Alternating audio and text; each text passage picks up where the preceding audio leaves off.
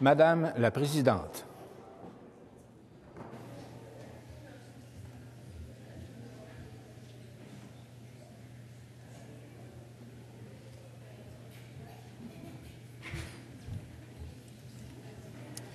Bon mardi, vous pouvez vous asseoir. Alors, euh, nous sommes aux affaires courantes, à la rubrique de déclaration de députés. Et nous débutons avec Monsieur le député de Rousseau. Alors, Madame la Présidente, euh, aujourd'hui, j'aimerais rendre un hommage particulier et sincère à un organisme qui se distingue et apporte tellement de positifs sur le territoire de Rousseau, soit le Centre de femmes de Montcalm. En effet, l'équipe du Centre de femmes de Montcalm, avec à sa tête Mme Hélène Lapointe, est un lieu d'accueil chaleureux, d'écoute, de ressources multiples pour toutes les femmes, et ce, peu importe leur âge, leur état civil, leur origine ou leur orientation sexuelle. À cet endroit, les femmes peuvent briser l'isolement, développer des outils favorisant leur autonomie et être guidées afin de reprendre le pouvoir sur leur vie, car oui, en 2020, il y a toujours des besoins en ce sens. Une ressource féministe et dynamique, gérée par et pour des femmes, et ce depuis 1990, qui fêtera donc ses 30 années d'existence cette année. L'accueil, l'écoute, la confidentialité, le respect, l'égalité, la mobilisation et la transformation sociale sont au cœur de la mission du Centre de femmes Montcalm. En terminant, je remercie toute l'équipe pour leur précieux travail et je les félicite d'accompagner chaque jour tant de femmes qui en ont besoin. Vous êtes simplement essentiels. Bon 30e anniversaire et au plaisir de vous revoir sous peu. Merci. Merci, Monsieur le député. Nous poursuivons avec euh, Monsieur le député de Darcy McGee. Merci, Madame la Présidente. C'est avec fierté que j'interviens ce matin pour reconnaître une communauté de plus en plus présente dans la circonscription que je représente, la communauté tamoul. Une communauté déterminée et unifiée, dévouée à son pays d'origine et ancrée et impliquée dans son Québec d'adoption. In January, all across Quebec, we joined with families, friends, and neighbors to mark Tamil Heritage Month, dedicated to celebrating the Tamil culture, language, and arts, and to highlighting the important contributions of the Tamil community to Quebec and to all of Canada. Many Tamils have come to Quebec in search of a home free from discrimination and persecution. They share a story of pride, perseverance, and strength in the face of adversity. Their Tamil roots are planted deep in the communities where they now live. Today, in this assembly, we honor you et nous affirmons que vous êtes appréciés, vous êtes chez vous. Merci. Merci, Monsieur le député. Madame la députée de Charlevoix, Côte-de-Beaupré, la parole est à vous. Madame la Présidente, aujourd'hui, j'honore une grande artiste et entrepreneur de notre circonscription, Madame Annie Lévesque. Originaire du Bas-Saint-Laurent, elle a adopté notre région il y a près de dix ans. Cette artiste en art visuel est propriétaire de la galerie Ni Vu ni Cornu à Sainte-Anne-de-Beaupré. Elle soutient plus de 40 artistes québécois, dont plusieurs sont émergents. Également, Madame Lévesque est cofondatrice et présidente du regroupement des intervenants culturels de la Côte de Beaupré et est cofondatrice du Circuit des créateurs. Cette amoureuse des arts a reçu plus de huit prix et bourses dans sa carrière. Madame Lévesque est également chroniqueuse à l'émission Les Matins éphémères au CKRL 89,1 pour parler de ses découvertes en art visuel de la grande région de Québec. Madame Lévesque, sans aucun doute, vous êtes une pionnière en matière d'art pour notre circonscription et vous êtes également un exemple extraordinaire pour notre communauté par votre leadership. C'est très inspirant pour tous. Bravo.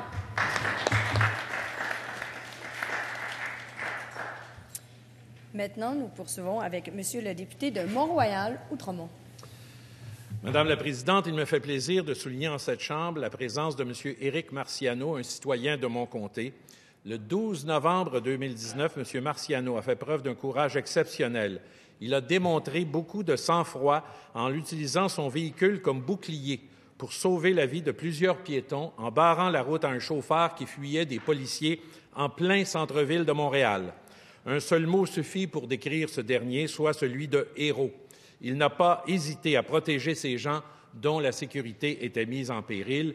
Il l'a fait sans penser aux dommages matériels de son auto ou même de ce qui pouvait lui arriver. Son geste de bravoure a notamment été honoré par la Ville de Montréal, par la police de Montréal, et c'est à mon tour aujourd'hui de l'honorer en lui remettant la médaille de l'Assemblée nationale. En tant que député de Mont-Royal-Outremont, Je suis extrêmement fier qu'un résident de mon comté ait sauvé courageusement la vie de nos concitoyens. Merci, Monsieur Marciano, pour votre acte de civisme et mes salutations à votre famille. Merci.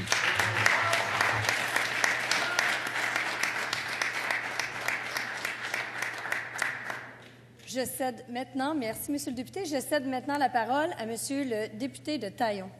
Merci Madame la Présidente. Je suis très fier de vous présenter une jeune citoyenne de ma circonscription dont le travail est exceptionnel.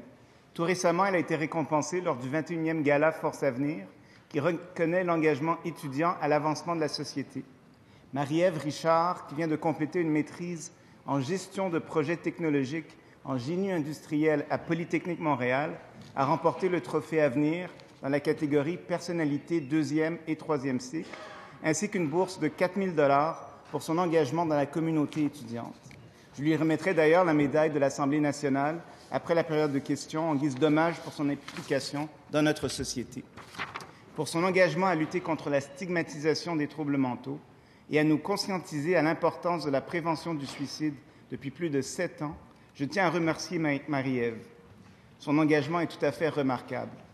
Je souhaiterais aussi saluer son grand courage ainsi que celui de sa famille qui ont vécu le suicide d'un proche il y a quelques années. Votre force est admirable et je vous remercie de poursuivre vos efforts dans la sensibilisation de la population. Chère Marie-Ève, bravo.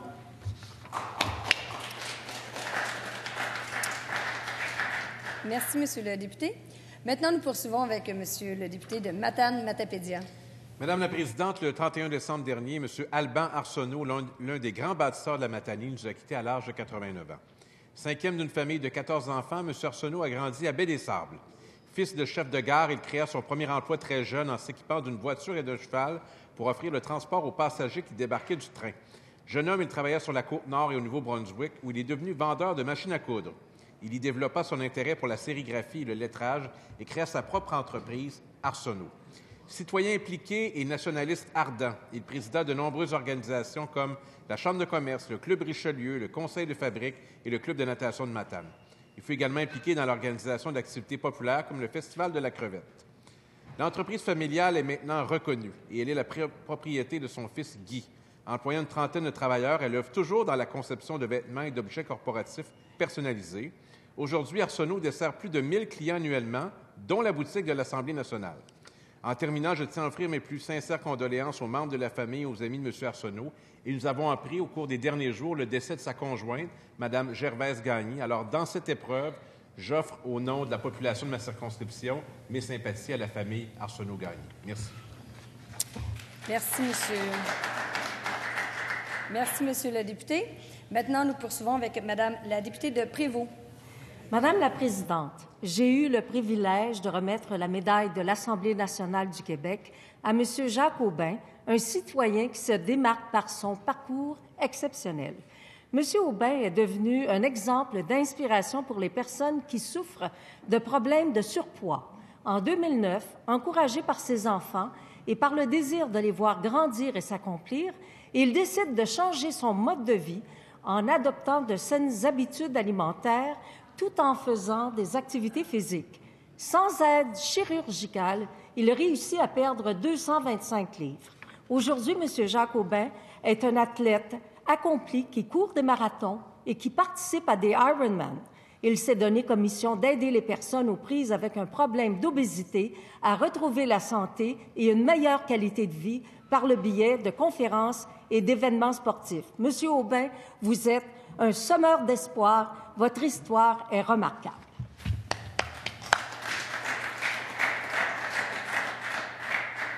Merci, Madame la députée. Maintenant, nous poursuivons avec Monsieur le député de Chomédé. Merci, Madame la Présidente. Permettez-moi de saluer la présence dans les tribunes de M. Ali Nestor, de sa conjointe, de ses étudiants et intervenants. Je tiens aujourd'hui à souligner l'implication sociale de M. Ali Nestor, fondateur d'Ali et les Princes de la rue. Il y a 18 ans, M. Nestor constatait l'urgence et le besoin d'implanter un programme d'accompagnement scolaire afin que les élèves en difficulté puissent atteindre leur plein potentiel académique et sportif tout en s'épanouissant socialement. Grâce à son initiative, plus de 300 jeunes de tous les milieux profitent du support d'intervenants inspirants via, six programmes, dont la boxe sans frontières et le mentorat. Au cours des années, M. Nestor a su se distinguer par son implication au sein de la communauté montréalaise et sa volonté de faire rayonner les jeunes du quartier Saint-Michel.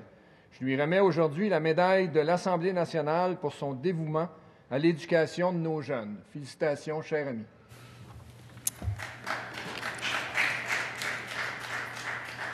Merci, Monsieur le député. Nous poursuivons avec Madame la députée de Huntington. Madame la Présidente, elle s'appelle Amigo Sympathico Snowred Miyoki. Elle vit dans la grande famille AMY Martin de Saint-Valentin, la capitale de l'amour au Québec. La famille Martin se compose entre autres de Joël, Michel, Alexandre, Alain, ainsi que de Denis, Linda et Sylvie. Le succès de cette famille qui travaille avec acharnement repose sur un modèle d'affaires soucieux du bien-être de toutes et tous. Chacun des membres Martin peut prendre des vacances. À leur tour, Amigos Sympathicos Snowred Miyoki et ses semblables jouissent de meilleures conditions de confort.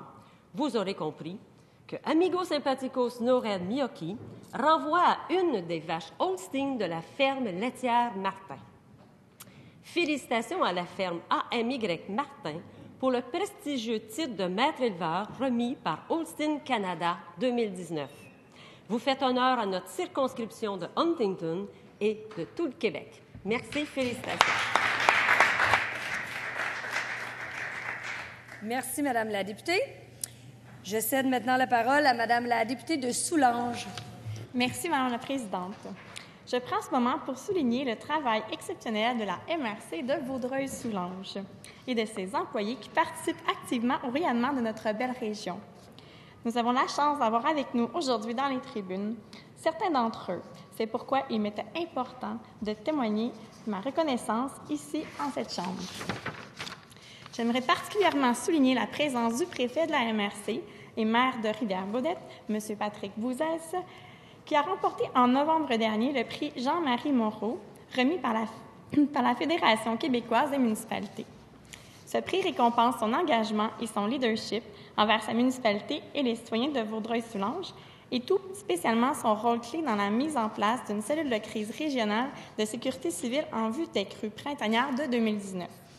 La MRC de Vaudreuil-Soulanges est présente pour ses citoyens et je salue notre belle collaboration qui ne peut être que positive pour notre région. Merci. Merci, Madame la députée. Ceci met fin à la rubrique de déclaration de députés et je suspends les travaux quelques instants.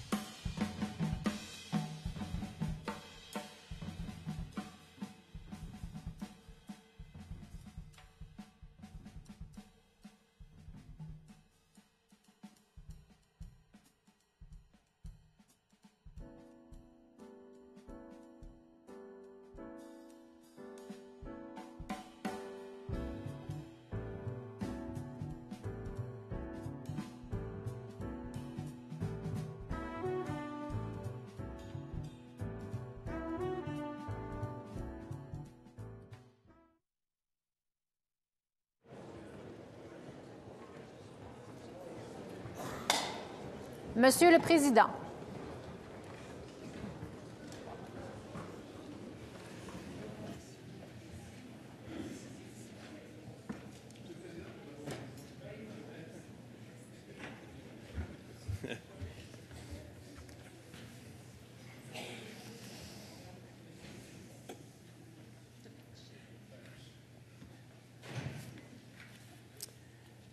Mesdames et Messieurs les députés, bon mardi. Nous allons nous recueillir quelques instants.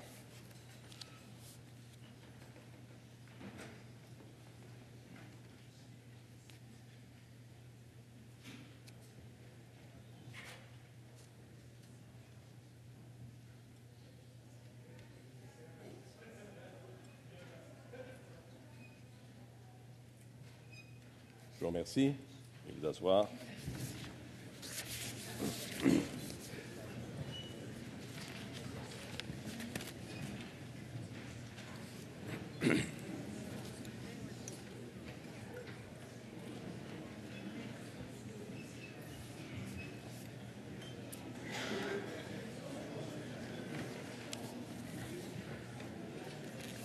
Mesdames et Messieurs les députés, nous poursuivons les affaires courantes. Aujourd'hui, il n'y a pas de déclaration ministérielle ni présentation de projet de loi. À la rubrique dépôt de documents, Monsieur le leader du gouvernement. Président, je dépose les réponses au- euh, du gouvernement aux pétitions présentées en Chambre le 13 novembre par la députée de Mercier et le 19 novembre par la députée de Gaspé. Merci. Ces documents sont déposés. Pour ma part, j'ai reçu préavis d'une motion qui sera inscrite dans le feuilleton de demain aux affaires inscrites par les députés de l'opposition, conformément à l'article 97.1 du règlement. Je dépose copie du texte de ce préavis. À la rubrique dépôt de rapport de commission, Monsieur le Président de la Commission de l'agriculture, des pêcheries, de l'énergie et des ressources naturelles et député de Masson. Merci. Je dépose le rapport de la Commission de l'agriculture, des pêcheries, de l'énergie et des ressources naturelles qui, les 5, 6 et 11 février 2020, a tenu des auditions publiques dans le cadre de consultations particulières sur le projet de loi numéro 48, la loi visant principalement à contrôler le coût de la taxe foncière agricole et à simplifier l'accès au crédit de taxe foncière agricole. Bravo. Ce rapport est déposé. Monsieur le Président de la Commission des institutions et député de Richemont. Merci, Monsieur le Président. Je dépose le rapport de la Commission des institutions qui, les 22-23 janvier ainsi que les 4, 5, 6 février 2020, a tenu des audiences, des auditions publiques dans le cadre des consultations particulières sur le projet de loi numéro 39, loi établissant un nouveau mode de scrutin. Merci. Merci, Ce rapport est maintenant déposé. Est-ce qu'il y a consentement pour déroger à l'article 4.4 des règles de fonctionnement afin de déposer un rapport du comité directeur de la Commission de l'Assemblée nationale? Consentement. Je dépose donc le rapport du comité directeur de la Commission de l'Assemblée nationale qui, le 11 février 2020, s'est réuni afin de modifier la liste des présidents de séance.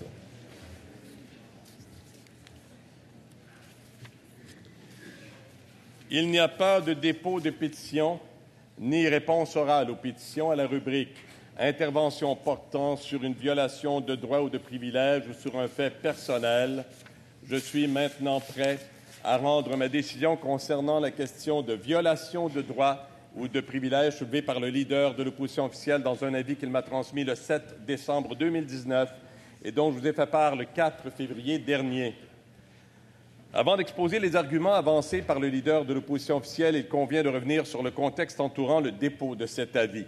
Le 29 novembre 2019, cette Assemblée a adopté à l'unanimité une motion rappelant au gouvernement qu'une grave pénurie de préposés aux bénéficiaires affecte actuellement le réseau de la santé et des services sociaux. Cette motion se terminait ainsi, je cite, que l'Assemblée nationale demande à la ministre de déposer un plan d'action à l'Assemblée d'ici la fin de la présente période des travaux. Fin de la citation. Lors de la séance extraordinaire du 7 décembre 2019, le plan d'action dont il était question dans la motion n'avait pas encore été déposé. Ainsi, lors de la période des questions de cette séance, le député de Pontiac et les députés de Fabre ont questionné la ministre de la Santé et des Services sociaux au sujet du dépôt de ce plan. La ministre a alors répondu, et je la cite, L'engagement que nous avions pris, c'est de rendre public, de déposer le plan d'action pour l'embauche et la rétention des préposés aux bénéficiaires. Nous allons le faire. Nous allons rendre public ce plan d'action éventuellement et nous allons le faire dans les meilleurs délais. Fin de la citation. Dans son avis, le leader de l'opposition officielle fait valoir que la ministre de la Santé et des Services sociaux aurait commis une violation de droits ou de privilèges en induisant la Chambre en erreur. Selon lui, la ministre a donné deux versions contradictoires des mêmes faits en votant pour la motion du 29 novembre demandant le dépôt du plan d'action avant la fin des travaux, tout en affirmant lors de la dernière séance de la période des travaux que le plan d'action serait rendu public dans les meilleurs délais. Le leader ajoute que cette situation équivaut à un aveu de la part de la ministre. À ce sujet, le leader du gouvernement m'a fait valoir par écrit ses arguments le 6 février 2020. Selon lui, l'intention de la ministre n'a jamais été d'induire la Chambre en erreur. Au surplus, celle-ci aurait prouvé sa bonne foi en déposant le plan en question dès la reprise des travaux parlementaires le 4 février 2020, alors que rien ne l'y obligeait puisque la motion adoptée qui enjoignait le gouvernement de faire quelque chose engendrait une contrainte qui est strictement d'ordre politique. Je dois maintenant vérifier si les faits invoqués par le leader d'opposition donnent ouverture à première vue à un outrage au Parlement. Il a été clairement établi par notre jurisprudence parlementaire que le fait d'induire délibérément l'Assemblée ou ses commissions en erreur peut constituer un outrage au Parlement.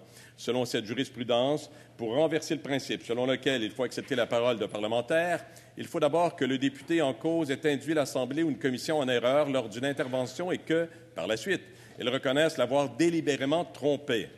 La jurisprudence a également établi que le fait de donner deux versions contradictoires dans le cadre des travaux parlementaires relativement au même fait peut aussi avoir pour effet d'induire la Chambre en erreur et donner ouverture à un outrage au Parlement.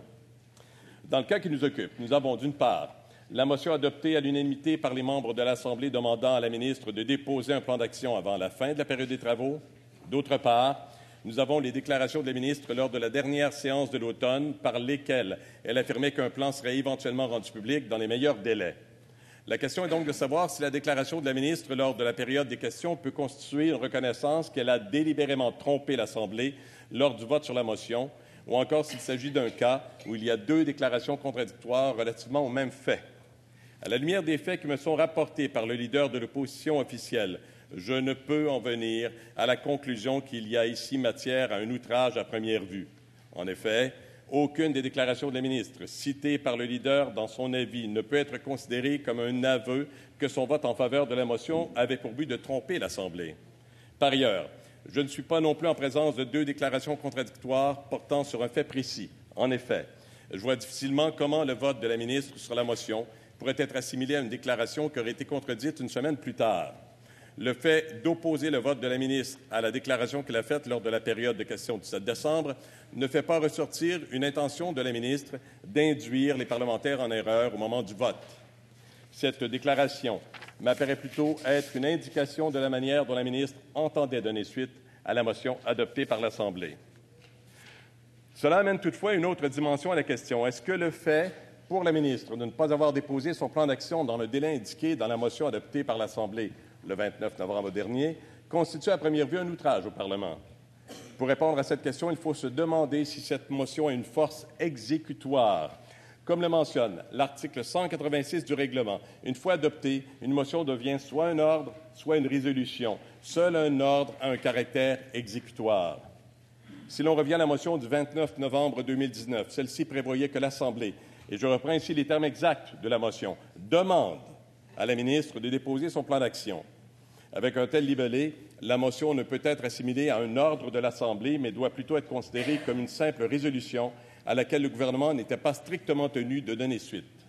Certes, l'Assemblée peut demander à la ministre de s'expliquer, mais la question de privilège n'est pas le bon moyen pour cela. En effet, la question de privilège vise les manquements graves et les atteintes aux droits de l'Assemblée et de ses membres. Elle ne constitue pas un moyen de contrôle parlementaire.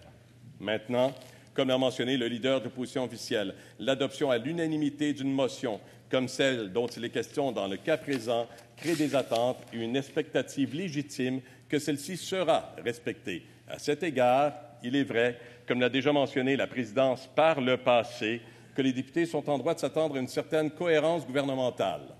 Toutefois, cet aspect ne relève pas de la présidence. Lorsque le gouvernement ne donne pas suite à un engagement moral, c'est à lui qu'il revient de s'expliquer par la suite. C'est pourquoi je juge la question de privilège soulevée par le leader de l'opposition officielle irrecevable.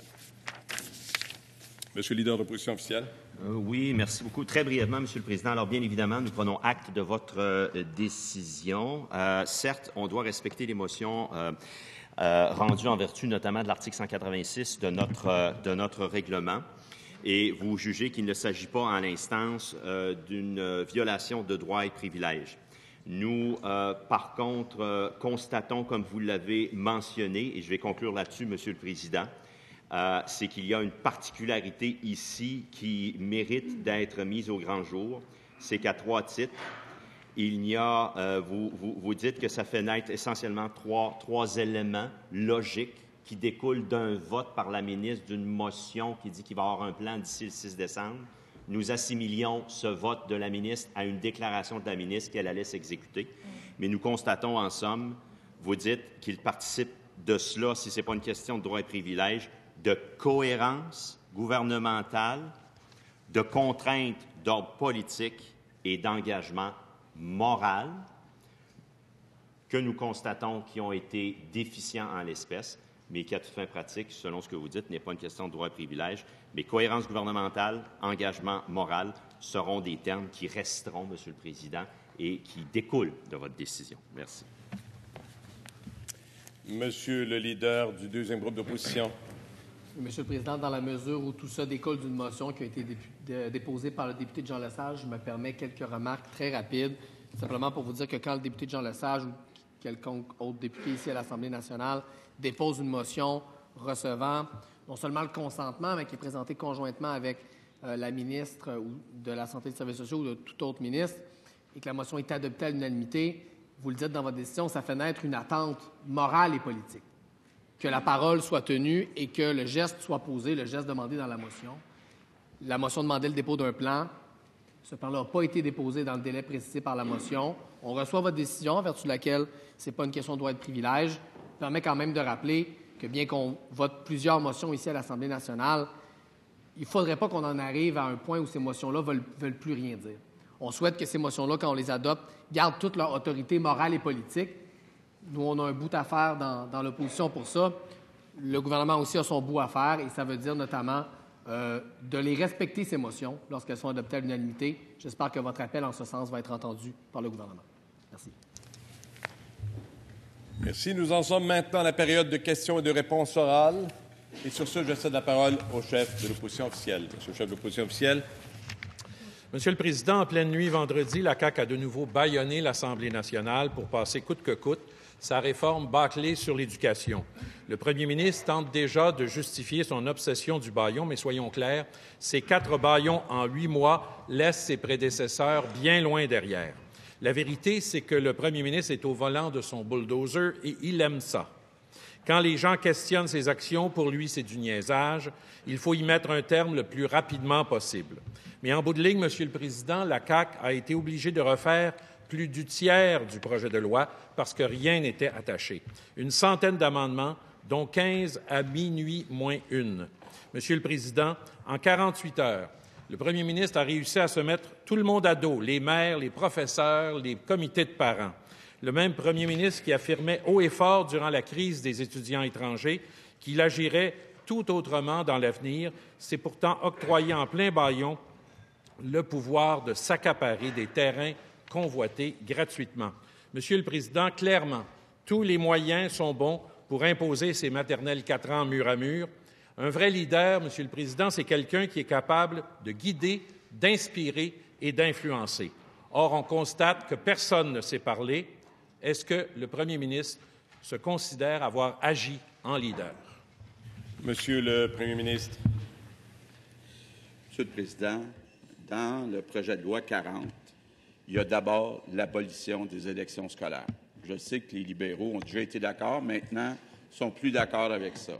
Maintenant, pour ce qui est des autres propositions de changement, elles sont pas mal consensuelles, euh, même, je dirais, dans les partis politiques. Moi, j'invite, je vois le co-chef de Québec solidaire qui essaie de se moquer puis de rire, mais je sais qu'il n'est pas capable de me donner un changement avec lequel il n'est pas d'accord. Monsieur le Président, concernant Concernant les terrains, Monsieur le Président, depuis 25 ans au Québec, à chaque fois qu'on construit une nouvelle école, on exige que le terrain soit donné par la municipalité. C'est normal, la municipalité qui reçoit une nouvelle école, un service public, c'est parce qu'elle a eu plus de maisons, donc plus de taxes municipales.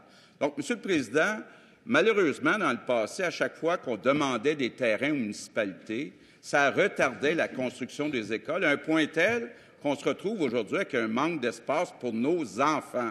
Donc, ce qu'on a mis comme amendement dans le projet de loi, c'est qu'à l'avenir, on va donner deux ans, deux ans pour s'entendre avec la municipalité sur le terrain. Je pense que c'est raisonnable. Puis j'aimerais que le Parti libéral, le chef du Parti libéral, nous le dise s'il n'est pas d'accord avec ça.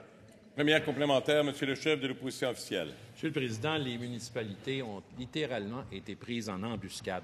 Le premier ministre s'est donné le pouvoir sans consultation, sans discussion et en plein milieu d'un baillon de forcer les municipalités à céder des terrains gratuitement. Clairement, le premier ministre n'a pas demandé à ses ministres de se parler et c'est donc totalement brouillon. Pourquoi ne pas avoir pris le temps de faire les choses une fois pour toutes correctement? Monsieur le Premier ministre. Monsieur le Président, le problème des terrains avec les municipalités, ce n'est pas un nouveau problème. D'ailleurs, le gouvernement libéral a fait un comité avec les municipalités. Quand le comité était terminé, ils ont tourné la page puis ils ont réouvert un autre comité, puis ils n'ont jamais pris de décision, n'ont jamais pris d'action. Monsieur le Président, pour le bien de nos enfants, c'est important qu'on ouvre des écoles pour que chaque enfant soit pas dans une roulotte, mais soit dans une vraie école avec un environnement qui est digne de 2020. Deuxième complémentaire, Monsieur le chef de l'opposition officielle. La réalité, Monsieur le Président, c'est que le premier ministre s'est donné des droits qui n'ont aucun rapport avec les élections scolaires. C'était carrément prémédité. Monsieur le Président, le premier ministre doit dès maintenant reculer et suspendre ce droit qu'il s'est octroyé sans consulter personne. Monsieur le Premier ministre. Monsieur le Président, pendant 15 ans, le Parti libéral, à chaque fois qu'il construisait une école, ils ont exigé que le terrain soit donné par la municipalité. Aujourd'hui, on écrit dans un projet de loi qu'on se donne maximum deux ans pour s'entendre avec la municipalité. Moi, j'aimerais que le chef du Parti libéral soit très clair. Est-ce qu'il est d'accord ou il n'est pas d'accord avec ça, de se donner deux ans? Est-ce qu'il est d'accord ou pas d'accord avec ça, que la municipalité fournisse le terrain pour une nouvelle école? Qu'il soit donc clair pour une fois. Troisième complémentaire, Monsieur le chef de l'opposition officielle. Monsieur le Président, malgré les belles paroles d'ouverture du premier ministre, il écarte tous ceux qui ne pensent pas comme lui. Vous posez les mêmes actions, les mêmes erreurs à chaque fois. Avouez-le donc, vous vous êtes fait prendre. Vous avez essayé, comme dans d'autres baillons, d'en passer une petite vite aux Québécois. De vous adresser toujours à la présidence, c'est une règle que l'on connaît bien également. Alors, à ce chapitre-là, je pense que c'est clair. Monsieur le Premier ministre. Monsieur le Président, les gens qui nous écoutent là, ont bien remarqué que le chef du Parti libéral a tout fait, sauf se commettre à savoir s'il est d'accord ou non pour que les municipalités fournissent en dedans deux ans un terrain. On le sait toujours pas, Monsieur le Président. Est-ce que le Parti libéral peut avoir un petit peu de courage puis nous dire oui, pour le bien de nos enfants, les municipalités doivent fournir le terrain? C'est ça qui est proposé par le gouvernement. les libéraux, comme d'habitude, on ne sait pas ce qu'ils veulent. Question principale.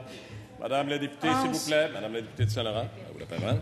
On veut de la transparence. Quand on dit qu'on travaille à visière levée tout le long du baillon, puis qu'au fond, on se réveille le matin, puis c'est l'entièreté du Québec qui est sous le choc, c'est tout sauf travailler de façon transparente.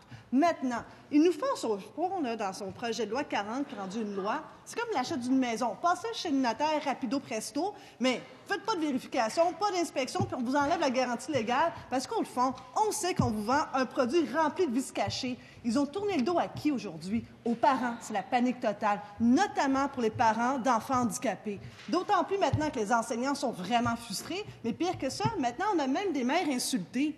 Aujourd'hui, la loi 40, c'est réellement le PEC du ministre. Est-ce qu'il s'en rend compte? Est-ce qu'il est capable aujourd'hui de faire la seule chose responsable et de suspendre tous les articles problématiques et de retourner négocier avec ses partenaires au lieu de les insulter? Monsieur le ministre de l'Éducation, à vous la parole. Oui, ça va bien aller. Monsieur le Président, c'est un projet de loi qui fait avancer la gouvernance scolaire. Je suis très, très content que maintenant on soit dans une période de transition. On a des équipes écoles qui savent où on s'en va. On a des gens dans les centres de services scolaires qui maintenant savent que c'est plus une gestion politisée, c'est plus un mini-gouvernement élu qui va décider ce qui se passe dans les écoles à la place des professeurs. Enfin, on reconnaît l'autonomie professionnelle. Enfin, on remet les écoles entre les mains de celles et ceux qui connaissent les élèves par leur nom. Enfin, on reconnaît la compétence des directions d'école. Et c'est en parfaite cohérence avec ce qu'on a dit depuis le départ. Quand ma collègue nous parle de vice caché, ben, j'ai l'impression que c'est un peu ce que nous, on a trouvé quand on a hérité du réseau, parce qu'on a hérité d'un réseau qui n'avait pas été entretenu, où on ne construisait pas des écoles, où on ne réparait pas des écoles, où on n'embauchait pas suffisamment d'enseignants. Alors, on est en train de réparer les vices cachés du réseau qu'on a reçu. Madame la députée de Saint-Laurent, vous avez la parole. Soyez prudent, évidemment, dans les propos que l'on utilise, dans ces questions et dans ces réponses. Nous sommes tous attentifs à ce qui est prononcé ici. Merci. Monsieur le Président, on connaît l'adage. Ça prend un village pour élever un enfant. Mais parlons-en de ce village aujourd'hui. Qu'est-ce qui en reste de ce village? Des dizaines et des dizaines de parents qui écrivent au premier ministre ainsi qu'à son ministre pour dire Allô, vous nous avez oubliés, nous les parents. On a moins de voix, surtout les parents d'enfants handicapés. On a aussi plus de 18 000 enseignants qui ont signé une pétition pour dire il est où notre super champion de l'éducation, un ancien enseignant Qu'est-ce qui lui est arrivé maintenant dans le gouvernement Le ministre de l'Éducation. Président, c'est quand même particulier de voir des, des, partis qui ont été au pouvoir nous donner des leçons. Savez-vous, c'est quand la dernière fois qu'on a inauguré une école secondaire au Québec? En 2006. Mais c'est-tu drôle? On le savait qu'il y avait des nouveaux arrivants qui arrivaient. On savait qu'il y avait des enfants. Quand il y avait 4 ans, il y en avait 5. Puis après ça, 6. Puis après ça, 7. Les enfants, sixième année, on savait qu'ils allaient aller au secondaire. Mais depuis 15 ans, les deux vieux partis n'ont pas trouvé de solution à la pénurie de locaux, n'ont pas trouvé de solution pour accélérer le transfert des terrains. On n'a pas construit d'école secondaire en 16 ans. Et nous, en une année, on a lancé 16 chantiers pour construire des écoles secondaires. Nous sommes la solution à leurs problèmes. Deuxième complémentaire, encore une fois, s'il vous plaît. Soyez attentifs tant aux questions qu'aux réponses. Une question de respect, évidemment. Nous avons tous envie d'entendre correctement. Madame la députée de Saint-Laurent, à vous la parole. Vous êtes la seule. Monsieur le Président, vous apportez ici une notion tellement importante, une question de respect. Trouvez-vous ça respectueux? De passer outre nos institutions, de mettre un baillon sur une étude détaillée qui avait plein de vices cachés, de dire aux parents, même si vous venez en commission, bien, votre voix, on ne l'entendra pas. De dire maintenant aux maires, mais savez-vous quoi, votre autonomie, pourquoi qu'on se battrait avec l'autonomie envers les municipalités? Est-ce que c'est ça, du respect? Moi, je demande une affaire hyper simple au ministre, de suspendre les articles problématiques. Monsieur le ministre de l'Éducation. Monsieur le Président, les parents, comme les autres groupes qui sont venus en commission parlementaire, ont été entendus. C'est peut-être ce qui surprend nos collègues. Eux, ils auraient souhaité qu'on adopte le projet de loi tel qu'il a été déposé. Ils ne voulaient pas qu'on fasse d'amendement. Ils ne voulaient pas qu'on écoute les parents qui voulaient lier les gens sur le conseil d'administration au comité de parents. Bien, nous, on voulait les écouter, ces parents-là. Ils ne voulaient pas qu'on garantisse qu'il n'y a que des enseignants et personne d'autre qui inscrivent des notes dans le bulletin. Bien, c'est ce que les gens nous ont demandé. Ce sont les amendements qu'on a apportés. Alors, on a travaillé en collégialité, puis maintenant, bien, tournons la page. J'invite mes collègues à J'invite mes collègues à diffuser l'information, la vérité, dans les médias pour que tout le monde sache quels sont les bienfaits de cette loi. Question principale, Madame la députée de Anjou. Louis Riel. Merci, Monsieur le Président. Depuis samedi, les élus municipaux sont en colère. Les maires de Trois-Rivières, Shawinigan, Gatineau, la mairesse de Montréal, celle de Nicolet. La Fédération québécoise des municipalités, l'Union municipale du Québec tous et toutes, sans exception, sont en colère. Ils ont raison. Ils n'ont jamais été mis au courant de l'amendement du ministre de l'Éducation dans le projet de loi 40 qui les oblige à céder leur terrain sans compensation financière. Pire, les villes pourraient même se voir obligées d'emprunter et refiler la facture à leurs citoyens. Monsieur le Président, pour en ajouter, l'actuel ministre de l'Éducation a même refusé de relancer la table de discussion avec les élus municipaux de l'UMQ tels qu'ils l'ont demandé. La ministre des Affaires municipales peut-elle aujourd'hui se lever et nous expliquer pourquoi elle n'a pas jugé bon de parler à ses partenaires, les élus, et pourquoi elle n'a pas demandé à son collègue, le ministre de l'Éducation, de relancer la table de discussion de l'UMQ? Madame la ministre des Affaires municipales. Oui, merci, Monsieur le Président. Je remercie la députée d'Anjou Louis Riel, évidemment, parce que je vais apporter quelques précisions. Au niveau du milieu municipal, notre équipe du ministère, avec euh, l'aide du sous-ministre et de l'équipe du ministère de l'Éducation, nous sommes allés sur le terrain. On appelait, on appelait ça l'escouade terrain. On est allé rencontrer les maires où on avait besoin d'avoir un terrain pour une école. Alors, on est allé rencontrer tous les maires concernés. On a discuté d'avoir des terrains pour des futures écoles. Je suis une ancienne enseignante. En passant, l'essentiel dans une municipalité, c'est une école et un hôpital. C'est ce qui est essentiel pour les nouvelles familles. évidemment, les maires nous proposaient des terrains, des terrains, Monsieur le Président, en milieu humide, des terrains, Monsieur le Président, en zone inondable, sur le bord des autoroutes et parfois zonés agricoles. Alors, considérant cette situation, on a continué à discuter avec les maires. C'est assez problématique parce que nous, construire en zone inondable, après toutes les inondations qu'on a vécues, c'était impossible. Alors, il y a eu énormément de discussions, Monsieur le Président. Complémentaire, la parole n'appartient qu'à la députée d'Anjou Louis Rial. S'il vous plaît, je vous demande votre attention. Merci, Monsieur le Président. Ce gouvernement a littéralement bafoué le principe de l'autonomie municipale. Selon l'attaché de presse du ministre, on apprend, et je cite, cette mesure devait initialement être intégrée à une autre pièce législative, mais qu'il a été décidé de l'intégrer à la loi 40 pour faire plus rapidement. Fin de la citation. La ministre peut-elle nous dire pourquoi c'était aussi urgent et comment peut-elle se justifier de ne pas avoir inclus dans les discussions les élus municipaux? Pas les fonctionnaires de votre ministère, pas les fonctionnaires de l'éducation, les Madame la ministre des Affaires municipales, à vous la parole. Toujours prudence dans les mots utilisés, s'il vous plaît. Merci. On, on, va rester calme, Monsieur le Président, parce que depuis cinq ans, il y a des discussions qui étaient euh, présente avec les municipalités et aucun nouveau terrain était possible pour les nouvelles écoles. C'était très compliqué. Il n'y avait aucune collaboration entre les commissions scolaires et le milieu municipal. Le milieu municipal est essentiel pour l'aménagement du territoire avec les nouvelles écoles. Ceci étant, je me suis vraiment rassurée d'avoir des services avec les nouvelles écoles, que les municipalités vont pouvoir utiliser les infrastructures des écoles sans frais pour des activités après les heures d'école. Ceci étant, quand on dit qu'on n'a pas été consulté, les milieux municipaux ici, là, j'ai les lettres, je vais les lire probablement l'autre période de questions. Je vais me rasseoir, puis je vais vous la lire. Ils ont vraiment été concernés. Deuxième complémentaire. Encore une fois, je vous demande votre attention à tous. Vous posez des questions, vous voulez avoir des réponses. On est attentif à l'une comme à l'autre. S'il vous plaît. Merci, Monsieur le Président. Je comprends que la ministre a clairement approuvé cette façon cavalière d'agir envers les élus municipaux. Se rend-elle compte du bris de confiance que son gouvernement a créé?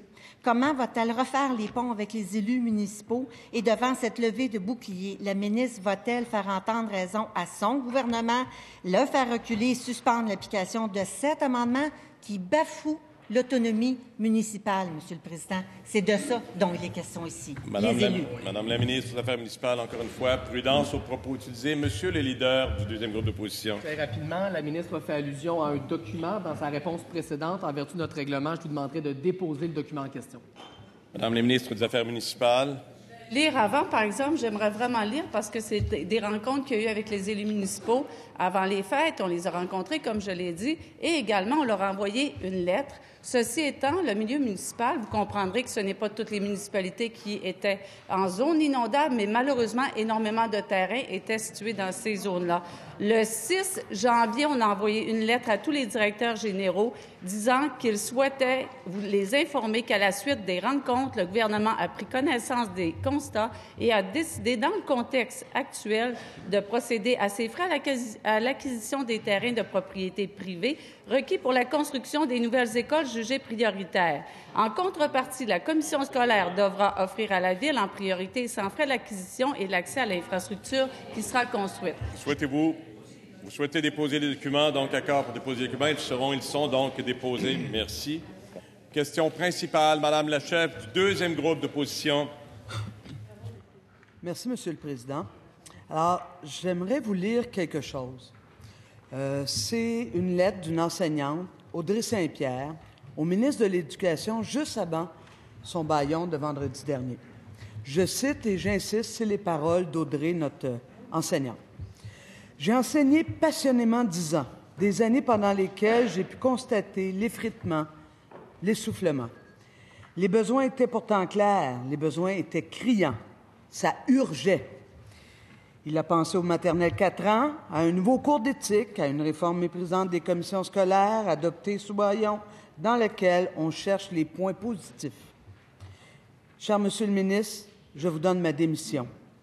Je suis certaine que vous pourrez trouver quelqu'un de non légalement qualifié pour faire ma job, que j'aimais pourtant. Courage les enfants, un jour, quelqu'un prendra soin, comme nous l'avait promis le ministre de l'Éducation au début de son mandat.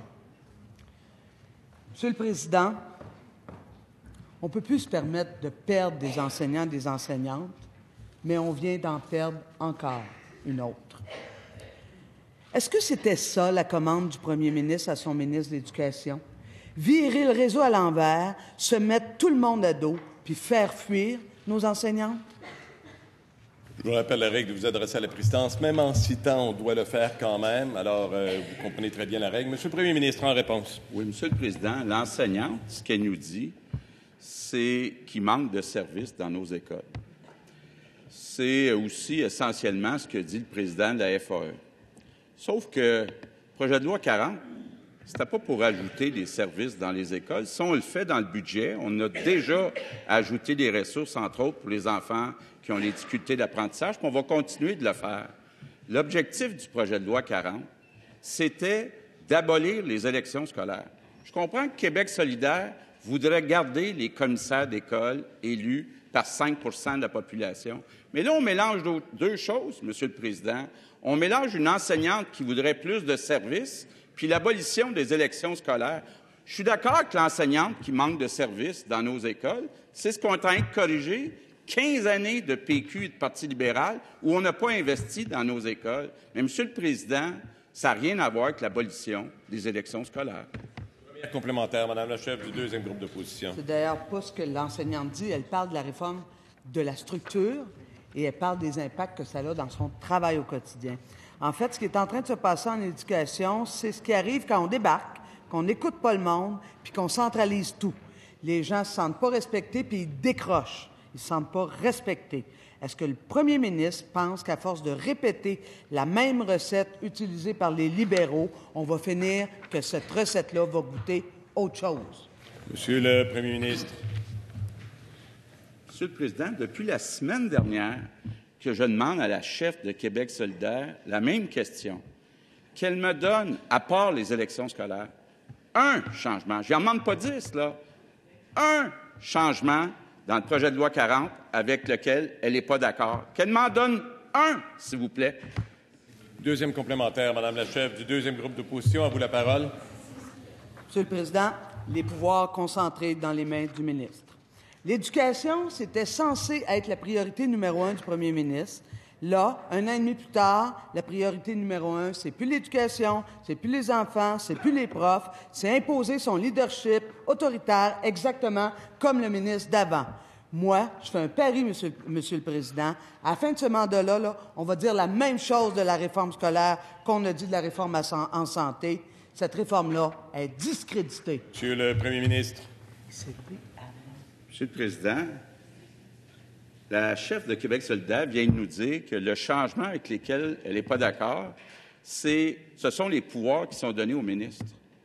Monsieur le Président, c'est exactement le contraire. On abolit un palier supposément démocratique où personne ne va voter, puis on décentralise le choix des moyens dans les écoles.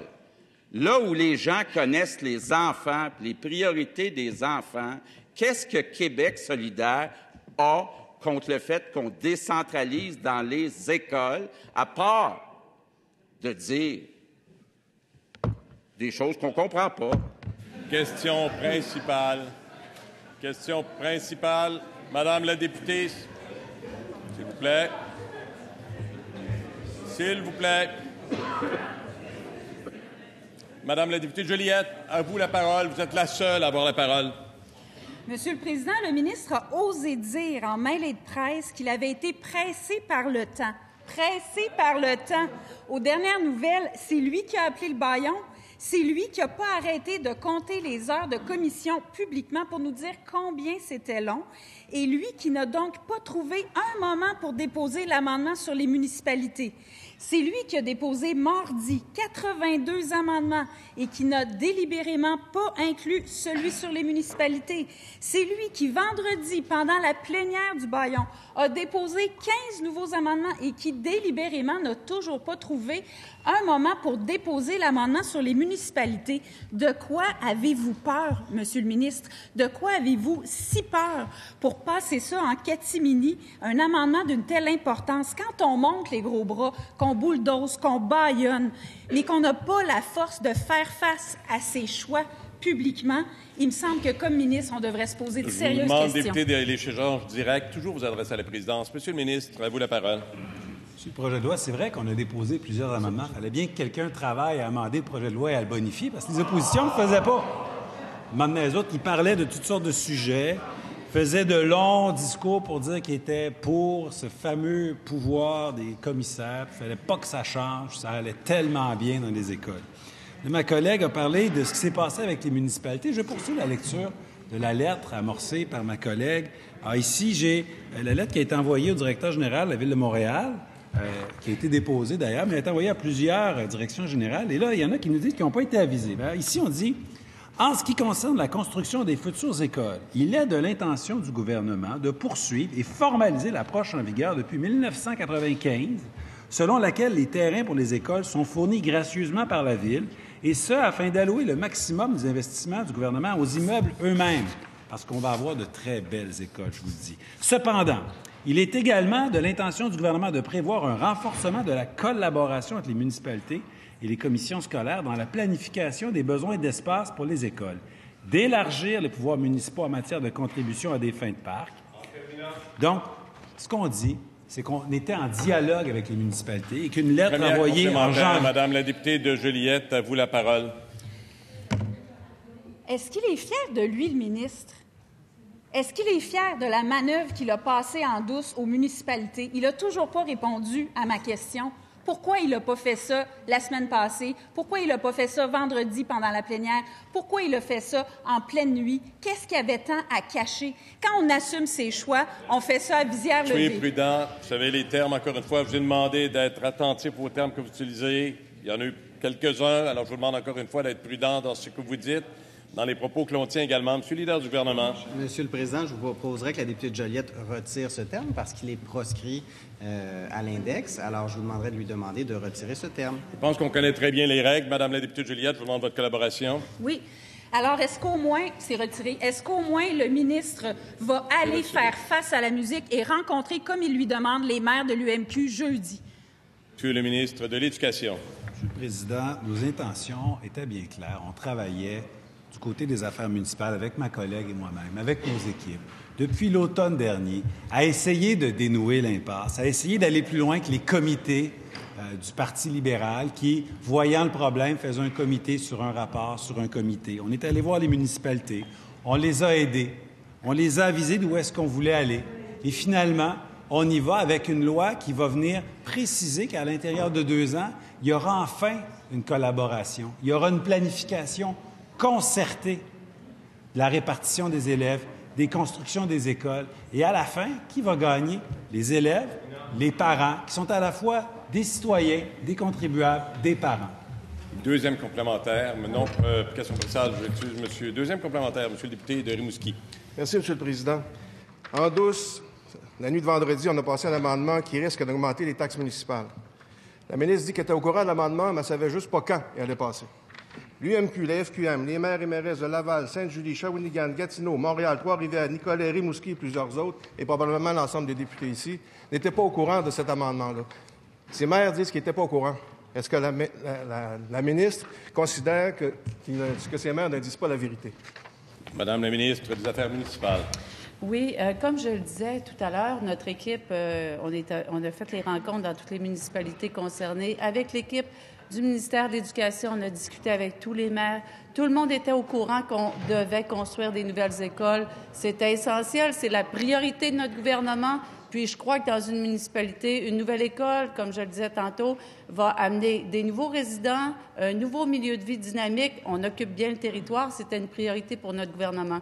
On s'est vraiment euh, concentré sur le fait, moi, mon rôle était que la municipalité puisse utiliser la future école à des frais, sans frais, si elle avait besoin d'utiliser les infrastructures, ce que je me suis euh, assuré.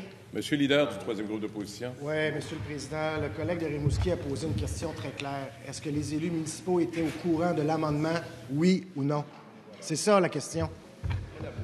Vous aviez complété, Madame la ministre, votre réponse. Monsieur le leader du gouvernement, je pense qu'on ne peut exiger la précision d'une réponse donnée par la ministre ou la personne qui doit répondre. Je précise, je continue. Question principale, Madame la députée de Fabre.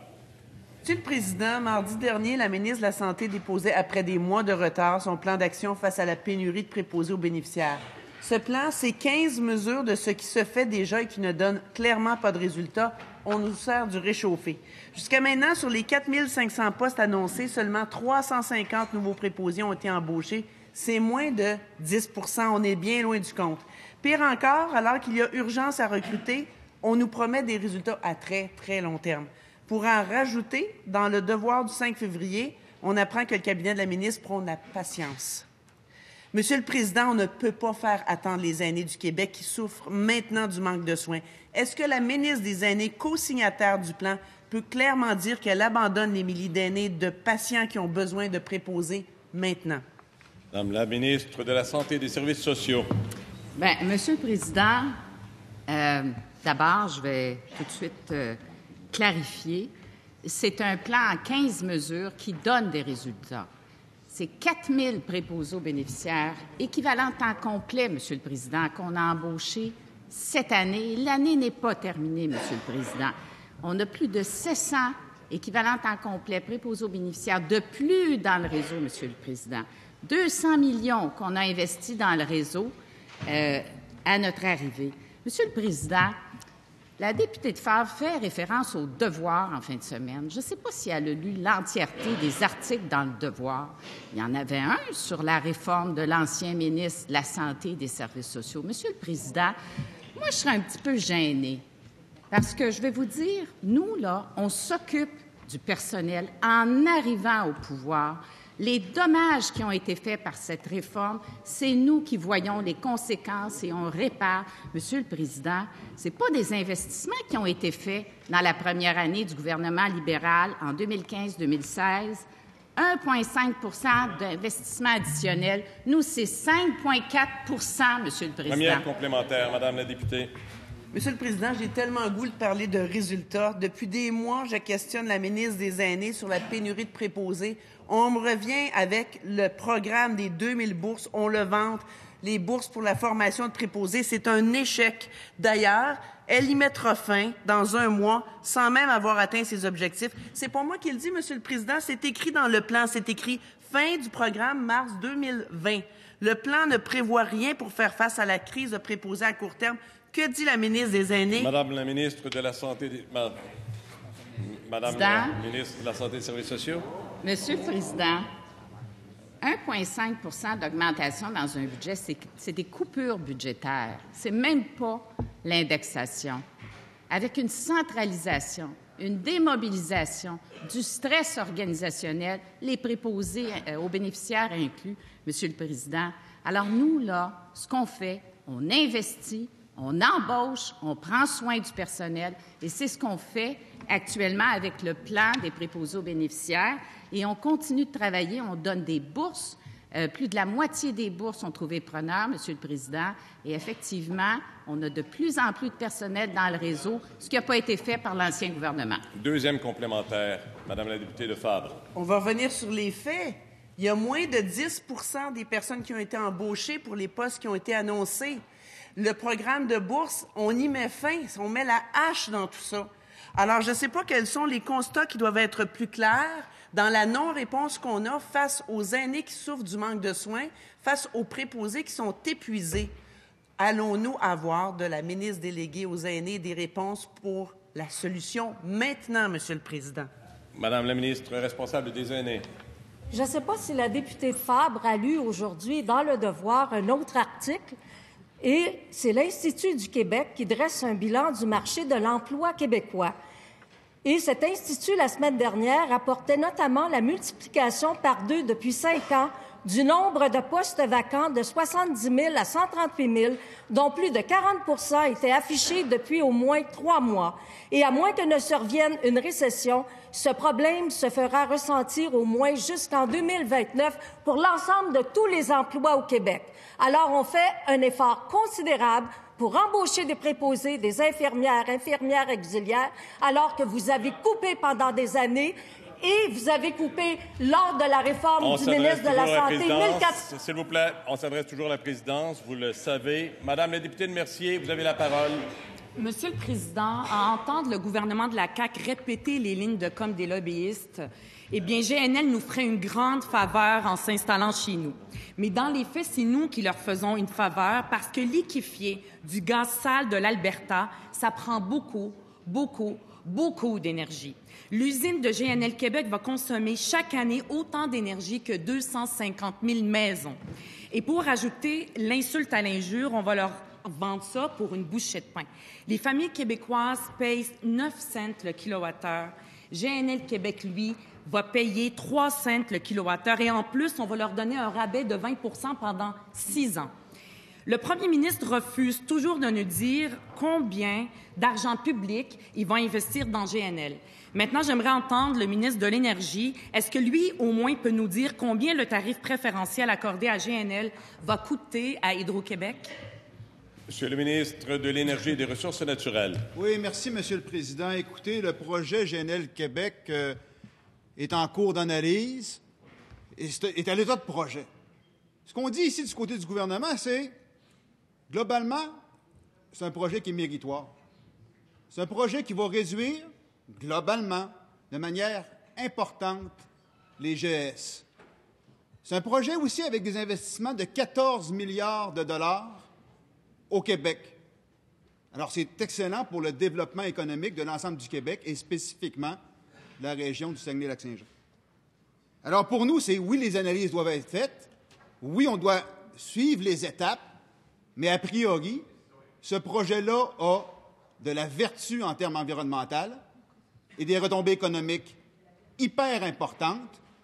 Je pense qu'à ce stade-ci de l'avancement du projet, on devrait le regarder favorablement sur ces deux aspects-là et laisser la poursuite des analyses environnementales pour la suite des choses. Merci, Monsieur le Président. Première complémentaire, Madame la députée. Donc, le ministre ne répond pas, il ne fait que répéter les lignes des lobbyistes, euh, comme je le disais. Donc, s'il n'est pas capable, moi, j'ai un chiffre pour lui. Selon l'expert Bernard Saulnier, le traitement de faveur à GNL, c'est un manque à gagner d'au moins 70 millions de dollars par année. Ça, c'est le minimum, je veux dire, le minimum. Ça, c'est une subvention déguisée et tout le monde va payer pour ça. Mais est-ce que ça va profiter à tout le monde? Pas du tout. Les mégawatts qu'on réserve à GNL, ils serviront pas à notre transition, ils vont servir à exporter le gaz de schiste à l'Alberta. Est-ce que c'est juste? Pour de l'Énergie et des Ressources naturelles. Bien, je suis heureux d'entendre ces, ces chiffres-là de ma collègue parce que moi, je ne les ai pas encore, puisqu'on est à l'état de projet. Donc, je serais curieux de voir, en fin de compte, les fondements même de ces chiffres-là. Pour l'instant, ce qu'on a entre les mains, c'est un projet de 14 milliards d'investissements que je réitère, hyper important pour le développement économique et une réduction de 28 millions de tonnes de GS globalement pour la planète. Ça, c'est les données avec lesquelles on regarde le projet à la fois du volet environnemental et développement économique. Maintenant, on peut s'y opposer dès le départ, avant même que le projet soit avancé, avant même que les analyses soient faites de manière dogmatique, où on peut regarder les choses aller et travailler sur le projet de manière structurée pour en voir la suite. C'est ce qu'on préconise de l'autre côté. Deuxième complémentaire, Madame la députée. Les 550 mégawatts par année de GNL, c'est l'équivalent des deux tiers de la capacité de la Romaine. Donc, pourquoi est-ce qu'on a défiguré la rivière de la Romaine? On a construit ce barrage sur une des dernières rivières vierges du Québec. Pourquoi? Pour qui? Pour al- alimenter une usine américaine de gaz sale? On est rendu là, au Québec, à construire des barrages pour financer les énergies sales de l'Alberta? Monsieur le ministre de l'Énergie et des Ressources naturelles. Oui, monsieur, le Président. Écoutez, on est pour l'électrification à tout égard. C'est une volonté de notre gouvernement. On est pour l'exportation de nos surplus hydroélectriques parce qu'on en a pour enrichir le Québec. Et maintenant, on a une possibilité d'investissement majeur, 14 milliards de dollars au Québec, avec l'utilisation de l'hydroélectricité, une énergie propre et renouvelable, qui, toute chose étant égale par ailleurs, quand on se compare par rapport à un projet de cette envergure-là sur un site québécois, c'est la meilleure place pour le faire. Et naturellement, tout le développement économique, toutes les retombées économiques pour les régions du Québec. Nous, on croit à ça. Maintenant, je persiste à dire qu'on va voir les analyses avancées. Ça ne sert à rien de conclure au préalable, comme le fait ma collègue. Question principale. Monsieur le député de Bonaventure. Monsieur le Président, nous assistons à l'émergence d'une nouvelle catégorie de pauvres au Québec, celle des retraités qui se font usurper une partie de leur fonds de pension par des entreprises à la morale corporative extrêmement douteuse. Depuis dix ans, plus de 15 000 retraités ont perdu près de 30% de leur fonds de pension, ce qui représente une somme annuelle de 100 millions de dollars. Ça veut dire 100 millions qu'on a enlevés dans les poches des retraités du Québec. Tout ça dans un contexte de prospérité économique et de création de richesses. Et fort à parier que d'autres entreprises vont utiliser le même stratagème pour flouer des retraités qui ont contribué pendant des décennies à l'enrichissement de ces dites entreprises. Ma question est simple. Est-ce que le ministre peut faire preuve d'empathie et s'engager à soutenir la mise en place d'un régime québécois d'assurance pension pour aider nos retraités à avoir une vie décente? Monsieur le ministre des Finances, à vous la parole. Oui, euh, merci pour la question. Et euh, d'ailleurs, le député de Jonquière m'a remis euh, le document des retraités et soyez certains que je vais le lire. bon, la, la situation, on parle ici de régime à prestations déterminées privées où l'employeur est en situation d'insolvabilité. Alors, pour que le régime fonctionne, ça prend des contributions d'employés et d'employeurs. Et là, il n'y a plus d'employeurs. Alors, c'est ça qui se passe. Ce sont des régimes à prestations déterminées privées. Alors, lorsqu'on parle de mettre une assurance, on parle de quoi? Il y a quelqu'un qui doit payer des primes sur l'assurance, et ce serait qui? Les employeurs et les employés. Or, le Québec est déjà champion des taxes sur les masses salariales et nous avons déjà un désavantage compétitif par rapport à l'Ontario. Et si on augmente les taxes sur les masses salariales, on augmente, on diminue la compétitivité de nos entreprises et on va précipiter la conversion de tous les régimes à prestations déterminées en régime à cotisation déterminée, Monsieur le Président, et ce n'est pas ça qu'on souhaite. Première complémentaire, Monsieur le député de Jonquière. Oui, le ministre nous parle de compétitivité des entreprises. Moi, j'aimerais lui parler de travailleurs qui ont passé leur vie 30, 40 ans dans des usines, dans des entreprises, se retrouvent à 70 ans obligés de retourner sur le marché du travail pour combler leurs besoins, pour avoir une vie décente. Est-ce que le ministre trouve ça normal, Monsieur le Président, qu'on soit obligé au Québec d'en être arrivé à des situations comme celle-là? Tout ce qu'on lui demande, tout ce que les retraités lui demandent. Monsieur le ministre des Finances. Monsieur le Président, pour que le régime d'assurance euh, se soit appliqué aux gens dont on parle aujourd'hui, il aurait fallu que les gouvernements précédents le mettent. Là, on discute d'un futur régime d'assurance et le gouvernement, la solution que nous proposons, ce sont les régimes à prestations cibles, qui sont un hybride entre les régimes à prestations déterminées et les régimes à cotisation déterminée, où ces régimes privés, la volatilité des cotisations sera assumée par les travailleurs. Parce que ce qui se passe, c'est que si on impose des charges supplémentaires aux entreprises pour ces régimes à prestations déterminées, ils vont tout simplement disparaître. Deuxième complémentaire, M. le député Jonquière. Oui, euh, c'est lui qui est présentement ministre des Finances. C'est le gouvernement qui est présentement en action. Il peut agir pour le futur. Le premier ministre aime bien s'inspirer de l'Ontario. Mais en Ontario, il y a justement un régime d'assurance-pension depuis une quarantaine d'années. Moi, je lui demande d'aller au bout de sa logique puis de s'inspirer complètement de l'Ontario et de faire un régime d'assurance-pension au Québec, Monsieur le Président. Monsieur le ministre des Finances. Oui, bien, Monsieur le Président, c'est parce qu'en fiscalité des, entreprises, on ne peut pas juste compter les éléments qu'on veut. Il faut, faut, faire la somme de l'impôt des corporations et de la somme des taxes sur les masses salariales que nous avons. Or, nous sommes déjà, au Québec, 25% moins compétitifs que les entreprises de l'Ontario en raison de nos taxes sur les masses salariales actuelles. Ce que vous me proposez, c'est d'imposer des primes pour créer un régime qui va rendre nos entreprises moins compétitives. Question principale, Madame la députée d'Anjou-Louis Riel. Oui, merci, Monsieur le Président. J'ai pris connaissance des lettres déposées par la ministre, Monsieur le Président. Deux lettres adressées aux directeurs généraux des municipalités de Montréal et de Gatineau, pas adressées au maire, ni à la mairesse Plante, ni au maire Pedno-Jobin. Des lettres signées par son sous-ministre en copie conforme, le sous-ministre de l'Éducation jamais signé de la lettre de la ministre adressée aux élus. Monsieur le Président, pire, dans la lettre, on dit Je souhaite vous informer qu'à la suite de nos rencontres, le gouvernement a pris connaissance des constats et procédé à ses frais à l'acquisition de terrains de propriété. Monsieur le Président, dans la lettre, ce qu'on dit, là, c'est pas que les municipalités vont donner leurs terrains, céder leurs terrains ou acheter des terrains pour donner aux villes. C'est ça qu'il y a dans le projet de loi. C'est ça l'amendement, Monsieur le Président. C'est deux choses qui sont contraires l'une à l'autre, Monsieur le Président. La ministre peut-elle se lever, regarder la caméra et dire à la maire, à la, à mairesse de Montréal et le maire de euh, Gatineau qu'elle qu'elle a induit en erreur cette Chambre, Monsieur le Président? Monsieur, s'il vous plaît, non. Monsieur, non. Vous le savez. Obligé d'aller jusque-là, Madame la députée. Vous le savez fort bien. Alors, je vous demande de ne pas aller jusque-là, de ne pas tenir ces propos. On a des mécanismes dans nos règles. Vous le savez fort bien. Madame la députée, dans ce contexte-ci, je vous demande de retirer vos paroles. Euh, je demande maintenant la réponse à la ministre des Affaires municipales. Oui, alors merci, Monsieur le Président. Je peux regarder la caméra en disant aux maires et mairesses que j'ai entièrement confiance à vos directeurs généraux, qu'ils vous ont euh, montré la lettre qu'on avait acheminée. Évidemment, alors, euh, je vais quand même terminer le paragraphe que vous avez oublié de, lire. Et oui, tous les élus étaient au courant. Alors, euh, enfin, dans le contexte de rareté des espaces disponibles, des coûts de ceux-ci, de l'évolution de de la société et d'exemple ailleurs qu'au Québec, le, ministère de l'Éducation et de l'Enseignement supérieur est disposé à réfléchir et à encourager l'émergence de, de, de nouveaux modèles d'implantation des écoles mieux adaptées aux réalités municipales actuelles et à venir. Là, quand on dit que l'UMQ n'était pas au courant, on a reçu en plus une lettre de l'UMQ cette semaine en réponse à cette lettre que nous avons envoyée auparavant le 6 janvier. On a reçu euh, cette semaine la lettre de la réponse de l'UMQ. Merci, Monsieur le Président. Question principale, Madame la députée d'Anjou, Louis Riel. Oui, merci, Monsieur le Président. Ce que je comprends, Monsieur le Président, c'est que dans la lettre, c'est écrit qu'on va compenser financièrement. Le projet de loi, il n'y a pas de compensation financière, Madame le, euh, Monsieur le Président.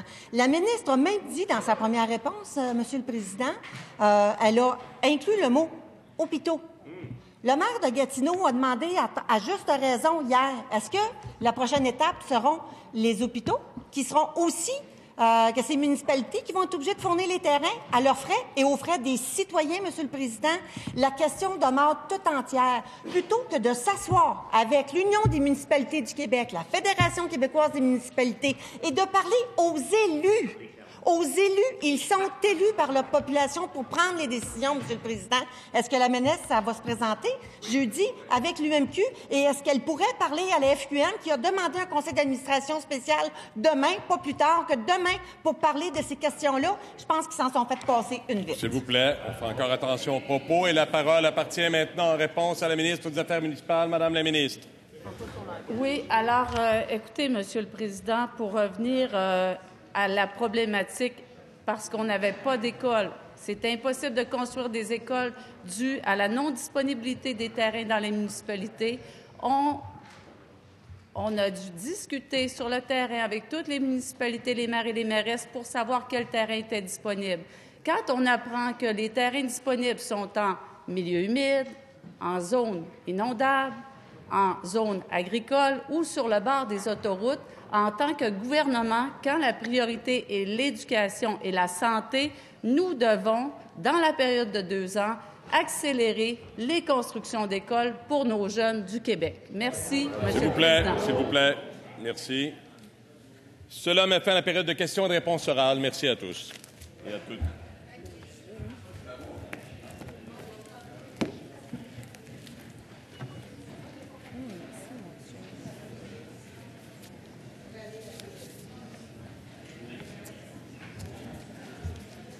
Alors, euh, comme il n'y a pas de vote reporté, nous allons passer à la rubrique des motions sans préavis.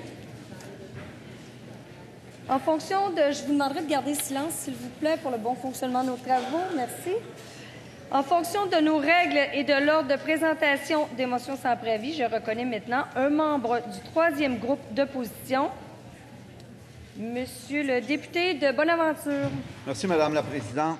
Je sollicite le consentement des membres de cette Assemblée afin de présenter conjointement avec le député de Robert Baldwin, le député de Rosemont, le député de Chaumédé et la députée de Marie-Victorin la motion suivante. Que l'Assemblée nationale reconnaisse que la situation financière dans laquelle se retrouvent les retraités d'entreprises privées en faillite est déplorable. Qu'elle demande au gouvernement d'examiner la possibilité d'instaurer un régime québécois d'assurance pension similaire à celui de l'Ontario, afin d'assurer la sécurité financière des retraités touchés par la faillite de leur compagnie administratrice. qu'elle demande au gouvernement de lancer dans les plus brefs délais des études visant à, préciser les modalités d'un tel régime d'assurance et à quantifier ses effets sur le plan économique et social. Merci, Monsieur le député. Est-ce qu'il y a consentement pour débattre de cette motion? Monsieur le leader du gouvernement? Il n'y a pas de consentement. Comme il n'y a pas de consentement, je vais reconnaître un membre du groupe formant le gouvernement, Madame la ministre responsable de la condition féminine. Madame la Présidente, je sollicite le consentement de cette Assemblée afin de présenter la motion suivante conjointement avec la députée de Verdun, la députée de Tachereau, la députée de Gaspé, le député de Chemédé, la députée de Marie-Victorin. Que l'Assemblée nationale souligne la Journée internationale des femmes et filles de sciences, qu'elle rappelle que l'égalité entre les femmes et les hommes est l'un des fondements principaux de la société québécoise, que les membres de l'Assemblée nationale profitent de cette occasion pour reconnaître l'importance d'agir dès le plus jeune âge auprès des filles et des garçons pour leur donner des chances égales d'accès à un marché du travail encore fortement divisé. Que les membres de l'Assemblée nationale reconnaissent la nécessité d'améliorer l'accès et le maintien des femmes au domaine scientifique. Que les membres de l'Assemblée nationale reconnaissent la valeur inestimable de tous les intervenantes et intervenants, enseignantes et enseignants issus d'organismes travaillant en ce sens. Merci, Madame la Présidente. Merci, Madame la ministre. Est-ce qu'il y a consentement pour débattre de cette motion? Monsieur le leader du gouvernement? Oui, il y a consentement sans débat. Cette motion est-elle adoptée? Motion adoptée. Alors, je reconnais un membre du groupe formant l'opposition officielle, Madame la députée de l'Acadie. Merci, Madame la Présidente. Je sollicite le consentement de cette Assemblée afin de présenter la motion suivante conjointement avec le député de Rosemont, le député de René Lévesque et le député de Chaumédé. Considérant qu'Investissement Québec a fourni un prêt de 5 millions de dollars à Château-Mont-Saint-Anne au lendemain de l'annonce du lancement de la nouvelle mouture d'Investissement Québec, considérant que l'homme d'affaires Charles Sirois est copropriétaire du Château Mont-Sainte-Anne, considérant que M. Sirois est cofondateur de la Coalition Avenir Québec, considérant que s'il y a lieu de dissiper tout doute qui pourrait planer quant au processus d'octroi de ce prêt, doute pouvant influencer la confiance du public envers l'indépendance d'Investissement Québec, que l'Assemblée nationale demande au gouvernement caquiste de faire preuve de toute la transparence nécessaire afin de garantir la confiance du public envers l'indépendance d'Investissement Québec quant à ce prêt et qu'à cette fin, l'Assemblée nationale exige du ministre de l'Économie et de l'Innovation qu'il dépose à l'Assemblée nationale l'ensemble des documents et analyses justifiant cette décision d'investissement au plus tard le 19 février prochain. Merci, Madame la Présidente. Merci, Madame la députée. Est-ce qu'il y a consentement pour débattre de cette motion? Monsieur le leader du gouvernement? Il n'y a pas de consentement. Comme il n'y a pas de consentement, je vais reconnaître un membre du deuxième groupe d'opposition. Madame la chef du deuxième groupe d'opposition, la parole est à vous. Merci, Madame la Présidente. Alors, je demande le consentement de la Chambre pour débattre la motion suivante, conjointement avec le chef de l'opposition officielle, la députée de Joliette et le député de Chomédé que l'Assemblée nationale rappelle que les élections scolaires étaient le premier, le seul palier politique paritaire au Québec, avec 51% d'élus femmes, qu'elle reconnaisse qu'au moins 60% des élus scolaires étaient des parents d'un enfant fréquentant ou ayant fréquenté la commission scolaire, et qu'elle souligne l'importance de l'implication et de l'engagement des élus scolaires dans la réussite scolaire de nos enfants. Merci, Madame la chef. Est-ce qu'il y a consentement pour débattre de cette motion? Monsieur le leader du gouvernement? Pas de consentement. Comme il n'y a pas de consentement, je suis prête à reconnaître Madame la députée de Marie-Victorin.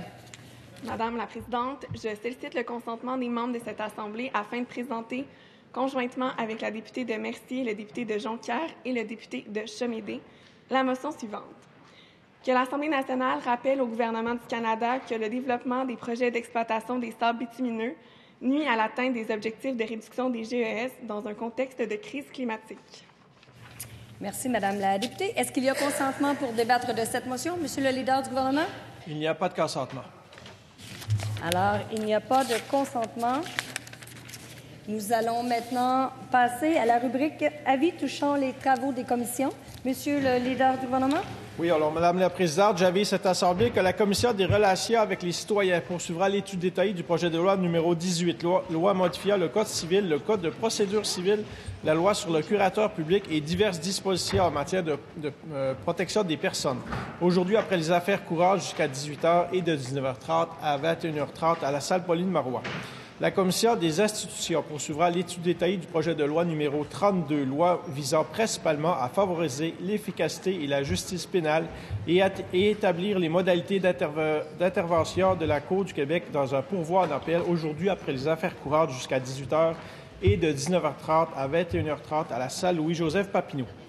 La Commission des finances publiques poursuivra l'étude détaillée du projet de loi numéro 42, loi, euh, loi donnant suite à des mesures fiscales annoncées à l'occasion du discours du budget du 21 mars 2019 et certaines autres mesures. Aujourd'hui, de 16h à 18h et de 19h30 à 21h30 à la salle Louis-Hippolyte Lafontaine. La Commission de la santé et des services sociaux poursuivra l'étude détaillée du projet de loi numéro 43, loi, loi modifiant la loi sur les infirmières et les infirmiers et d'autres dispositions afin de favoriser l'accès aux services de santé aujourd'hui après les affaires courantes jusqu'à 18 h et de 19h30 à 21h30 à la salle Marie-Claire Kirkland. Voilà, Madame la Présidente. Merci, Monsieur le leader. Nous allons maintenant passer à la rubrique renseignements sur les travaux de l'Assemblée. Monsieur le leader du troisième groupe d'opposition, euh, non? Non. OK. Alors, euh, je vous informe que demain, lors des affaires inscrites par les députés de l'opposition, sera débattue la motion inscrite par Monsieur le, le député de Chalaga-Maisonneuve. Cette motion se lit comme suit. Que l'Assemblée nationale demande au gouvernement de présenter, d'ici juin 2020, un projet de loi d'urgence pour faire face à la crise du logement qui sévit actuellement au Québec. Que ce projet de loi inclut notamment un moratoire sur les évictions de locataires en vertu de l'article 1959 du Code civil dans les zones où le taux d'inoccupation des logements locatifs est inférieur à 3% un taux d'augmentation maximum maximale des loyers. La période des affaires courantes étant terminée, nous allons maintenant passer aux affaires du jour. Monsieur le leader du gouvernement. Oui, alors, Madame la Présidente, afin de débuter nos affaires du jour, je vous demanderai d'appeler l'article 21 du feuilleton. Alors, à l'article 21 du feuilleton, l'Assemblée prend en considération le rapport de la Commission des finances publiques sur le projet de loi numéro 37, loi visant principalement à instituer le Centre d'acquisition gouvernementale et infrastructures technologiques Québec. Y a-t-il des interventions? Monsieur le ministre délégué à la transformation numérique. Bravo, Madame la Présidente. euh, merci beaucoup, Madame la Présidente. Euh, c'est avec beaucoup de plaisir cette fois que j'interviens, euh, que j'interviens en Chambre euh, sur la prise en considération du projet de loi 37. Projet de loi 37 essentiellement qui crée le Centre d'acquisition gouvernementale et Infrastructure technologique Québec, euh, deux organisations qui vont jouer un rôle névralgique dans la suite des choses, notamment évidemment pour les acquisitions et pour l'ensemble des services communs en infrastructure, infrastructure technologique. Mais aujourd'hui, Madame la Présidente, considérant que nous sommes à la prise en considération euh, mon intervention sera brève et ciblée sur, je dirais, la qualité des travaux que nous avons eus en commission parlementaire.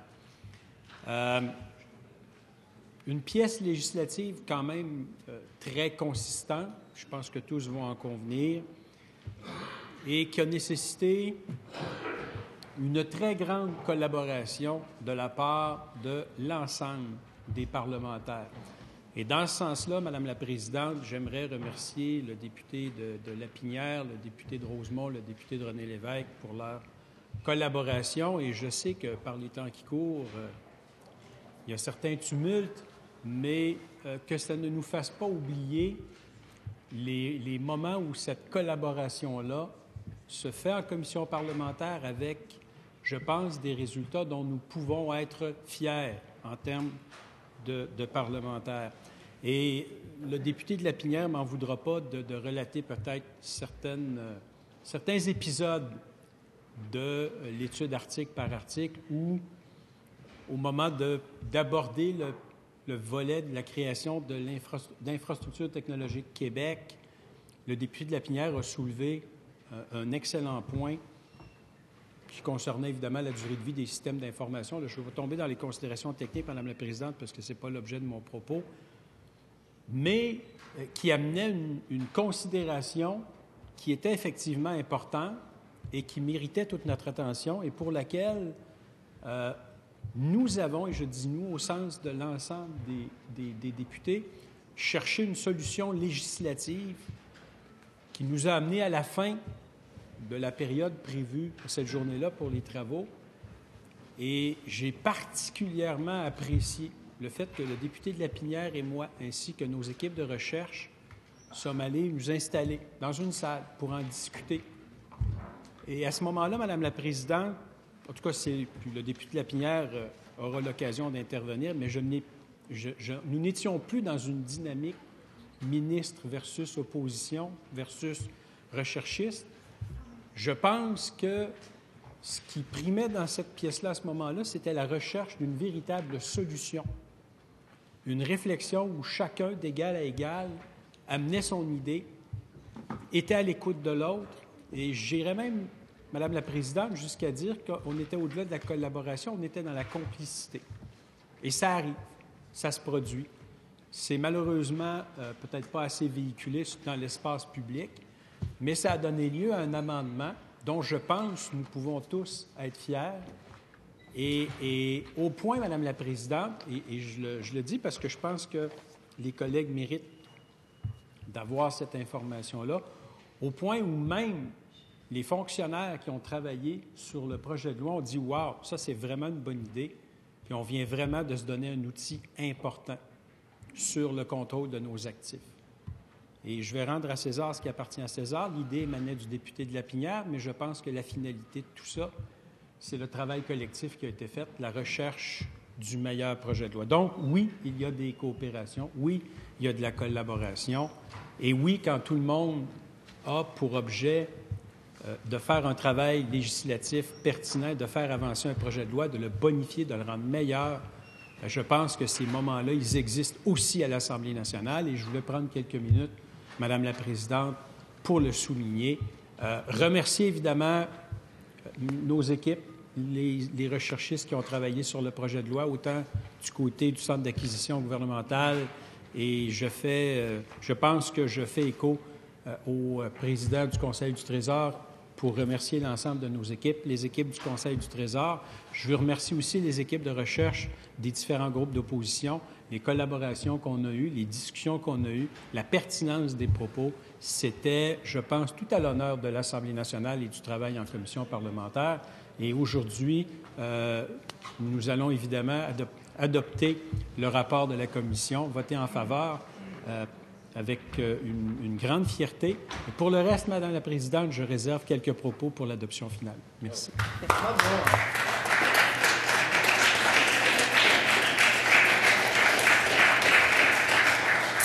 Merci, Monsieur le ministre délégué à la transformation numérique gouvernementale. Maintenant, je vais céder la parole à Monsieur le député de Lapinière. Merci, Madame la Présidente. Alors, permettez-moi, Madame la Présidente, de commencer euh, par remercier euh, les gens de mon équipe, évidemment, qui ont travaillé euh, avec le plus grand sérieux pendant toutes les phases de, la progression du projet de loi 37 et des remerciements particuliers à ma collègue de Vaudreuil pour sa participation assidue à ces travaux, ainsi qu'à tous les autres collègues qui sont venus en commission. Les collègues, évidemment, des oppositions qui ont travaillé fort aussi et qui ont eu des interventions très pertinentes et positives. Et je vais reprendre à mon compte les commentaires du ministre délégué à la transformation numérique. C'est vrai que nous avons travaillé avec une grande collégialité, avec des débats qui étaient actif, mais qui, était, qui allait dans le bon sens. Et c'est vrai que l'exercice a été euh, un bon exercice. Je dirais, Madame la Présidente, que je suis d'autant plus content des commentaires du, euh, ministres délégués parce qu'ils sont faits aujourd'hui dans une période tumultueuse. Et je ne peux pas passer euh, sous silence le fait que le ministre délégué le dit. Et je peux vous dire que je souhaite que tous les médias puissent écouter son propos. Et ça inclut ici pas juste les médias, mais les parlementaires. J'ose espérer qu'au bureau du premier ministre, on aura pris connaissance des propos du ministre délégué et que peut-être qu'au bureau du ministre, on aura compris que après 70 heures, tout n'est pas dit. D'autant plus que dans ce projet de loi-là, on en a pris 78. Alors, quand, et je reprends à mon compte les propos de plusieurs de nos collègues des oppositions, le travail qu'on a à faire, il n'est pas à être jugé en fonction du temps qu'on y prend ou on y passe, mais bien en fonction du résultat qu'il y a à la fin. Et à cet égard, je suis d'accord avec le ministre délégué, on a fait un excellent travail. Pour un projet de loi qui avait une certaine complexité. Alors, Madame la Présidente, je récapitule. Euh, pour ceux qui ne l'ont pas suivi, euh, qui n'ont pas suivi nos travaux sur le projet de loi 37, dans les faits, c'est essentiellement deux lois dans une qui sont sous le même thème, mais qui traitent de deux sujets connexes, à savoir une première loi, une première partie qui crée le centre d'acquisition gouvernementale et une deuxième partie qui traite ou qui crée euh, Infrastructure Technologie Québec, même moi, je finis par ne pas m'en rappeler. Ce n'est pas un institut, le I, mais bien une infrastructure. Je veux surtout pas que le ministre pense que je minimise son importance, parce que c'est son bébé à lui, même si le projet appartient au président du Conseil du Trésor. Mais j'ai eu un moment, un blanc hein, qui est rare, mais ça arrive. Monsieur le Président, Madame la Présidente, pardon, les deux projets de loi n'ont pas exactement les mêmes finalités, je le rappelle. Le CAGE, qui est le Centre d'acquisition gouvernementale, est une structure qui vient dans les faits remplacer le CSPQ, que tout le monde connaît pour toutes sortes de bonnes et mauvaises raisons, et vient créer une nouvelle entité qui est Infrastructure IDTQ, Infrastructure Technologie Québec. Le CAGE, le Centre d'acquisition gouvernementale, sera un mandataire. Le mandataire de tout ce qui est dans l'espace public pour négocier des achats, regroupés pour aller chercher des économies d'échelle. Infrastructure Technologie Québec va faire la même chose, mais en moins grande partie, je dirais. Et son rôle principal sera d'abord et avant tout d'être un courtier en info nuagique. Et ça, c'est important parce que si le réseau public dans tous les secteurs euh, devra euh, passer par le CAGE pour des achats de biens et services, pas nécessairement tous les biens et services, bien, pour le côté courtage en info nuagique, ce sera la même chose. Madame la Présidente, je l'ai dit à la fin de l'étude détaillée, je vais le redire aujourd'hui. C'est un projet de loi qui est intéressant, pour lequel on va voter pour, mais qui comporte des risques. Je vais ramener un peu les choses euh, sur une base historique. Le président du Conseil du Trésor le dit à plusieurs reprises, le ministre délégué le dit aussi. Ce projet de loi-là est en quelque part issu de l'expérience que nous avons eue et que j'ai personnellement eue dans les 20 dernières années en matière d'acquisition, d'achat dits regroupés. Je fais ce, parallèle-là, Madame la Présidente, parce qu'il est important. C'est très important le parallèle, ou plutôt l'historique que je vais faire. Pourquoi? Parce que il y a un risque dans ce projet de loi-là. Et le risque, c'est qu'on arrive ou non à reproduire le succès qui a été connu dans le secteur de la santé et des services sociaux. Le risque, il est là. Il est là dans le sens où on va essayer, par ce projet de loi-là, de faire un grand bond par en avant dans les autres secteurs que ceux de la santé et des services sociaux pour en arriver au même niveau de performance.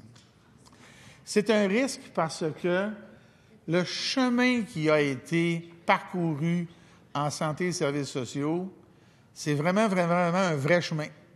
C'est quelque chose qui a commencé petit et qui a fini très grand.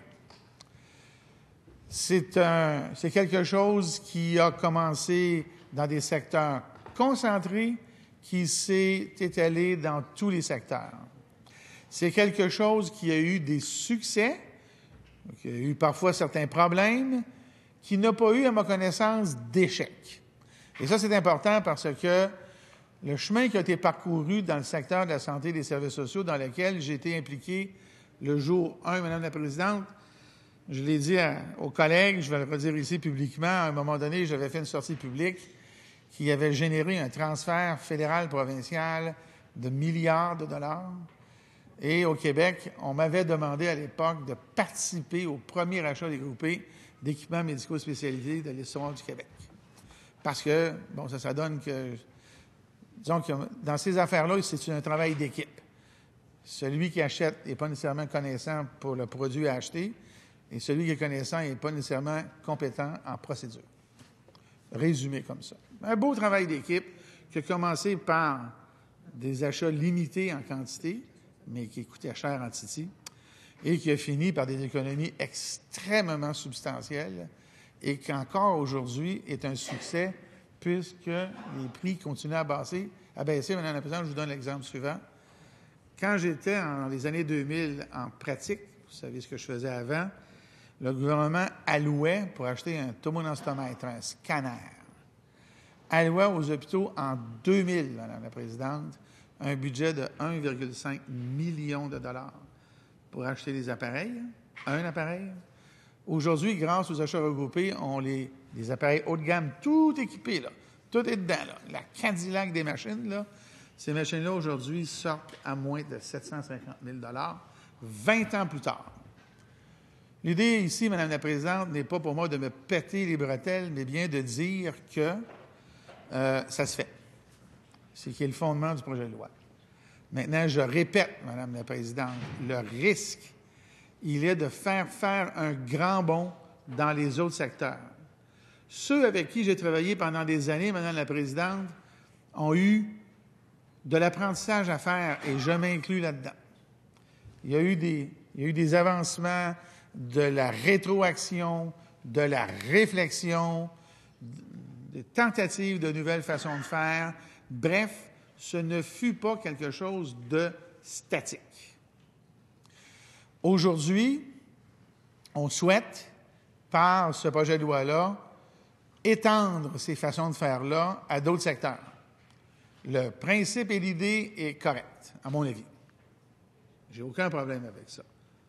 Euh, sauf qu'il y a un risque de, d'essayer de faire en peu de temps ce que a pris bien des années à être mis en place et perfectionné. Pour moi, il y a un risque là qui est vraiment, vraiment, Madame la Présidente, important. Je l'ai dit il y a quelques instants, on est en faveur de ce principe de loi-là. Là, on va voter pour, mais on ne va pas voter pour simplement à l'aveugle. On doit dire à la population ainsi qu'à l'équipe gouvernementale, attention, vous devez vous prémunir de ça. Et quand on regarde actuellement vers où on s'en va, le risque dans le secteur de la santé est inexistant, les gens continuent. Ils vont changer de cadre, ils vont changer peut-être de lieu, mais euh, il y a fort à parier que ça va être les mêmes équipes qui vont continuer. Dans d'autres secteurs, en particulier l'éducation, ce n'est pas nécessairement ça qui va se passer. Et ceux de la santé, ce n'est pas nécessairement ceux qui devraient le faire en éducation par méconnaissance potentielle des produits. Alors là, il y a un risque. Ça veut dire qu'il doit y avoir une certaine forme de transition, Madame la Présidente. Est-ce que cette transition-là est prévue dans la loi? Si elle l'est, je ne l'ai pas vue. Je l'ai juste pas vue. Si elle l'est, tant mieux, mais elle n'est pas écrite, exprimée explicitement. Alors là, il y a un risque. À la fin de l'étude détaillée, je disais la chose suivante. J'ai été confronté, moi, à faire la même chose. C'est-à-dire, à la fin, là, dans mon monde à moi, il y en avait euh, 17 euh, groupes, parce qu'il y en avait une par euh, région administrative. On a descendu, diminué ça à 3. Et j'ai réfléchi à un moment donné, j'ai contemplé la possibilité de passer de 3 à 1, et je, compense, je trouvais qu'il y avait là un risque de trop grande concentration. On le fait, ce pas-là, aujourd'hui. Alors, j'ai une hésitation, non pas sur le fond, mais je dis simplement qu'il y a un risque. Ce qui signifie que pour les observateurs extérieurs, que sont les journalistes, les oppositions, tout le monde, il y a là lieu pour les prochaines années de faire un suivi très serré. Je souhaite bonne chance à l'équipe gouvernementale. si tout va bien, ça va être un succès. Mais il y a là un risque réel, absolument réel, dans le secteur des acquisitions. Non pas dans celui qui a déjà 20 ans d'âge, mais dans les nouveaux. Et dans les nouveaux, ben là, euh, on peut se poser euh, un certain nombre de questions. Je le répète, on a fait du bon travail, je suis d'accord avec le ministre délégué, mais c'est pas vrai que c'est automatique que ça va marcher. On le souhaite. On le souhaite. Mais il y a un risque. Madame la Présidente, il y a un autre risque qui est très, très, très, très, très important. Et ça, il va falloir vraiment le suivre à la trace. Vous savez, quand on parle et quand on m'écoute, quand moi-même je parle des achats regroupés, j'ai moi-même tendance à parler des, des, affaires qui sont très visibles, des gros équipements compliqués, et ainsi de suite. Mais ce n'est pas ça la majorité du travail, même en santé et services sociaux, d'achat de biens. C'est les plus coûteux, alors c'est les plus chers en dollars, mais ce ne sont pas les plus nombreux.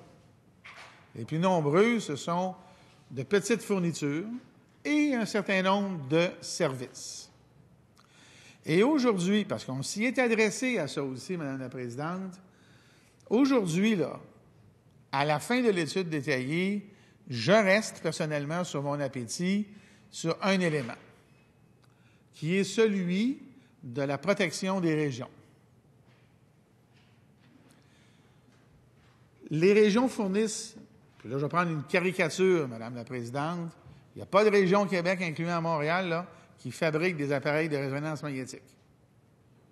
Il n'y. Ça vient de l'extérieur. Mais il y a bien des régions au Québec qui sont capables de, euh, de, fabriquer des pupitres à l'école, par exemple. Je prends deux extrêmes, mais qui illustrent mon propos. Alors, est-ce qu'il va être possible dans l'application de cette loi-là, de s'assurer qu'à chaque démarche où ça peut s'appliquer, on protégera les régions?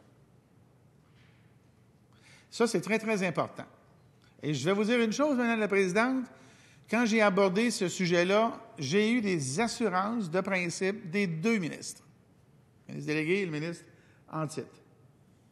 Je suis content d'avoir eu ça. C'est dans nos archives. Ça a été dit, tant mieux. Mais est-ce que ça va être le cas? Ça, c'est une autre chose. Je vais donner des exemples triviaux, Madame la Présidente, très triviaux. Dans l'alimentaire, moi, je peux vous dire que dans le réseau de la santé et des services sociaux, on a protégé les régions. On a acheté localement.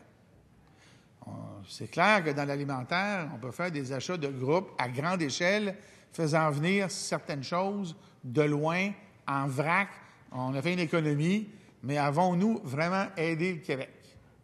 Alors, il y a une balance, il y a un équilibre qu'il faut trouver entre trouver le meilleur prix possible et en même temps, lorsque ça s'applique, j'insiste, lorsque ça s'applique, de protéger l'économie locale. Est-ce que ça se fait, Madame la Présidente? La réponse, c'est oui, mais ça demande, ça commande de ceux qui sont à la tête de ces organisations-là d'avoir cette préoccupation-là.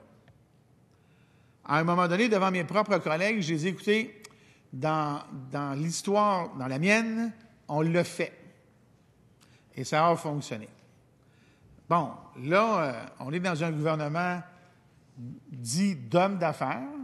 Et est-ce que la pression, ne serait-ce que personnelle de certaines personnes, je ne me prête pas d'intention au ministre délégué à la transformation numérique aucunement. Y aura-t-il de la pression interne pour Ouais, mais regarde, là, les fruits et légumes, on va les acheter en Californie parce qu'ils coûtent moins cher.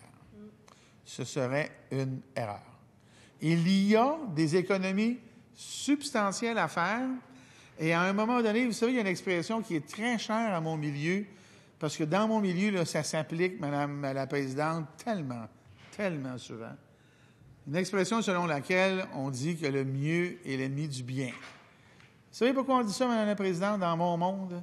Parce que nous, dans mon monde, on ne travaille pas avec des objets. Hein, on travaille dans un environnement, et notre particulièrement, là, on n'a pas d'objets, ce sont des patients. Et parfois, là, quand on veut faire mieux, on a des complications qui font en sorte que ce qui aurait été bien devient vraiment pas bon parce qu'on est allé trop loin avec la bonne intention. Économiquement, dans les achats de groupe, c'est la même affaire. Est-ce qu'on a intérêt à parfois payer un petit peu plus parce que c'est local, plutôt que de payer moins mais au net, qu'est-ce qui, qui est le mieux pour la société? Au net, là, pour moi, là, il y a des sujets pour lesquels on peut faire baisser les prix, mais favoriser l'économie québécoise. Et ça, là, c'est votre enjeu dans le futur. Je dis aujourd'hui, Madame la Présidente, qu'on l'a fait. On l'a bien fait. Il faut continuer à le faire. Mais est-ce que les gens qui seront en place le feront? Et surtout, est-ce qu'ils auront le message, la consigne de le faire? Je pèse mes mots, j'aurais pu dire l'ordre. Parce que le projet de loi 37 est un projet de loi qui donne le pouvoir de ce que je viens de parler à une personne, le président du Conseil du Trésor. Et le président du Conseil du Trésor, par définition, et je ne fais pas référence à l'actuel président du Conseil du Trésor, je fais référence à la fonction de président du Conseil du Trésor. Il y a des colonnes, il y a des dépenses, il y a des revenus, il faut que ça balance.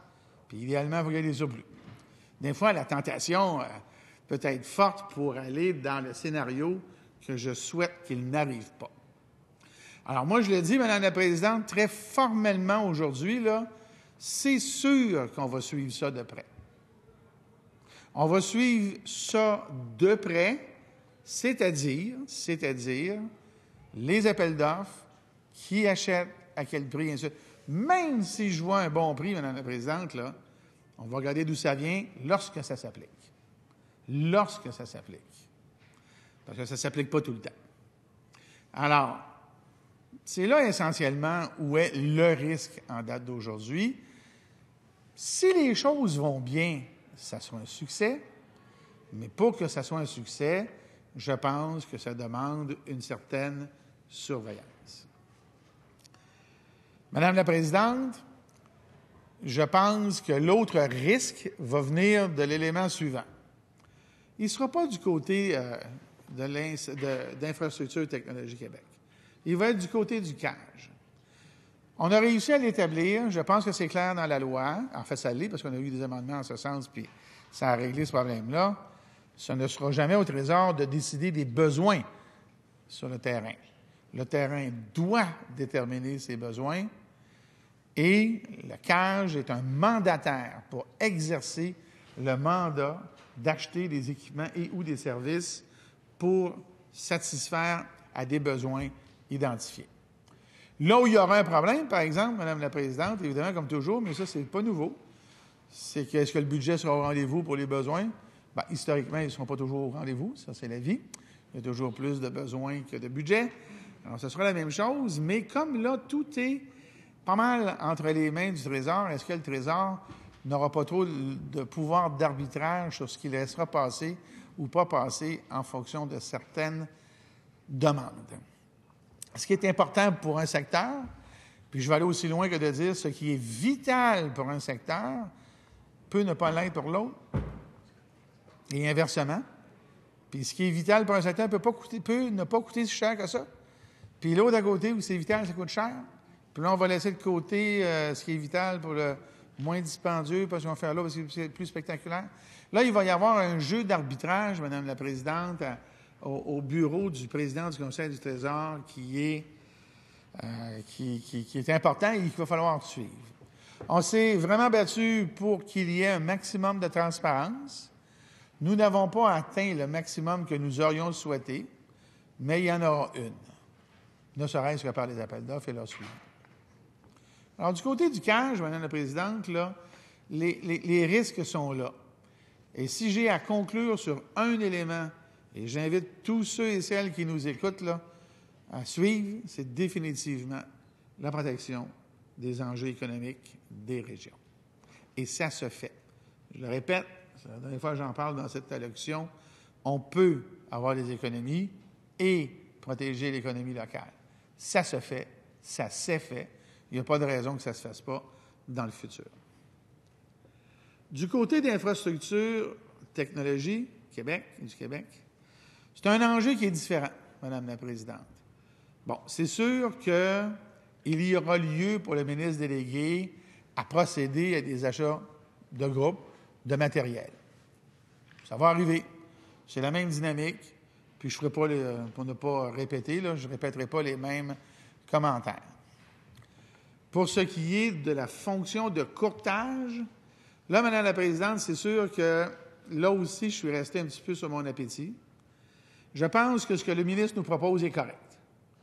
Mais la finalité de l'affaire, qui est qui héberge, bon, j'ai choisi, Madame la Présidente, parce que c'est un le projet de loi est un projet de loi de courtage, de ne pas introduire le débat de qui va être l'hébergeur. Où l'hébergement va se faire au public ou non, ça se fera ou ça continuera de se faire dans un autre forum, dans une autre loi ou dans un autre débat ici à l'Assemblée nationale. Je maintiens quand même encore aujourd'hui qu'on devrait faire ça à l'interne. Je comprends que le ministre choisit une potentielle différente destination pour l'hébergement. C'est son choix. On a débattu de ça. On a terminé la discussion. Je ne vais pas plus loin aujourd'hui, mais je maintiens qu'il y a encore là un enjeu. Là aussi, il y a un risque. Hein, je ne partirai pas pendant 25 minutes là-dessus, d'autant plus qu'il ne m'en reste pas 25, ce qui est une excellente raison pour ne pas partir là-dessus. Mais il reste pour moi que ce débat, en ce qui me concerne, n'est pas clos. Il n'est pas clos. Alors, comme on dit si souvent dans certaines zones du Salon Bleu, on verra. Alors, Madame la Présidente, je vais terminer sur un élément, une série d'éléments plutôt. Quiconque est un observateur informé de ce qui est un achat et ainsi de suite, là, ne peut pas conclure autrement que c'est un exercice de centralisation. Il est clair que dans certains cas, ça peut être utile et efficace. Mais il n'en reste pas moins, Madame la Présidente, que c'est un exercice de centralisation. Et dans les derniers jours, on a vécu quelques émotions, publiques et privées, euh, quant au projet de loi 40 sur l'éducation. J'entends régulièrement le ministre de l'Éducation euh, euh, m'attaquer ici au Salon Bleu sur les médias sociaux. Je l'ai entendu hier de dire que quand on comparait sa réforme à la mienne, ça l'insultait. Il a dit ça. Très élégant de la part d'un ministre de l'Éducation. Moi, Madame la Présidente, vous savez, je suis de la génération des cours de bienséance. J'utilise certains mots dans les, bonnes circonstances, c'est-à-dire quand on m'attaque. Je réponds. Mais là, là, des attaques gratuites, comme j'ai vu de la part du ministre de l'Éducation, j'ai trouvé ça ordinaire. Comme je trouve ordinaire la ministre euh, des Aînés, qui répète toujours la même affaire, à un point tel qu'on ne l'écoute plus. Mais pour ce qui est du ministre de l'Éducation, Madame la Présidente, il y a quelque chose d'absolument extraordinaire. Le ministre de l'Éducation nous dit que son projet de loi 40 en est un de décentralisation. Juste un instant, Monsieur le leader adjoint, vous allez comprendre. Alors que le projet de loi 37, Madame la Présidente, vient sans... Madame la Présidente, le projet de loi 37... Euh, euh, un instant, Monsieur le député. Monsieur le leader, de- juste un instant, je vais vous donner la parole, sinon on vous entend pas. Oui, Monsieur le leader du gouvernement, vous avez une question de règlement? Euh, le député de la Pinière, c'est très bien au niveau de l'article 211, la pertinence. Euh, là, je, je- je vois qu'il veut faire un comparatif, là, mais disons que. Merci. Oui, Alors, Madame la Présidente, je vais terminer continuez. par- Alors que le ministre se gargarise d'un projet de loi, maintenant une loi de décentralisation, par son collègue, il vient de sacraliser une des activités les plus importantes des commissions scolaires, qui est l'achat de biens et services. On repassera. Moi, Madame la Présidente, je suis gêné de voir un ministre de l'Éducation virer la vérité de bord comme il le fait, à répétition. Madame la Présidente, je le redis. Monsieur le leader du gouvernement. avait très bien commencé. Là, je trouve qu'il finit sur une mauvaise note. Là. On ne peut pas juger de la vérité ou de le. de- il sait très bien. Juste, euh, juste un instant, faites attention à vos propos et continuez votre. euh, Très attention à mes propos, parce que je l'ai dit en introduction, parce que c'est écrit noir sur blanc dans la loi. C'est un projet qui fait en sorte que le secteur public, dans ses achats de biens et services, sera centralisé dans une organisation qui s'appelle le Centre d'acquisition gouvernementale sous l'autorité du Conseil du Trésor. Je n'ai jamais entendu le ministre de l'Éducation faire une critique auprès de son collègue qui, lui, va faire à sa place sa centralisation. Ça, c'est gênant. Parce que dans les commissions scolaires, en passant, là, je pense que la seule chose qui va leur rester, là, c'est de gérer les activités parascolaires. Mais il n'en reste pas moins là, que c'est une réalité, ça. Le gouvernement centralise des activités d'un autre ministère, on n'en parle pas et on se pète les bretelles comme quoi qu'on fait un projet de loi de décentralisation.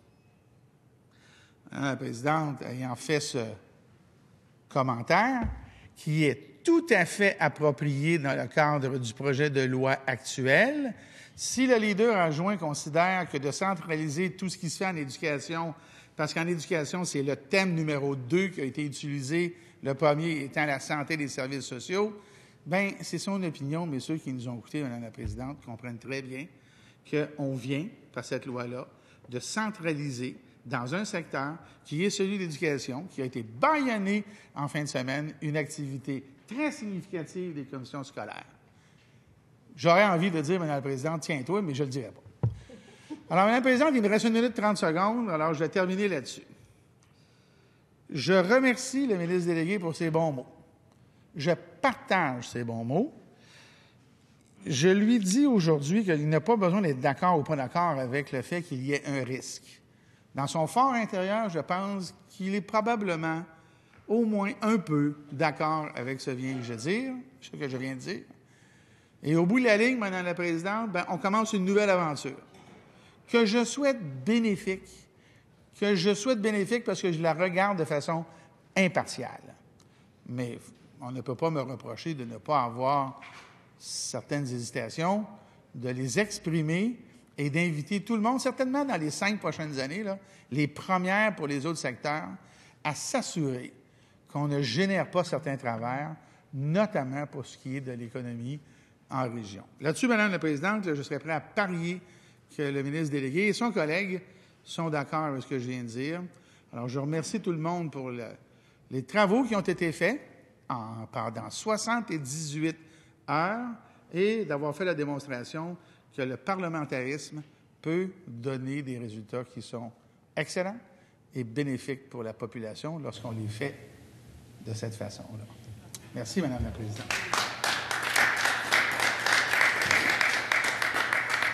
Merci, Monsieur le député de Lapinière. Avant de céder la parole au député de Rosemont, je vais vous informer que trois débats de fin de séance se tiendront aujourd'hui.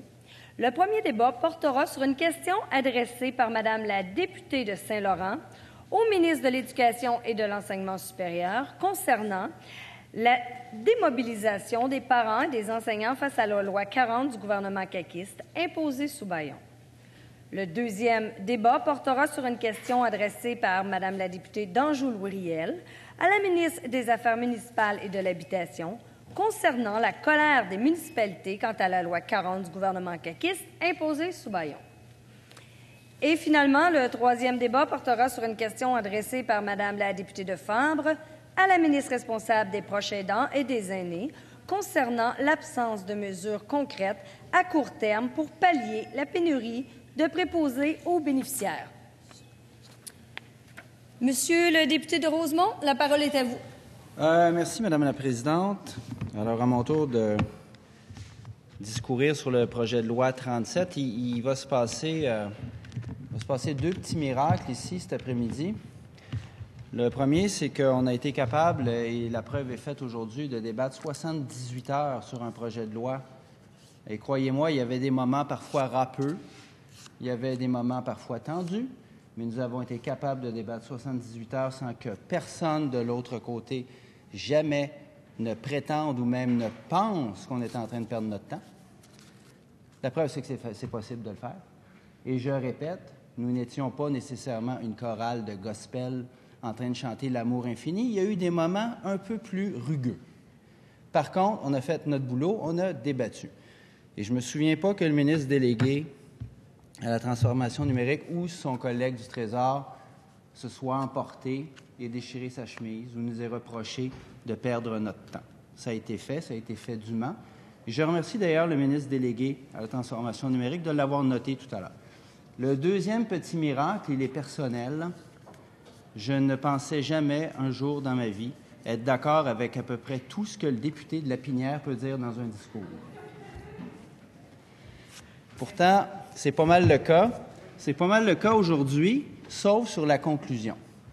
Mais je suis d'accord avec euh, ce que le député de la Pinière dit quant au risque inhérent à ce projet de loi qui sera bientôt loi, si d'aventure il est voté ici.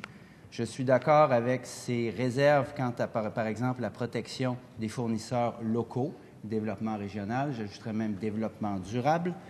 Je suis d'accord avec lui sur une aventure qui s'amorce, je suis juste pas d'accord avec lui, et c'est pas de lui dont on fait le débat ici, mais puisqu'il m'a inspiré, je ne suis pas d'accord avec lui qui conclut qu'il y a là un beau risque avec 37. Moi, je conclus plutôt que le risque est trop grand, que le jeu n'en vaut pas la chandelle.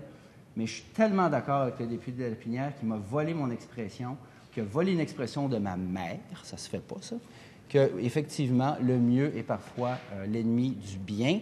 Et dans ce cas-ci, comme disent les Anglais, si c'est pas brisé, il faut pas réparer. Par exemple, dans le cas de fourniture aux universités, au cégep, c'était pas brisé, ça marchait même très bien, on n'avait pas besoin de réparer. Alors, c'est la raison pour laquelle je suis foncièrement opposé à ce projet de loi, pas dans son ensemble, mais à cette partie-ci, c'est que ça manifeste et ça, se traduit, encore une fois, malheureusement, Madame la Présidente, d'un certain désir de centralisation de ce gouvernement.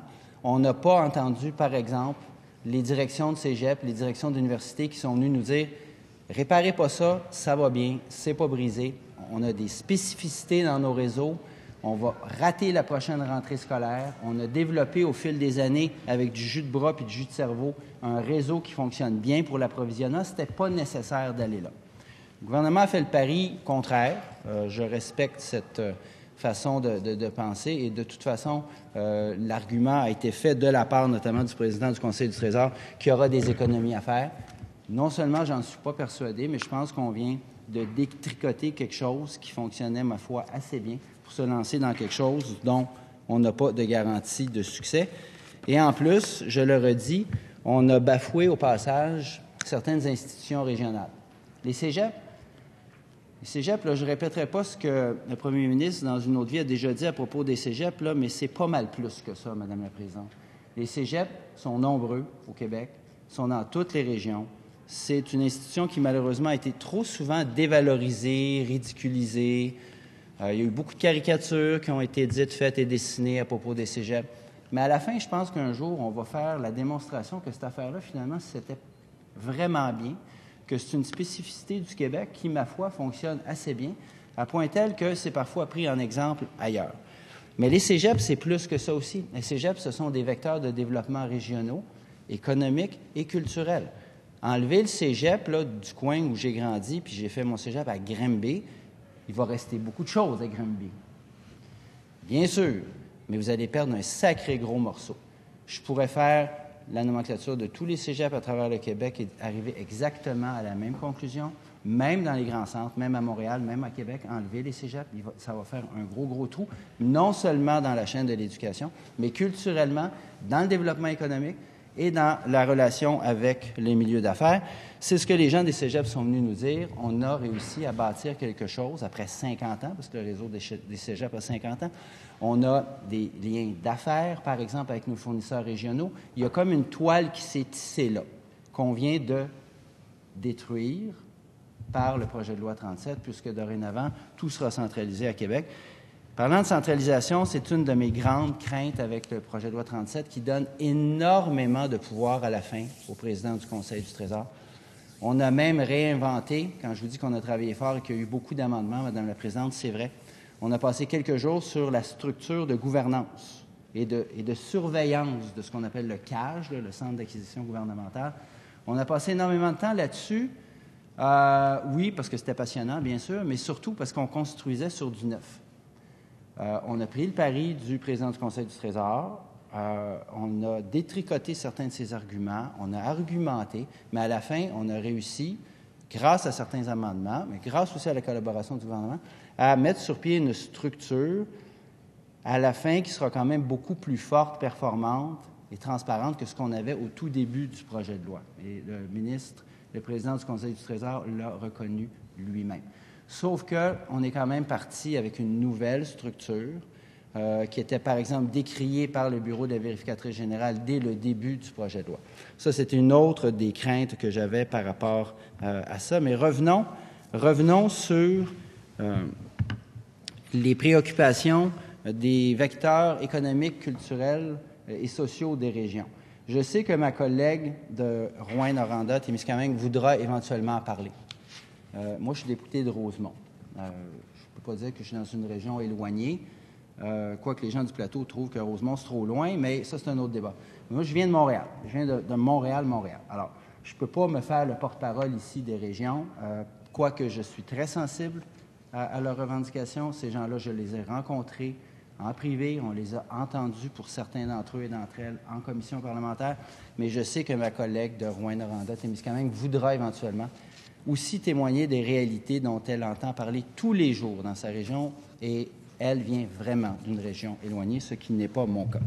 Cela dit, je suis capable de vous dire néanmoins qu'il y a des acteurs qui sont actifs en région, qui ont manifesté leur opposition ou leur réticence par rapport au projet de loi 37. Je pense par exemple à l'UPA, quand même un gros joueur, l'UPA. Madame la Présidente, je sais que vous connaissez bien l'UPA, vous êtes député euh, de Saint-Hyacinthe, euh, les gens de l'UPA nous ont écrit un peu tardivement, et je le regrette, nous ont écrit un peu tardivement puisque nous avions déjà commencé, nous avions bien entamé l'étude du projet de loi 37, mais néanmoins, ils nous, ont écrit une longue lettre qui fait presque deux pages, serrée, euh, argumentée, fouillée, touffue. C'est une très bonne lettre qui, qui manifeste de façon posée et rationnelle leurs craintes quant aux ramifications centralisatrices du projet de loi 37. Ils sont même allés plus loin en disant que ça va en contradiction avec certaines directives et certaines politiques qui ont été votées ici même, par exemple celle de fournir dans les établissements du Québec des aliments produits au Québec par nos agriculteurs, par nos producteurs agricoles. S'ils craignent ça, c'est pour une raison, c'est pour une raison bien évidente que si d'aventure on va en appel d'offres, et c'est ce qui sera fait, et que c'est chapeauté, centralisé à Québec par le CAGE. Habituez-vous, Madame la Présidente, chers collègues, on va appeler ça le CAGE, le Centre d'acquisition gouvernementale. On va aller en appel d'offres, par exemple, pour des jus dans les écoles. Il y a de fortes chances que Nestlé gagne devant un producteur agricole du Québec d'une région. Là. Hein, on, a, on a vu ça. Ça s'est déjà vu, ça. Alors là, ça nie plusieurs principes qu'on a adoptés ici, de s'alimenter avec nos produits au Québec, dans nos régions, faire fonctionner nos économies locales. Tout ça, c'est bafoué avec un projet de loi qui centralise et qui ne fera que du meilleur prix la règle supérieure. Évidemment, Nestlé va toujours battre malheureusement un producteur local au Québec. Et c'est un peu bête et c'est un peu contradictoire avec ce qu'on aurait voulu faire ici. Et malheureusement, la loi, une fois adoptée, ne donnera pas beaucoup de marge de manœuvre pour que ça se produise pas. L'endroit où ça a le plus accroché, quant à moi, euh, et on l'a vu aussi dans le projet de loi 27 sur la création du nouvel investissement Québec, c'est un certain brassage de structures dans lequel se trouvent pris des employés de l'État, des fonctionnaires, ou même, dans le cas du projet de loi 37, des gens qui ne sont pas fonctionnaires, mais qui travaillaient pour une OBNL. Je parle de l'OBNL Collecto. Je vous disais tout à l'heure qu'un groupe qui s'est formé au fil des années avec les besoins qui fournissaient notamment les cégeps. C'est une OBNL qui s'est formée avec et par le milieu et pour le milieu. Ces gens-là se trouvent bousculés, même écrasés dans une nouvelle structure. Quelques-uns ou une d'entre elles auront le choix peut-être de se joindre au nouveau cage. Les autres, comme on dit en chinois, tough luck. On ne sait pas de quoi, de quoi sera fait leur avenir. On ne sait pas même si Collecto survivra, puisqu'il y a un immense flou qui a survécu dans la loi, même si on a tenté vaillamment de l'amender. Ces gens-là travaillaient pour un employeur, ils donnaient des services, ça fonctionnait bien. Euh, ils auront trois mois pour décider s'ils restent, s'ils partent. Et c'est le président du Conseil du Trésor, dans une forme d'omnipotence qui, moi, me dérange, décidera qui garde, qui garde pas, et de l'avenir éventuellement de Collecto. Quand je vous disais tantôt, si ce n'est pas brisé, il ne faut pas réparer, ce n'est pas non plus nécessaire de broyer du monde dans des, dans des restructurations. Ces gens-là travaillaient, faisaient un travail qui était très correct. J'aurai l'occasion d'y revenir puisqu'il restera une étape à ce projet de loi. J'ai beaucoup, beaucoup réfléchi à ce projet de loi. J'ai beaucoup cheminé. Au début, euh, j'ai réservé mon jugement. Nous avons réservé notre jugement ici à QS. J'ai joué le jeu complètement. Le député de Lapinière l'a dit tout à l'heure. On a passé tous les amendements. On a travaillé fort.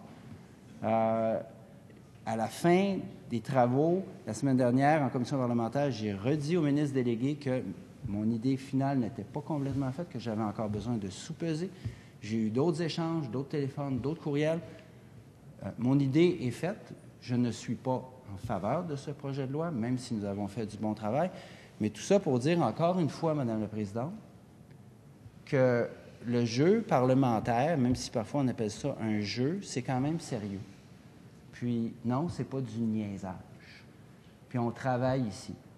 Puis s'il y a une affaire sur laquelle tout le monde va s'entendre des deux côtés de l'allée ici, c'est que tout le monde travaille très fort ici. Les heures parfois interminables, oui, parfois un peu éreintantes ou irritantes parce qu'on ne s'entend pas, puis de mettre 12 personnes, 6, 6 les uns en face des autres dans une même pièce pendant des heures puis pas s'entendre, ben oui, c'est irritant. Mais c'est le prix à payer pour avoir une démocratie vivante, puis pour être capable d'amender des projets de loi puis de les travailler. Alors, à moins que quelqu'un pense ici dans cette pièce avoir la science infuse, puis qu'il va ex cathédra décider de tout ce qui se passera dorénavant au Québec, puis que de tout ce côté-ci, ici de la Chambre, on pourrait tout simplement mettre un grand rideau puis l'abolir. S'il y a quelqu'un qui pense ça ici, bien, qu'il se lève et qu'il le dise. Mais en attendant, moi, j'ai été élu. Je ne suis pas moins élu que quelqu'un de l'autre bord. Il y a des gens de l'autre côté que je respecte, que j'ai couvert comme journaliste pendant des années, en tout respect, ils ne sont pas plus élus que moi. Un vote, c'est un vote. Un député, une députée, c'est une députée. Puis je finis là-dessus. Là. Ça, là, c'est le projet de loi 37. Je suis désolé, ce n'est pas didactique, mais je peux quand même vous le montrer. Chaque feuille mobile, comme on disait quand j'étais petit à l'école, chaque feuille mobile, c'est un amendement. Si je revire ça à l'envers, puis je fais tomber les feuilles, là, il va y en avoir plus à terre qu'au pied d'un grand chêne au parc Maisonneuve l'automne après un coup de vent.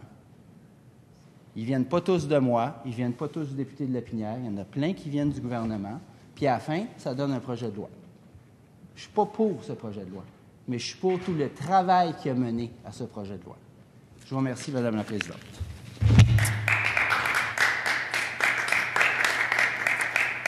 Je vous remercie, Monsieur le député. Madame la députée de Vaudreuil, la parole est à vous. Merci, Madame la Présidente. Alors, euh, je remercie euh, mon collègue de Rosemont. Je trouve que les explications étaient, euh, étaient vraiment à propos et ça reflète vraiment les, les faits durant cette commission, entre autres à, l'étude détaillée. sur le projet de loi 37, je, veux tout simplement rappeler à ceux qui nous écoutent, c'est un, un projet de loi qui vise à remplir, entre autres, un engagement de la CAC en campagne électorale qui était d'abolir le Centre de services partagés, le CSPQ, afin de créer deux entités euh, a fait créer deux nouvelles entités. Donc, on abolit, on crée deux nouvelles structures. On crée le centre d'acquisition gouvernementale et on crée euh, la seconde entité qui est Infrastructure Technologie Québec. Le centre d'acquisition gouvernementale, c'est le centre qui sera maintenant chargé de fournir au ministère et aux organismes les biens et les services dont ils ont besoin. Alors que Infrastructure Technologie, euh, Technologique Québec doit fournir aux organismes publics des services en infrastructure technologique et c'est cette entité qui deviendra, entre autres, le courtier en info nuagique pour le gouvernement du Québec. Je pense que c'est important, euh, important de le rappeler. C'est important aussi de rappeler que dans ce projet de loi-là, euh, il, y a eu, euh, il y a eu plusieurs choses qui n'ont pas été nécessairement soulignées par mes collègues, mais qui, euh, qui sont importantes de mentionner. Entre autres, c'est un projet de loi qui détermine que le président du Conseil du Trésor devient l'éditeur en chef du gouvernement. Il est responsable des publications de la Gazette officielle. Moi, je trouvais que c'était pas euh, anodin, puis je pense que pour les juristes ou enfin même ceux qui travaillent à l'État, euh, ici, euh, c'est quelque chose qui est assez significatif et ça le mérite. Il faut le dire, il faut le dire. Je pense que on ne peut pas passer ça sous silence. Et aussi, dans ce projet de loi-là, on prévoit que c'est maintenant Revenu Québec qui est responsable d'offrir au ministère et aux organismes les services administratifs de numérisation, de messagerie, d'entreposage, de courrier, d'impression, de gestion et de conservation des documents. Donc, Revenu Québec a des tâches supplémentaires. Le, projet de loi prévoit aussi les responsabilités des grands centres d'acquisition pour les groupes d'approvisionnement, évidemment, comme disaient mes prédécesseurs, dans le domaine de la santé et aussi dans le domaine de l'éducation, et euh, seront lesquels seront transférés au centre d'acquisition gouvernementale. Finalement, dans ce projet de loi-là, il y a vraiment plusieurs dispositions qui viennent définir les organismes. En fait, les organismes et aussi les organismes qui ne seront pas admissibles au contrat que vont générer ces deux nouvelles entités. En gros, euh, ce, projet, de loi-là, on va se dire, c'est un projet de loi qui est un projet de loi euh, qui fait de la centralisation. Euh, peu importe le, sujet qui est traité dans ces deux entités-là, le, but premier, c'est de centraliser le tout. Moi, mes préoccupations premières dans ce, projet de loi-là sont bien évidemment les régions. Moi, je représente un comté, le comté de Vaudreuil, qui est un comté euh, à, à l'ouest de Montréal, qui est un comté qui est quand même euh, urbain. Euh, mais qui a un côté rural aussi. Euh, on a beaucoup d'agriculteurs, beaucoup de terres agricoles. Et euh, pour nous, encourager, encourager les achats locaux, c'est quelque chose qui sont importants. J'aurais aimé, pendant ce projet de loi-là, entendre, entre autres, la FQM, qui est la Fédération québécoise des municipalités du Québec. Quand il y a eu les consultations sur, puis on a invité des groupes, on a oublié d'inviter la FQM.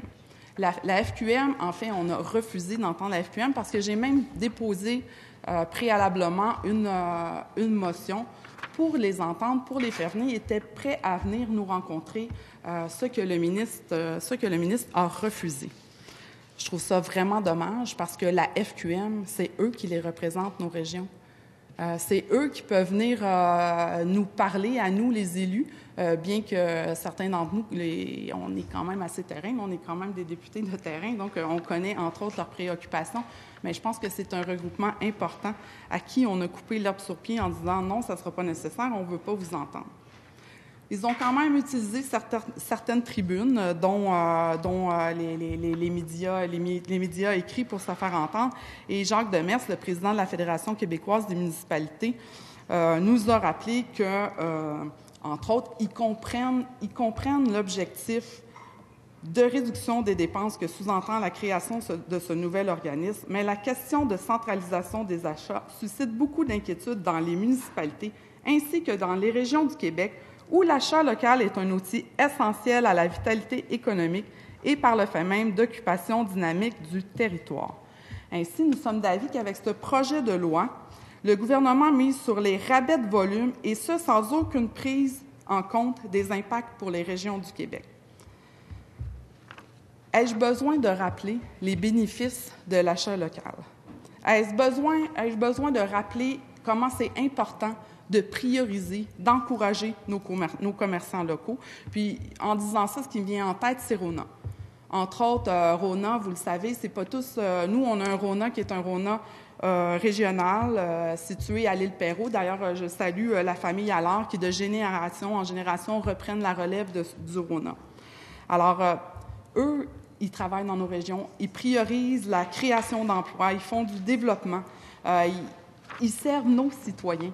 Donc, euh, encore là, je pense que c'est une grande faiblesse du projet de loi 37. On oublie, la, on oublie et euh, je pense que c'est une suggestion qui avait été faite, entre autres, de faire une politique d'achat local, d'y inclure dans le projet de loi 37 une politique d'achat local. Ça a été même repris par la Fédération des chambres de commerce du Québec qui, eux, on le sait, évidemment, ont euh, l'économie, euh, ont l'économie euh, à cœur, mais qui euh, avaient quand même une pensée pour leur région en disant, ben il faudrait peut-être adopter préalablement ce type, ce type de, politique. Je trouve ça, je, je rappellerai jamais assez aussi l'importance de travailler avec nos partenaires. On a des partenaires, la FQM, euh, nos municipalités, nos maires, les élus. Puis je pense qu'aujourd'hui, je, le rappelle encore, euh, je pense que c'est une journée importante justement pour rappeler à quel point il faut travailler. Ce sont des partenaires. Et ce sont des porte-paroles. Ce sont des porte-paroles de nos régions et ce sont pour eux qu'on fait ces projets de loi-là. Ces projets de loi-là, bien sûr, on les fait au bénéfice de nos citoyens, mais nos citoyens sont représentés par des élus municipaux, des élus provinciaux. Et à la fin, l'objectif, ben, c'est que tout le monde puisse en profiter. Donc, vous comprendrez mon grand désarroi quand on, ad on, adopte un projet de loi de la sorte, puis on oublie euh, de penser au développement de nos régions ou à l'impact dans nos régions. Euh, quand on dit qu'il n'y en a pas d'impact dans les régions, c'est. Là. Je vais vous donner un exemple d'achat regroupé. Euh, moi, j'ai été mairesse à Notre-Dame de l'île Perrot, une des plus belles municipalités au Québec. Et euh, ben justement, on faisait des achats regroupés, entre autres, pour le sable, le sel. Puis, c'était des achats regroupés où on avait un tarif spécial si on allait acheter euh, notre sel ou notre sable, c'était plus, plus souvent du sable, à Saint-Polycarpe. Bien, Saint-Polycarpe, c'est dans le comté de Soulanges. Pour nous, Vaudreuil-Soulanges, bien, c'est notre région, fait qu'on encourage localement. Mm -hmm. Bien, ce projet de loi-là, ça ne fonctionnera pas comme ça. C'est le président du Conseil du Trésor qui se rapatrie les pouvoirs puis qui va pouvoir dire, ben euh, non, on va avoir un meilleur prix à Cowansville, tout le monde va aller acheter à Cowansville. Puis là, j'y vais d'un exemple peut-être un peu, euh, je ne sais même pas s'il y a du sable à Cowansville, mais euh, c'est juste pour vous donner euh, un exemple, un exemple comment ça peut euh, affecter, entre autres, nos régions.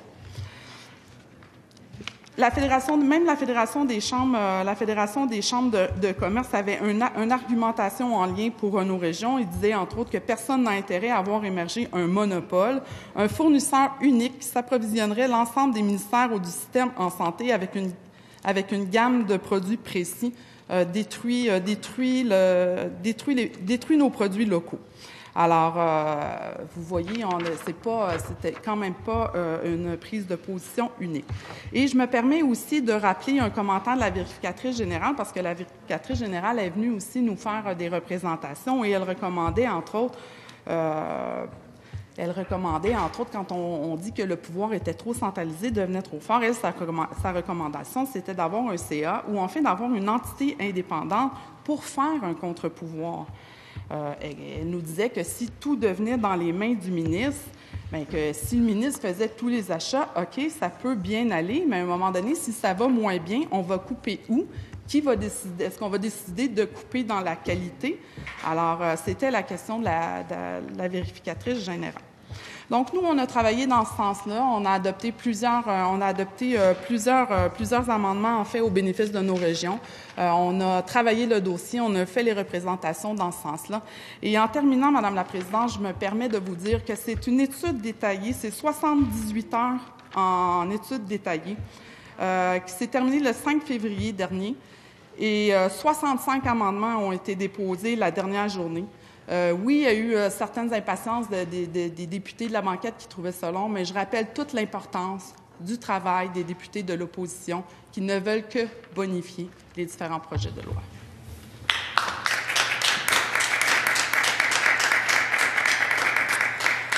Merci, Madame la députée. Maintenant, je cède la parole à Madame la députée de Rouen-Noranda-Témiscamingue et je vous rappelle que vous avez un temps de 10 minutes qui vous est alloué. Merci, euh, Madame la Présidente. J'ai suivi avec attention le cheminement du projet de loi 37 et l'étude détaillée en commission parce que ce projet de loi-là a des impacts majeurs sur les régions et sur ma région. Ce qu'il faut bien comprendre, c'est que l'objectif derrière ce projet de loi, soit celui de regrouper les achats de tous les organismes publics au Québec sous un seul monstre bureaucratique, le Centre d'acquisition gouvernementale, est complètement incompatible avec le maintien de l'approvisionnement régional. Pourquoi regrouper les achats? Pour faire des économies d'échelle, bien sûr. Or, les gains qu'on va tenter de faire avec ce projet de loi seront annulés par les effets désastreux que va entraîner le Centre d'acquisition gouvernementale sur l'économie de nos régions. Aujourd'hui, nous en sommes à l'étape de la prise en considération. Moi, Madame la ministre, je veux tenter de comprendre aujourd'hui en quoi la CAQ se dit le gouvernement des régions a été à l'écoute des régions dans ce dossier. Le 18 septembre dernier, le président du Conseil du Trésor a déposé son projet de loi. Je peux vous dire que dans ma région, l'Abitibi-Témiscamingue, ce projet de loi a été plutôt mal reçu. Aussitôt, les inquiétudes ont fusé de toutes parts. Pourquoi? Parce que ce regroupement, hors région menace la survie des petites entreprises de toutes les régions du Québec qui font déjà office de fournisseurs du gouvernement et qui ne pourront pas répondre aux importants volumes d'achats. On met en péril la stabilité économique des secteurs de services, des services qui ont besoin d'être présents massivement dans nos régions si on veut assurer une, une vitalité économique. Les conséquences directes anticipées de cette politique pour nos entreprises locales sont une diminution importante des revenus et donc conséquemment des activités. Et donc, c'est le début d'une roue qui tourne. Hein. Moins de revenus, moins d'activités entraînent moins besoin d'employés, moins d'employés entraînent moins de services pour la population. C'est l'affaiblissement de notre pouvoir, euh, de notre développement régional en bout du compte. Depuis la fin des consultations en octobre dernier, les voix dans ma région se sont multipliées pour dénoncer ce projet de loi. Et là, ce n'est pas moi qui le dis que ce projet de loi-là, c'est un problème pour les régions, c'est les régions elles-mêmes. Juste en Abitibi-Témiscamingue, on a reçu des tonnes de communications de la part de presque tous les acteurs régionaux qui s'inquiètent vivement du sort que nous réserve le projet de loi 37. Je vais vous faire une petite chronologie pour que mes collègues puissent prendre conscience d'à quel point ça grogne sur le terrain.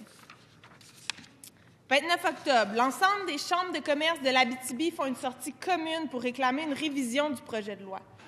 Le président de la Chambre de commerce et d'industrie du Centre Abitibi, M. Claude Balleux, avance que juste pour son secteur, pour la commission scolaire Aricana, il estime à 9 millions de dollars les achats de biens et services menacés. C'est énorme, Madame la Présidente. Le 31 octobre 2019, c'est au tour de l'Association des commissions scolaires de l'Abitibi-Témiscamingue, je ne sais plus si je peux les appeler comme ça, de demander au gouvernement du Québec de geler son projet de loi afin de permettre aux commissions scolaires de faire des achats localement. Avec la centralisation des achats gouvernementaux, des importants fournisseurs locaux des commissions scolaires s'attendent aussi à voir leur chiffre d'affaires diminuer. Le 12 novembre 2019, nous recevions une lettre de la présidente d'Impression Design Graphique, une petite entreprise bien établie euh, dans toute la région de l'Abitibi-Témiscamingue. Cette loi est, selon elle, une menace importante et aura des impacts importants pour son entreprise. Et voici la liste des conséquences inévitables du projet de loi qu'elle anticipe sur son entreprise.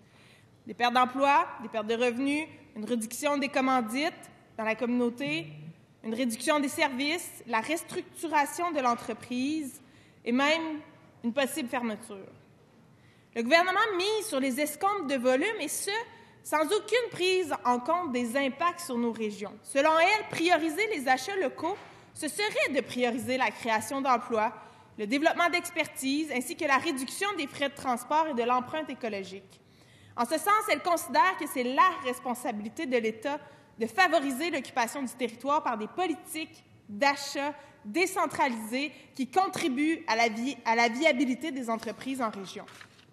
Vous savez quoi? Je suis bien d'accord avec elle. Et pour un gouvernement qui se dit des régions et comptable à part de ça, c'est sidérant de constater qu'il fait tout le contraire. En décembre, trois MRC sur cinq en Abitibi-Témiscamingue ont adopté des résolutions recommandant au ministre responsable de l'administration gouvernement et président du Conseil du Trésor le maintien des systèmes d'acquisition actuels et ont voulu aussi surtout le sensibiliser aux impacts potentiels de l'adoption d'un tel projet de loi sur les partenaires économiques de la région. Enfin, il y a la Société d'aide au développement des collectivités de l'Abitibi-Témiscamingue et du nord du Québec, qui, elles aussi, ont partagé ces nombreuses préoccupations sur le projet de loi. Finalement, le 17 décembre 2019. C'est au tour du ministre responsable de l'Abitibi-Témiscamingue, le député d'Abitibi-Est, d'affirmer que ce projet de loi pourrait être amélioré. Dans une mêlée de presse qu'il a fait à Val-d'Or, il a déclaré, je cite, On a eu une rencontre à privé avec le président du Conseil du Trésor et un des éléments qu'on a fait ressortir, c'est que dans le vocable du projet de loi 37, le mot région n'est pas donné. Moi, ma question, Madame la Présidente, depuis décembre dernier, depuis que le gouvernement a reçu toutes ces résolutions, toutes ces lettres qui dénoncent le projet de loi, qu'est-ce qui a changé? Depuis que le ministre régional de la témiscamingue a fait cette déclaration, qu'est-ce qui a changé? Comment est-ce que le projet de loi a-t-il été bonifié pour répondre à toutes ces préoccupations? La vérité, Madame la Présidente, c'est que j'ai l'impression que le gouvernement a encore fait la sourde oreille. J'en ai parlé abondamment avec mon collègue, le député de Rosemont, qui est responsable du dossier, qui m'a confirmé que ces préoccupations n'ont pas été répondues. Il n'y a eu aucune modification ou amendement pour corriger le tir et s'assurer que nos régions, nos fournisseurs locaux resteraient des acteurs importants dans l'approvisionnement des organismes publics. C'est ça la vérité, Madame la Présidente. Encore dans ce dossier-là, le gouvernement légifère comme s'il avait la science infuse comme s'ils savaient hors de tout doute ce qui est bon pour le Québec, ce qui est bon pour les Québécoises, les Québécois, ce qui est bon pour les régions du Québec. Clairement, non seulement ils ne se rendent pas compte des répercussions, des impacts négatifs qu'aura ce projet de loi pour nos entreprises locales, mais ils refusent d'adresser les préoccupations de nos instances régionales. Et ça, ça me répugne, Madame la Présidente. Merci. Merci, Madame la députée. Je suis prête à entendre un autre intervenant. S'il n'y a pas d'autres intervenants, je... Oh! Bonjour, chère dame. Bonjour. Je ne m'attendais pas d'avoir une intervention sur ce côté de la Chambre. je pense que ça, étant donné que je suis un peu interpellé dans l'allocution de, nous vous écoutons. la concert de Témiscamingue, juste mentionner qu'il y a quand même eu du développement. Et euh, moi, je suis content parce que M. Dubé, justement, ben, je ne vais pas le dire, M. le responsable du Conseil du Trésor, nous a quand même amélioré de beaucoup le projet de loi et j'ai hâte, justement, je suis très heureux de voir les discussions qui ont eu lieu parce que, justement, l'aspect régional a été davantage couvert et je crois que le, projet de loi va être euh, de toute beauté pour, justement, l'ensemble des régions du Québec. Merci. Merci. Alors, est-ce qu'il y a d'autres interventions? Alors, le rapport de la Commission des finances publiques portant sur le projet de loi numéro 37, loi visant principalement à instituer le Centre d'acquisition gouvernementale et infrastructures technologiques Québec, est-il adopté? Adopté sous division. Monsieur le leader euh, du gouvernement pour la suite des travaux? Monsieur le leader pour la suite des travaux? Alors, euh, Madame la Présidente, je vous demanderai d'appeler l'article 4 du feuilleton.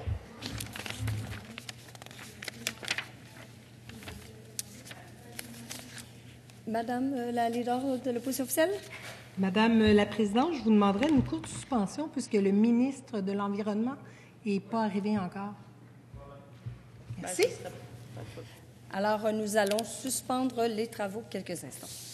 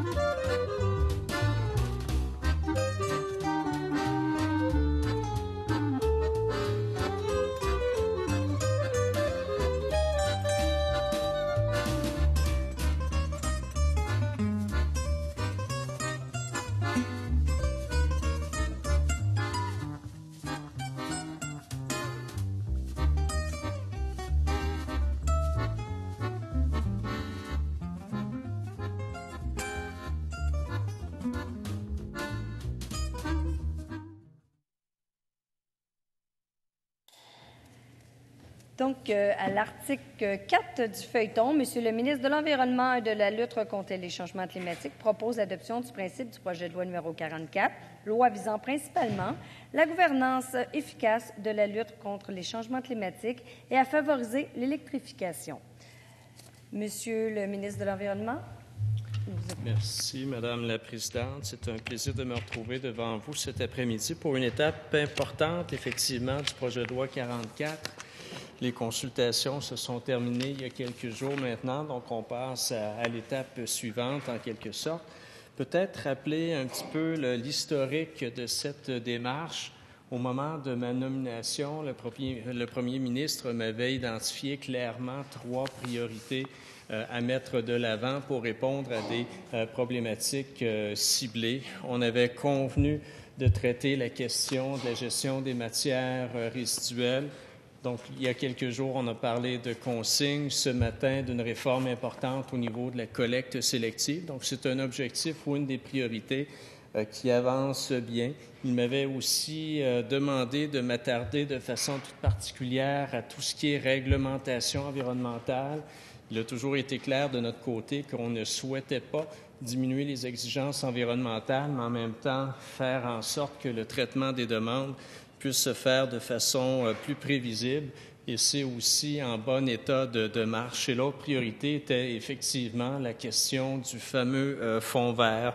Fonds vert qui demeure un outil absolument formidable dans notre lutte aux émissions de gaz à effet de serre, mais fonds vert qui, au fil des dernières années, a eu mauvaise presse pour euh, différentes raisons.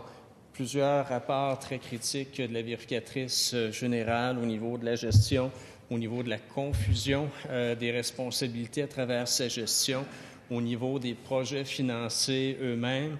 On se souvient malheureusement que c'est un fonds qui a servi à financer différentes mesures qui, bien que louables dans certaines mesures, n'auraient pas dû être financées par euh, le Fonds vert parce qu'elles ont engendré très peu, sinon pas du tout, euh, de diminution au niveau des gaz à effet de serre. Donc, c'est dans ce contexte que prend forme le projet de loi 44 je vous le résume là, euh, très, très simplement, oui, c'est simplifier la gouvernance, c'est clarifier les responsabilités et éviter les chevauchements. D'ailleurs, la consultation nous a permis de l'illustrer de façon assez éloquente. Il y a un grand conflit actuellement au niveau des responsabilités de tous et chacun. Euh, il y a eu plusieurs avis juridiques de part et d'autre qui se sont partagés entre tantôt le ministère de l'Environnement, tantôt entre le Conseil de gestion du Fonds vert. Donc, une grande confusion qui, malheureusement, a engendré des, résultats euh, décevants. Donc, euh, clarifier les responsabilités, je le mentionnais, assurer, et c'est sans doute le premier principe du projet de loi, l'imputabilité euh, du ministre de l'Environnement, peu importe qui il est.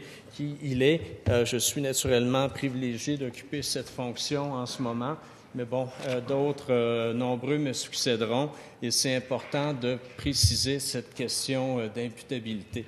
Par le passé, lorsqu'un rapport critique concernant la gestion du fonds vert était publié, on se renvoyait un petit peu la balle à savoir comment corriger la situation. C'est la responsabilité de qui? Donc, beaucoup de, de confusion et c'est ce que l'on cherche à corriger avec le projet de loi 44 faire en sorte, je le mentionnais rapidement, que euh, les, mesures financières, que les argents importants qui sont recueillis à travers le fonds vert engendrent les résultats escomptés. C'est un projet de loi qui vise essentiellement la diminution de nos émissions de gaz à effet de serre, faire en sorte que l'on puisse aussi concrétiser cet engagement qui a été pris ici de façon unanime au niveau de la reconnaissance de l'urgence climatique.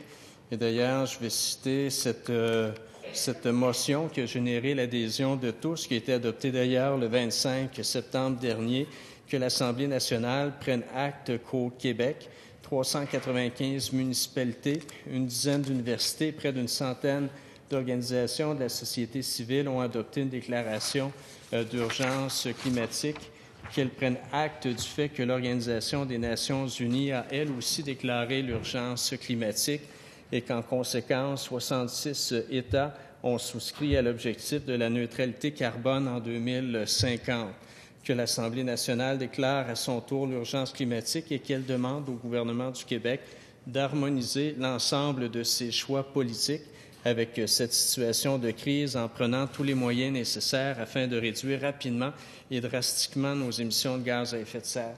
Je trouvais important de rappeler cette motion qui a suscité l'adhésion de l'ensemble des parlementaires parce que le défi est colossal. Cet après-midi, je n'ai aucune intention d'attribuer des, des blâmes à qui que ce soit, mais on part de très loin au niveau de la lutte à nos euh, émissions de gaz à effet de serre. On devait au Québec être à ce moment-ci à moins 20% par rapport à l'année de référence qu'est l'année 1990 et on est à peine à moins 9 donc déjà un retard de près de 11% par rapport à l'objectif qui était visé pour 2020. Et ça, c'est sans compter qu'on a un autre objectif excessivement ambitieux pour l'année 2030, euh, c'est-à-dire de 37,5% de diminution par rapport à l'année de référence 90. Donc, un effort qui est colossal. En dix ans, il faudra faire passablement mieux, beaucoup mieux qu'au cours des 30 dernières années. Donc, la marche, elle est haute. Et pour ça, ça nous, ça nous prend un projet de loi qui détermine clairement les rôles et responsabilités des différents intervenants euh, au dossier. Et le projet de loi, à ce niveau-là, répond à plusieurs euh, attentes. On a plusieurs intervenants qui, en commission parlementaire, en consultation, nous ont euh, précisé les avancées du, du projet de loi pour éviter qu'en 2030, soit la veille de notre échéancier, on dise encore une fois, comme société, nous avons échoué. Nous devions être à 37,5 de réduction. Nous ne sommes qu'à X pourcentage. Donc, c'est cette situation-là que l'on veut éviter à tout prix. C'est la raison pour laquelle on a mis en place dans le projet de loi des articles qui non seulement précisent le rôle des ministères concernés, mais également des euh, courroies euh, de protection en quelque sorte. Certains parlent de chiens de garde, c'est-à-dire un comité d'experts indépendants euh, qui sera là pour conseiller l'action du ministre, faire en sorte que les rapports de ce comité-là soient systématiquement rendus publics. Et ça aussi, Madame la Présidente, c'est une avancée qui est majeure par le passé, malheureusement, on avait, oui, parfois des notes qui étaient envoyées aux euh, ministres impliqués, mais d'aucune façon il n'y avait d'obligation pour les rendre publiques. Donc les ministres impliqués pouvaient, à leur discrétion, décider de les publier ou pas, alors que là, ils seront euh, assurément et obligatoirement rendus publics. Donc, si pour une raison ou pour une autre, le ministre de l'Environnement ou la ministre de l'Environnement décide de ne pas retenir l'avis euh, de ce comité d'experts indépendants, il devra se justifier. Donc, une première protection importante. Une autre qui a été euh, saluée par plusieurs, le rôle que l'on confie au commissaire au développement durable. Ce dernier conserve exactement les responsabilités qu'il a présentement, donc on ne lui enlève aucun pouvoir, pouvoir qui peut l'amener à sa discrétion au moment de son choix d'investiguer euh, des, actions prises par le gouvernement, on lui en confère un nouveau, c'est-à-dire de nous donner aussi un bulletin annuel sur notre progression comme gouvernement au niveau de l'atteinte de nos cibles. Donc, une autre protection qui publiquement euh, sera connue de tous et encore là, des justifications pour le ministre ou la ministre si jamais on ne progresse pas dans la bonne, dans la bonne direction et là aussi, année après année, pour pas qu'en 2028, en 2029, on se dise c'est dommage, on est encore très loin de la cible, on n'y arrivera pas. Bref, ce sont deux mesures qui ont été saluées par euh, la plupart des, intervenants entendus. Euh, je vous dis déjà qu'il y aura un défi colossal au niveau de la composition du comité euh, d'experts indépendants. À peu près tous les groupes entendus souhaiteraient être du nombre ils comprennent, ceci dit, euh, que ce ne sera pas possible d'avoir un, comité composé de dizaines de personnes, mais c'est dire à quel point on reconnaît l'importance de ce comité, c'est dire à quel point on souhaite faire partie de, la solution. Donc, pour moi, ce sont des éléments extrêmement positifs qui ont été euh, portés à notre attention. Autre nouveauté, je suis très heureux de pouvoir compter sur non seulement son amitié, mais sa collaboration. J'ai le ministre responsable des Ressources naturelles qui a été impliqué dès la première heure au niveau de l'élaboration euh, de ce, projet de loi-là. Parce que lorsqu'on parle de transition énergétique, on parle d'une responsabilité qui est reconnue à mon collègue. Lorsqu'on parle euh, de tech, on parle d'une responsabilité qui, euh, qui lui revient. Donc oui, il y a des transformations importantes qui sont proposées au niveau de, tech, on en convient, mais encore là, c'est pour revenir à ce que je vous mentionnais dès le départ, le fameux principe d'imputabilité. Depuis des années, on s'éloigne à défaut de s'approcher de nos cibles, mais il n'y a pas, d'imputabilité, il n'y a pas de responsabilité euh, ministérielle qui est dûment reconnue. Donc, en intégrant Tech chez euh, mon collègue aux ressources naturelles, il aura une responsabilité bien établie, bien déterminée pour s'assurer d'aller dans la bonne direction.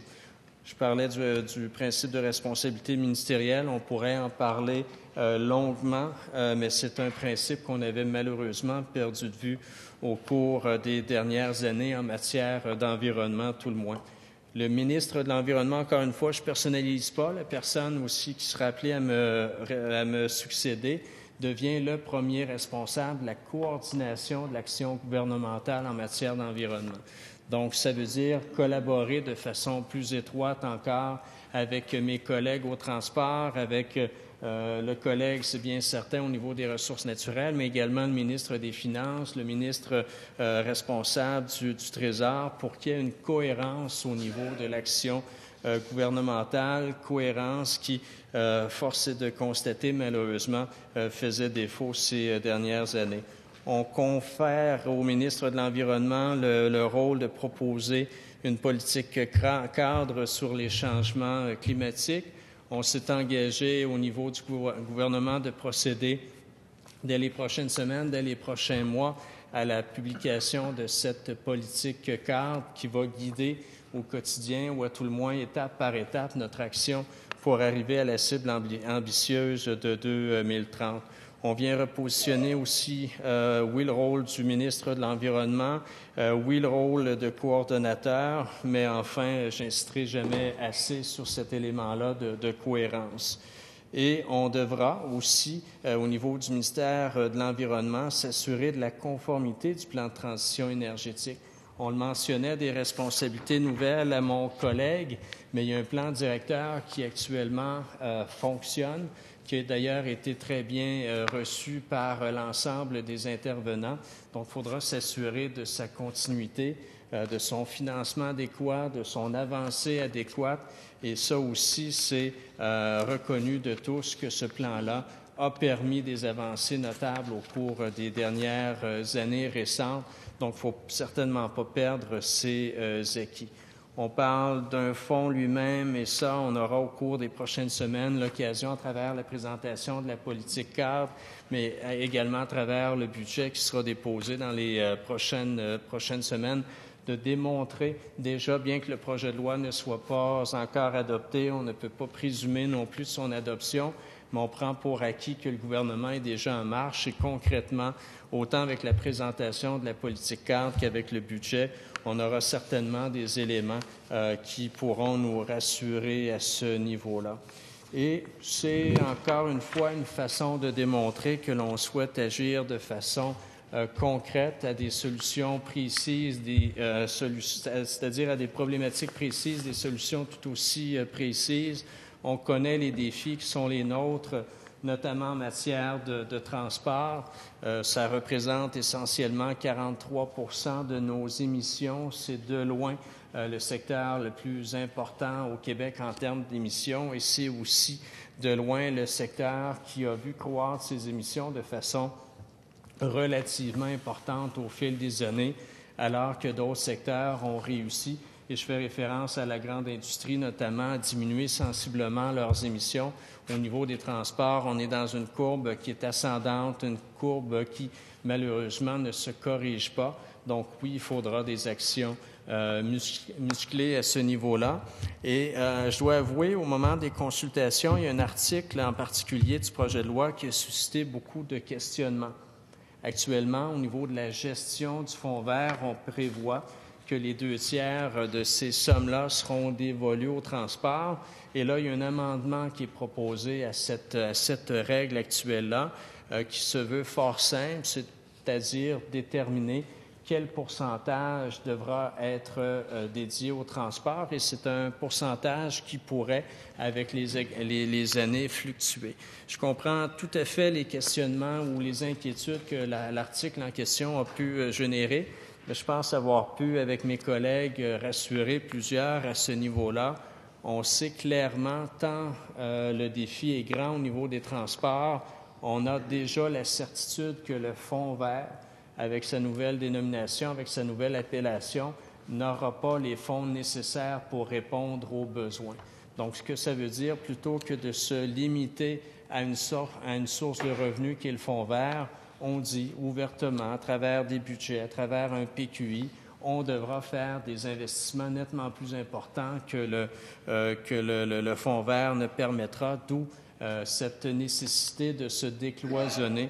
Et certains groupes l'ont illustré de façon assez admirable. Actuellement, on transfère ces deux tiers-là de façon automatique et on n'a pas toujours la capacité euh, de redistribuer les sommes de façon efficace. Donc là, avec cette précision-là, toutes les sommes qui iront naturellement au transport en commun, peu importe la source, peu importe que ce soit le, futur nouveau fonds vert ou encore euh, le budget, on veut s'assurer euh, que ça apporte des changements tout à fait concrets.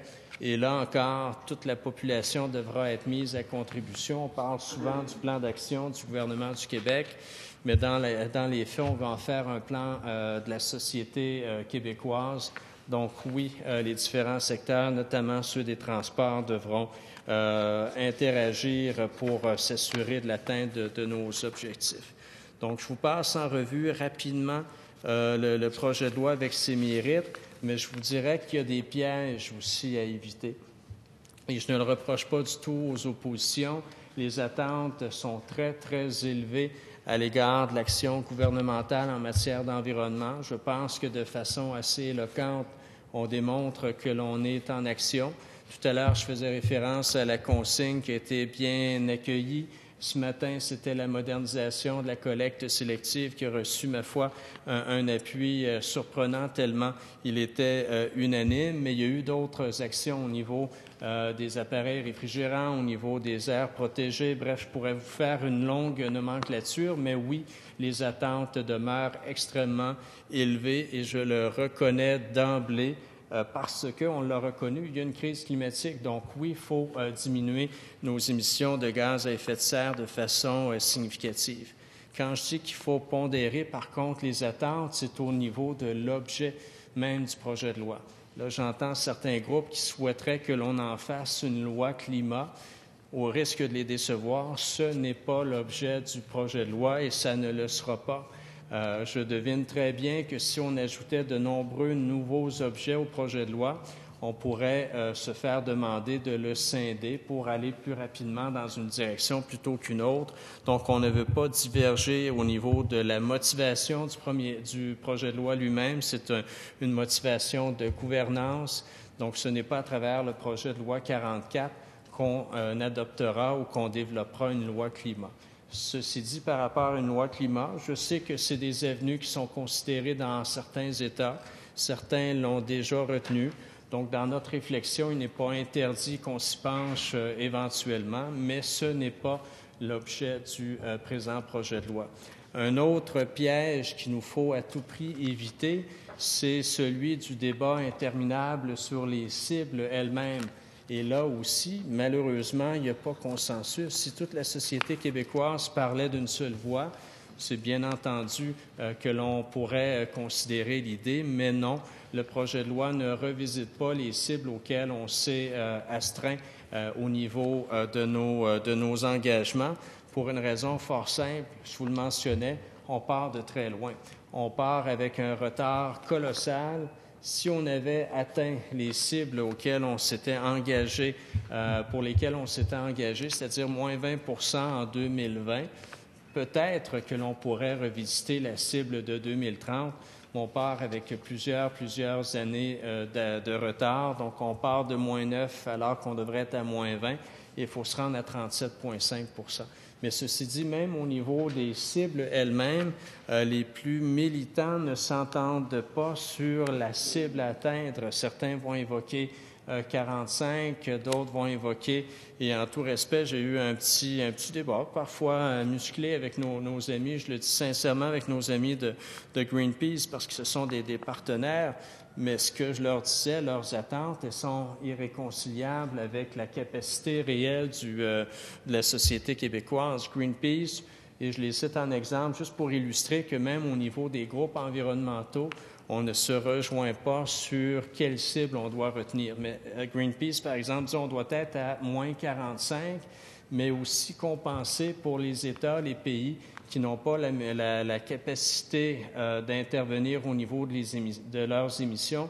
Donc, on doit ajouter un 20% à notre cible. Donc, la cible n'est plus de 45, mais de 65% Et bien honnêtement, au niveau euh, technologique, euh, on ne peut pas y arriver. Au niveau de l'économie, on ne peut pas y arriver. Et sans doute, le plus bel exemple, c'est celui euh, confirmé ce matin au niveau de la modernisation des centres de tri. À partir, et là, je m'éloigne un petit peu des émissions de gaz à effet de serre, mais vous allez me voir venir, euh, Madame la Présidente, à partir du moment où on a une technologie à remplacer, euh, c'est pas vrai que la nouvelle technologie, même disponible, sera effective euh, dès demain. Il y a un temps d'implantation, il y a un temps de rodage qui est nécessaire. Donc, ce n'est pas vrai qu'en 9, 10 ans, on peut révolutionner la technologie euh, québécoise. Et c'est là où on parle de cette nécessité de transition euh, juste, faire en sorte que les travailleurs, travailleuses qui se lèvent le matin et qui ont pour seul objectif d'aller travailler pour gagner euh, leur pain, faire vivre leur, leur famille, que le fardeau ne repose pas uniquement sur ces gens-là, qu'on puisse les accompagner vers une transition qui soit juste. Bref, qui dit transition dit euh, ne pas y aller de façon radicale et malheureusement, certains euh, ont, cette volonté ou ce souhait-là. Dans certains groupes, euh, il, y a un, il, y a un, collectif qui s'est créé la semaine dernière qui annonce certaines manifestations pour la fin de l'année, la fin du mois de mars. Leur objectif visé à eux, c'est 100% donc carboneutralité pour 2030. Je suis désolé de les décevoir, mais non, nous n'en serons pas. Et ça ne veut pas dire que l'on abdique. Au contraire, ça veut dire que la marche, elle est colossale. Ceci dit, moi, je retiens ceci du GIEC, je, retiens ceci de la motion que l'on a adoptée collectivement à l'Assemblée nationale. Pour 2050, il faut viser la neutralité carbone et c'est là où on en est. Mais la première étape, c'est d'être à 37,5 de réduction par rapport à l'année 2090, 1990 en 2030, et c'est, croyez-moi, colossal. Mais ce qui me rassure, c'est que je me sens euh, aucunement euh, seul dans ce défi-là. Collaboration exceptionnelle avec mon collègue aux ressources naturelles, l'économie. Euh, en fait, tous les collègues euh, députés, ministres collaborent dans cet effort gouvernemental-là. Donc, ça me remplit de confiance, mais je trouvais important cet après-midi de pondérer certaines attentes. Donc, ne pas faire du projet de loi 44 ce qu'il n'est pas. Ce n'est pas une loi climat et ne pas non plus tomber dans le piège des euh, cibles et se remettre à les revoir.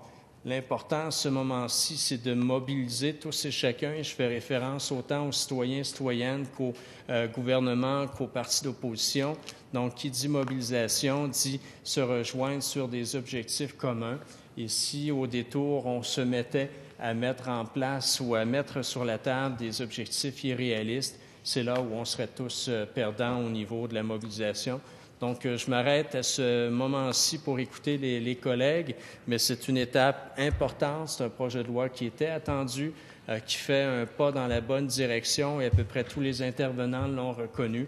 Donc, j'ai bien hâte non seulement d'entendre les collègues au niveau du principe, mais également de nous consacrer à l'étude article par article pour qu'on puisse le bonifier et s'assurer de son adoption la plus rapide possible. Donc, sur ce, Madame la Présidente, Bon après-midi.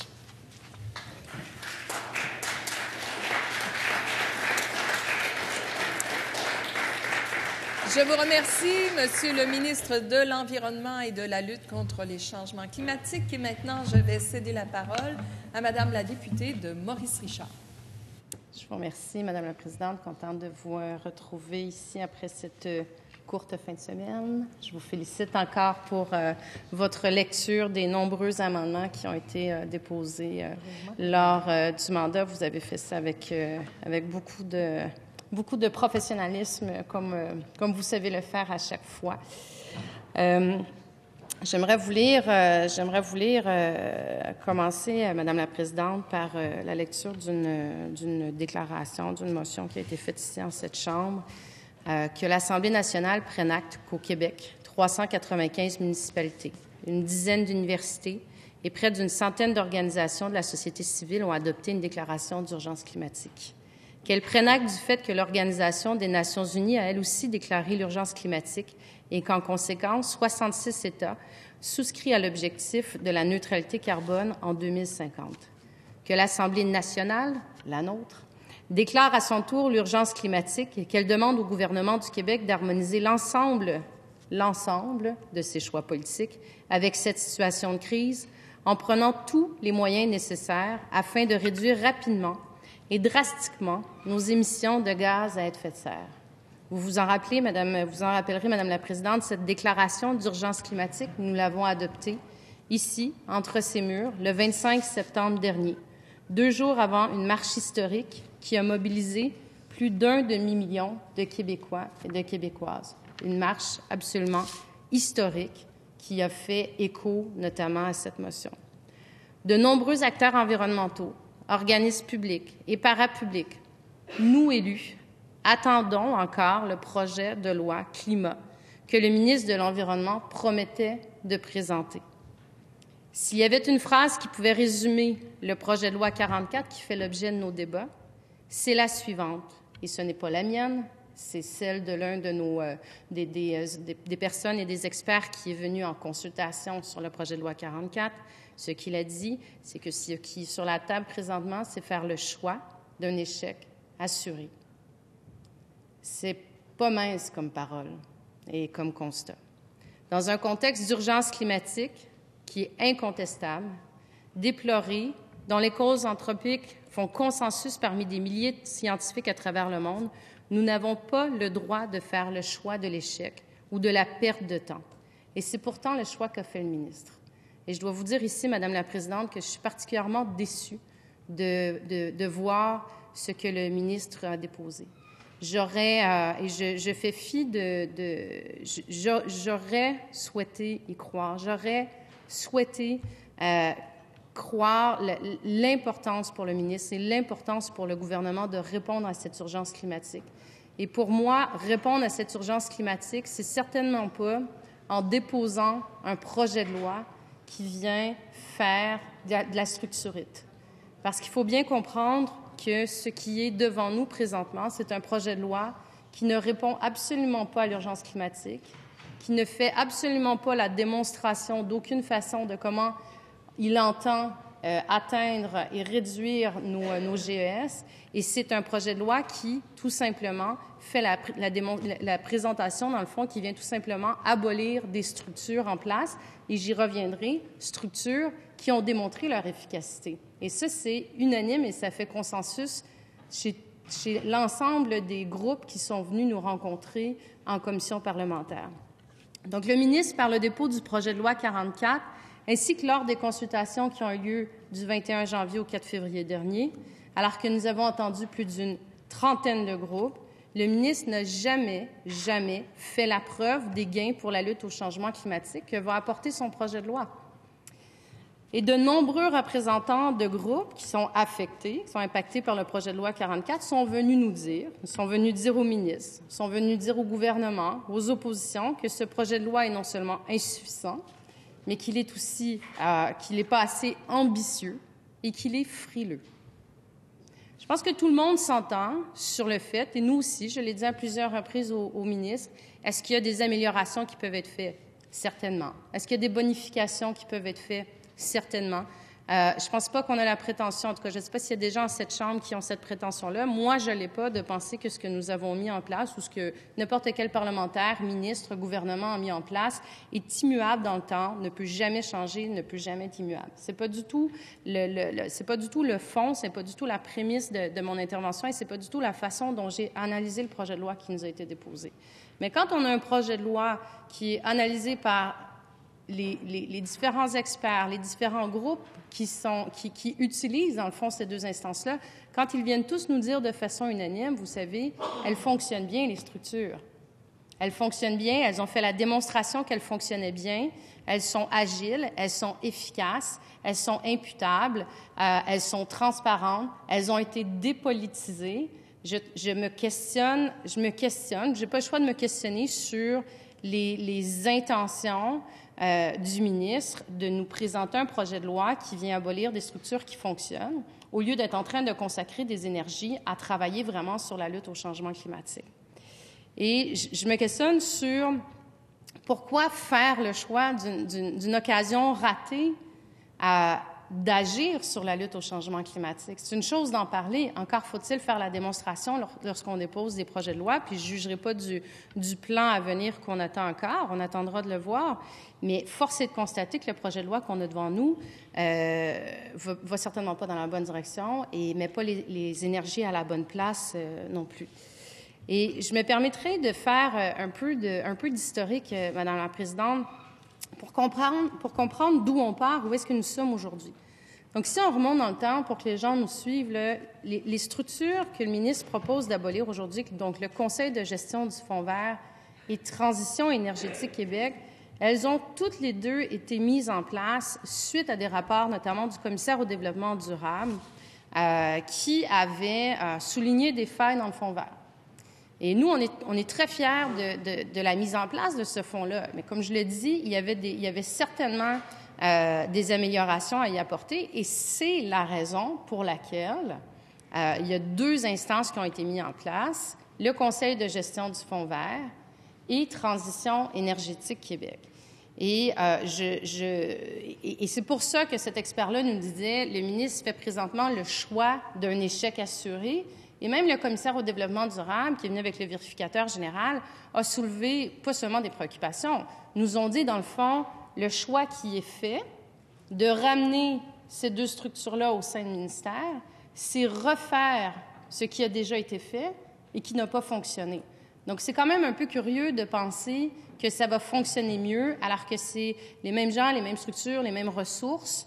Euh, donc, on enlève quelque chose qui fonctionne bien pour le ramener euh, dans une direction qu'on sait qui ne fonctionnera pas parce qu'elle n'a pas fonctionné. Donc, c'est très questionnable à, à ce niveau-là pour moi de, de, de, de, prendre cette direction-là. Donc, est-ce que c'est euh, la, la, la, volonté ferme du, euh, du ministre? Est-ce que c'est euh, ces fonctionnaires? Puis on l'a vu, puis je ne veux pas lancer la pierre, mais est-ce que est-ce qu'ils sont pas heureux justement de, ramener ces pouvoirs vers eux? Est-ce que c'est une question de, de, centralisation encore de pouvoir Parce que j'ai rarement vu un, gouvernement euh, arriver à faire aussi rapidement l'unanimité euh, contre les projets de loi qu'il euh, dépose, euh, justement sur des éléments qui, sont les suivants, la centralisation. Puis on, sort du, du baillon sur le projet de loi 40, 40 euh, qui est euh, exactement ça, c'est la centralisation. On a entendu le ministre de l'Éducation, je ne ferai pas un long aparté là-dessus, là, mais euh, on l'a entendu ce matin qui, qui parle d'un palier qui est un, un, un mini-gouvernement qui, euh, qui c'est un, un, palier démocratique et euh, qui vient nous dire que ça sert à rien. On avait entendu la même chose euh, sur le projet de loi 34 euh, sur euh, qui enlevait des pouvoirs à la régie de l'énergie. Donc on est vraiment dans un contexte d'abolition de contre-pouvoirs. Euh, est-ce que c'est parce qu'on veut pas entendre les gens qui pourraient avoir des opinions qui sont différentes des nôtres? Je pense que ça, ça soulève beaucoup de questions. C'est quelque chose qui finira certainement par, par les rattraper tout ou tard si ce n'est pas déjà arrivé avec le projet de loi 40. Là. Et je, je, je, porterai à, votre attention, entre autres, dans les, dans les chercheurs, euh, les chercheurs émérites qui sont venus, les experts émérites. Il y a Mme Joanne Whitmore, qui est chercheuse principale à la chaire de gestion de l'énergie, Et euh, Normand Mousseau, qui est directeur académique de l'Institut de l'énergie Trottier, qui euh, bon, sont, sont, sont, venus en consultation, mais avait écrit aussi une lettre le 15 novembre dernier et qui soulignait dans cette lettre qu'en abolissant le Conseil, le gouvernement se prive de sa principale instance mandatée pour examiner avec indépendance le dysfonctionnement du fonds et d'harmoniser le processus de reddition de comptes. Donc, c'est quand même assez questionnable de prendre la décision d'abolir le conseil de gestion et TEC, qui sont les deux instances euh, indépendantes, euh, dépolitisées, qui ont de la transparence, qui ont de la reddition de comptes aussi. Donc, euh, je, je, porte ça à l'attention, je le porte à l'attention du ministre, mais il l'a entendu abondamment lors de nos consultations. La deuxième structure, donc Transition énergétique, a été créée en 2018. Hein. C'est une, une, structure qui est toute jeune, toute nouvelle. Euh, et elle avait été créée donc pour soutenir la transition, l'innovation, l'efficacité énergétique, puis assurer une gouvernance intégrée. Et euh, ce qui est quand même, moi, je, moi, je suis euh, très, très fière, puis vous entendrez les intervenants de, de, de l'opposition officielle vous souligner avec beaucoup de fierté la mise sur pied de Transition énergétique Québec. Et c'est une organisation qui... Euh, et, puis je, me permets de dire qu'il y a beaucoup de, membres qui sont... Euh, beaucoup de gens qui sont venus en consultation nous dire ce que ça prendrait, c'est une société d'État indépendante. Euh, et Transition énergétique Québec est une société d'État indépendante. Il y a de l'indépendance, il y a de l'imputabilité, il y a un conseil d'administration. Et c'est une toute jeune organisation, mais qui a fait ses preuves de façon fulgurante au niveau de, de son efficacité depuis sa création. Et elle s'est imposée comme un outil incontournable en matière de réduction des GES au Québec. je vous donne quelques chiffres, là, Madame la Présidente, mais TEC, donc je vous rappelle, créé en 2018, donc c'est un taux de réalisation qui est supérieur à 100 des mesures 2018-2019 de son plan d'action, un an après, euh, après son adoption. Euh, 34 des mesures qui ont été mises en œuvre d'ici 2003, qui devaient être mises en œuvre d'ici 2003, ont déjà été mises en place. Euh, ces programmes ont le potentiel de générer plus de 60 de réduction des GES au Québec. C'est pas rien, là, 60 de réduction des GES, en utilisant moins de 18,5% du budget du Fonds vert. Euh, moi, je, je, me questionne vraiment sur qui pourrait regarder ces chiffres-là puis se dire, mon Dieu, c'est tellement une bonne idée d'aller euh, d'aller l'abolir puis d'aller la, la, la, la, déstabiliser parce que même si le ministre veut bien nous dire, oui, mais vous savez, on va prendre les ressources qui sont à tech puis on va aller les mettre au ministère puis ça, ça va être la même chose. Un, je vais mettre beaucoup de bémols sur lesquels je vais revenir par la suite, mais euh, s'il ne, ne pouvait tenir compte seulement euh, de la période de transition, de l'instabilité que ça va amener. On le sait, quand on fait des changements, c'est le propre de tout changement, ça apporte de l'instabilité. Ça, ça, ralentit les processus. Donc, ça veut dire que pour les entreprises du Québec qui se disent toutes satisfaites à l'heure actuelle de l'agilité, euh, de la fiabilité, de la prévisibilité de, de tech, euh, pour des considérations qui, qui très sincèrement m'échappent et, je, on, va, on va transférer ces ressources-là euh, avec, tous les, euh, avec tous les risques et tous les retards et tous les ralentissements que ça peut, euh, que ça peut apporter. Donc, tech, en un mot, là, ce que tout le monde nous a souligné, puis je mets au, au, défi, si le ministre en a entendu un dans les consultations, je le mets au défi de nous trouver un seul groupe qui est venu nous dire que tech n'était pas un succès, que tech ne fonctionnait pas bien. Ils sont unanimement venus nous dire à quel point ça marchait bien. Donc, est-ce que c'est idéologique? Est-ce que c'est vraiment de dire on veut centraliser puis on veut que tous les pouvoirs soient dans les mains des différents ministères des différents ministres? J'arrive mal à m'expliquer comment, comment euh, qu'est-ce qui peut soutenir ce genre de décision-là. Donc, je trouve ça, à mon avis, on ne peut pas se débarrasser impunément, comme ça, pour des raisons justement idéologiques, des leviers qui nous permettent de renforcer considérablement notre lutte contre les changements climatiques en réduisant nos émissions de GES. C'est pourtant ce que le projet de loi 44 prévoit. C'est ce que ça prévoit. Euh, et c'est ce que le ministre de l'Environnement présentement défend. Et j'aimerais euh, de toute bonne foi lui lancer un avertissement euh, au ministre aujourd'hui. La lutte au changement climatique, elle ne peut pas être prise en otage pour des considérations partisanes. Et je, ferai bien attention à la suite de mes propos. Vous savez, je, suis prudente dans ces, euh, ces propos-là, Madame la Présidente, mais je ne, je ne, peux pas voir, je ne peux pas comprendre, et le ministre a été incapable de faire la démonstration euh, intellectuelle, pragmatique, des raisons qui sous-tendent son, son, l'abolition de Transition énergétique Québec. Donc, je ne peux pas m'expliquer autrement que pour des raisons partisanes, idéologiques ou de centralisation ou d'abolition de contre-pouvoir. Et ça, à mon avis, c'est très dangereux. Et défaire et euh, jouer dans des structures qui ont été mises en place par le précédent gouvernement, qui ont fait leurs preuves, qui servent la cause climatique, qui sont défendus par des partenaires, des acteurs, des actrices du terrain, des organismes publics et parapublics, à mon avis, c'est nourrir le cynisme que le gouvernement se plaît à dénoncer depuis le début de son élection. Et le ministre s'attarde de vouloir livrer plutôt que de promettre ce qu'il juge irréalisable. Mais sachez que le ministre de l'Environnement a la chance que des consensus clairs se soient dégagés de l'évaluation de son projet de loi. Donc, un des processus clairs, je vous l'ai dit, TEC doit être maintenu. Ça, c'est clair, c'est unanime et ça fait consensus chez tous les groupes qui sont venus nous voir. Donc, euh, puis je tiens à vous rappeler, Madame la Présidente, que l'abolition de cet organisme n'a jamais été soumise à aucune évaluation qui justifie son abolition euh, et a été euh, unilatérale comme décision. On a des gens qui font partie euh, de la, table des parties prenantes. Aussi, ça devient une, mauvaise habitude du gouvernement de ne pas consulter. Si je me fie sur ce qui s'est passé avec le projet de loi 40, mais on a des groupes qui sont venus nous dire, nous, on est des, partenaires du gouvernement. On est assis à la table des parties prenantes. On a des discussions en ce moment sur le plan euh, je ne sais pas comment il s'appelle, d'électrification de là, le, de, de, changement climatique. On, on travaille avec eux là-dessus. On est consulté sur euh, on, pensait qu'on était des partenaires importants pour faire un plan sur la lutte au changement climatique et on se, met, euh, on, se fait mettre devant le fait accompli que ces instances qui, à notre avis, sont importantes, sont abolies. Donc, euh, je pense que c'est venu euh, certainement ébranler aussi euh, cette dynamique-là ou cette confiance qu'il y avait entre les groupes et, et l'importance de leur, de leur opinion. Donc, le consensus très fort, très clair, je vous l'ai dit, par rapport à TEX, c'est son agilité, sa flexibilité, son efficacité en matière de réduction des GES. Euh, ça, c'est incontestable, c'est démontré, euh, ils l'ont tous souligné.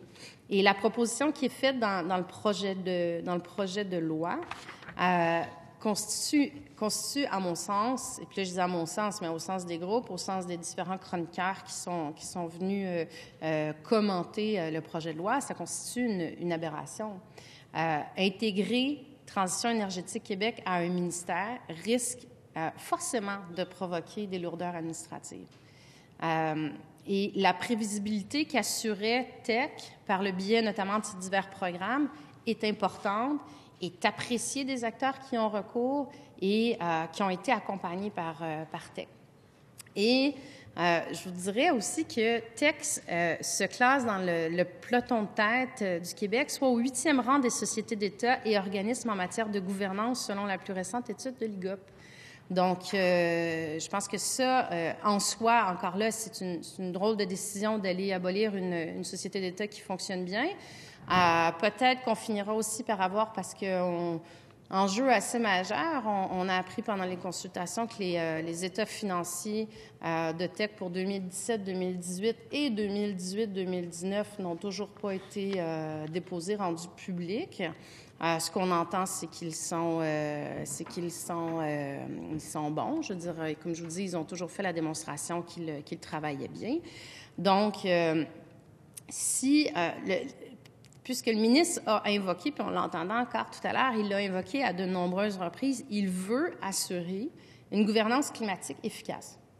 Je peux juste être d'accord avec lui. C'est, c'est pas seulement louable, c'est nécessaire. Si, comme ministre de l'Environnement, il voulait pas faire ça, je me pose, poserais des questions. Mais je ne peux qu'être d'accord avec lui. Donc, s'il veut assurer une gouvernance climatique efficace, pourquoi aller abolir une société d'État qui est reconnu pour son efficacité. J'espère, j'espère que d'ici, euh, d'ici les prochains jours, semaines, je ne sais pas, moi, j'espère qu'il sera capable de répondre à cette question fondamentale. Société d'État efficace, recherche d'une gouvernance efficace, abolition de la société d'État efficace. Il y, a quelque chose qui, m'échappe encore là dans, euh, sa volonté.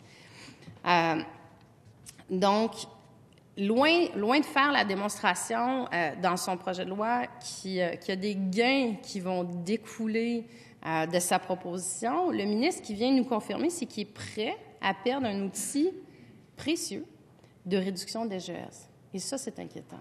Ça, c'est très inquiétant. Euh, parce qu'il ne peut pas contester, il ne, il ne, pourra pas contester que TECT est efficace et apprécié. Donc, il faut qu'il, euh, euh, ce qu'il nous dit, c'est qu'il est prêt à perdre cet outil-là. Et ça, c'est inquiétant. Euh, le ministre est prêt à perdre aussi bien d'autres choses. Il, capitule face à la crise climatique.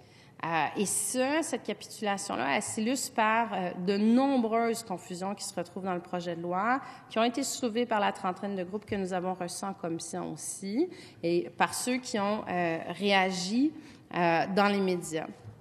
Le ministre nous disait tout à l'heure, il ne faut pas mélanger les choses. Les cibles de réduction de GS ne devraient pas se retrouver dans le projet de loi. J'aimerais ça qu'il m'explique pourquoi.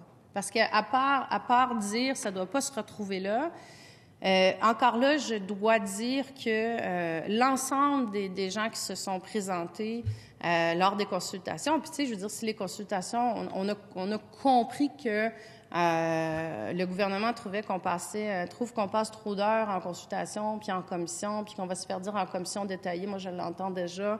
Euh, je n'irai pas là, mais vous savez, ce, vous savez où je m'en allais euh, certainement. Euh, mais en tout cas, on sait, on sait ce qu'on va nous dire qu'il y a trop d'heures, puis qu'on passe trop de temps. Puis, mais, mais j'avise le ministre, il y, a eu, il y a eu tellement de recommandations qui nous ont été faites il va y avoir des amendements qui vont être déposés parce qu'on a eu, un travail extraordinaire qui a été fait par les groupes qui sont venus, qui nous ont déposé des tonnes et des tonnes et des tonnes de recommandations parce qu'ils nous ont dit le projet de loi n'est pas précis. Le projet de loi, il manque plein de choses. Comment faire un projet de loi dans, une, dans un contexte d'urgence climatique sans enchasser dans le dit projet de loi les cibles de réduction de GES? C'est fondamental. Euh, puis je, je, je, je, ne peux, je ne peux que, euh, qu'adhérer à cette, à cette demande-là. Et si on est sérieux, euh, si on souhaite être, si le ministre nous parle, le ministre nous parle d'imputabilité, euh, il nous parle de, de, des gens qui suivront, qui précéderont, qui, qui, le, qui le suivront, pardon. Euh, s'il, est, est sérieux dans, dans, dans ses objectifs, euh, dans sa réussite climatique, je vais le dire comme ça, euh, les, les, sites doivent être inclus dans le projet de loi. Et ça aussi, ça faisait consensus dans les consultations. Donc, j'ai bien hâte de voir euh, euh, où on en sera par la suite. Et un autre élément qui a été, qui a été porté à notre attention aussi, qui a été soulevé, qui, bon, on l'avait soulevé, mais qui a été ressoulevé aussi par plusieurs par plusieurs groupes qui sont venus euh, nous voir, c'est des préoccupations et des inquiétudes sur le fait de, de des, conflits de mission entre euh, le fait de ramener Transition énergétique Québec au sein du ministère de l'Énergie euh, et des Ressources naturelles. Il faut comprendre qu'on intègre à un ministère un, une, une société d'État qui, en ce moment, a pour objectif la transition énergétique et on vient l'intégrer à un ministère qui, entre autres, dans sa mission, d'octroyer des licences d'exploitation, d'exploration d'hydrocarbures. Et il y a un conflit euh, de mission qui est, un, apparent, là, on ne peut pas le nier, deux, qui est euh, certainement euh, inquiétant. Et, et, au-delà de ça, comme je vous dis, je pense que ça, c'est des questions extrêmement sérieuses sur lesquelles il faut, il faut se pencher. Euh, il faut se pencher très, très, très sérieusement parce qu'encore là, je vous dis, on a une instance qui fonctionne bien, qui permet de réduire les GES au Québec. On va aller l'intégrer dans un ministère où il y a assurément une perte d'agilité, de prévisibilité. Puis en plus de ça, il y a un conflit de mission dans ce même ministère-là. Il me semble que ça commence à faire beaucoup de, beaucoup de problèmes. Et euh, je vous disais, on a, on a, on a entendu, euh, il, y a, il, y a, un certain consensus qui s'est formé là, entre les différents intervenants. Euh, dans les mots qu'on a entendu beaucoup, la question de, dans les enjeux qu'on a entendu beaucoup, la question de l'imputabilité, la perte d'imputabilité, la politisation. Hein. Je vous répète, ces deux structures-là ont été mises sur pied pour dépolitiser le processus. On revient les politiser en les mettant au sein du ministère. Des enjeux de reddition de comptes, euh, parce que ces sociétés, justement, avaient euh, une responsabilité au niveau de la reddition de comptes, des enjeux de transparence, parce que la même chose, elles doivent, elles doivent fournir leur rapport. Euh, donc, de gros, gros, gros déficits euh, à ce niveau-là. Puis bon, ben, il y a toute la question de la centralisation aussi. Puis j'aurais envie de... de c'est pas que je veux politiser le débat, mon intention n'est pas là, mais euh, je trouve que, je, vous cite Robert, euh, Robert Dutrisac, le journaliste, qui, moi, je trouve qu'il avait, il avait mentionné ça, si je me trompe pas, dans un article à l'automne dernier, justement, quand on était sur, euh, sur, sur le projet de loi 34, sur les sur les, euh, voyons, pardon, euh, sur, l'amoindrissement des pouvoirs de la Régie de l'énergie et le projet de loi du ministre était déjà euh, déposé. Puis il disait un an après, je vous le cite, un an après son élection, ce gouvernement montre assez bien comment il entend exercer le pouvoir, ramener le plus possible de décisions entre ses mains. Là, je vous dis, ça a quand même été écrit à l'automne dernier. Donc, avant le projet de loi 40, qu'on ajoute là-dedans aussi. Ce qui signifie éliminer le plus possible les avis extérieurs et les institutions qui font office de contre-pouvoir. On l'a vu très clairement ces dernières semaines dans des dossiers comme l'énergie ou la gestion du fonds vert. Le gouvernement concentre les décisions au Conseil des ministres et veut se passer le plus possible des avis susceptibles de lui indiquer qu'il pourrait faire fausse route.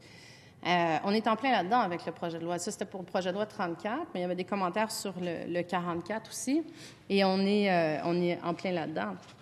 Euh, je profiterai du temps qui m'est imparti aussi parce que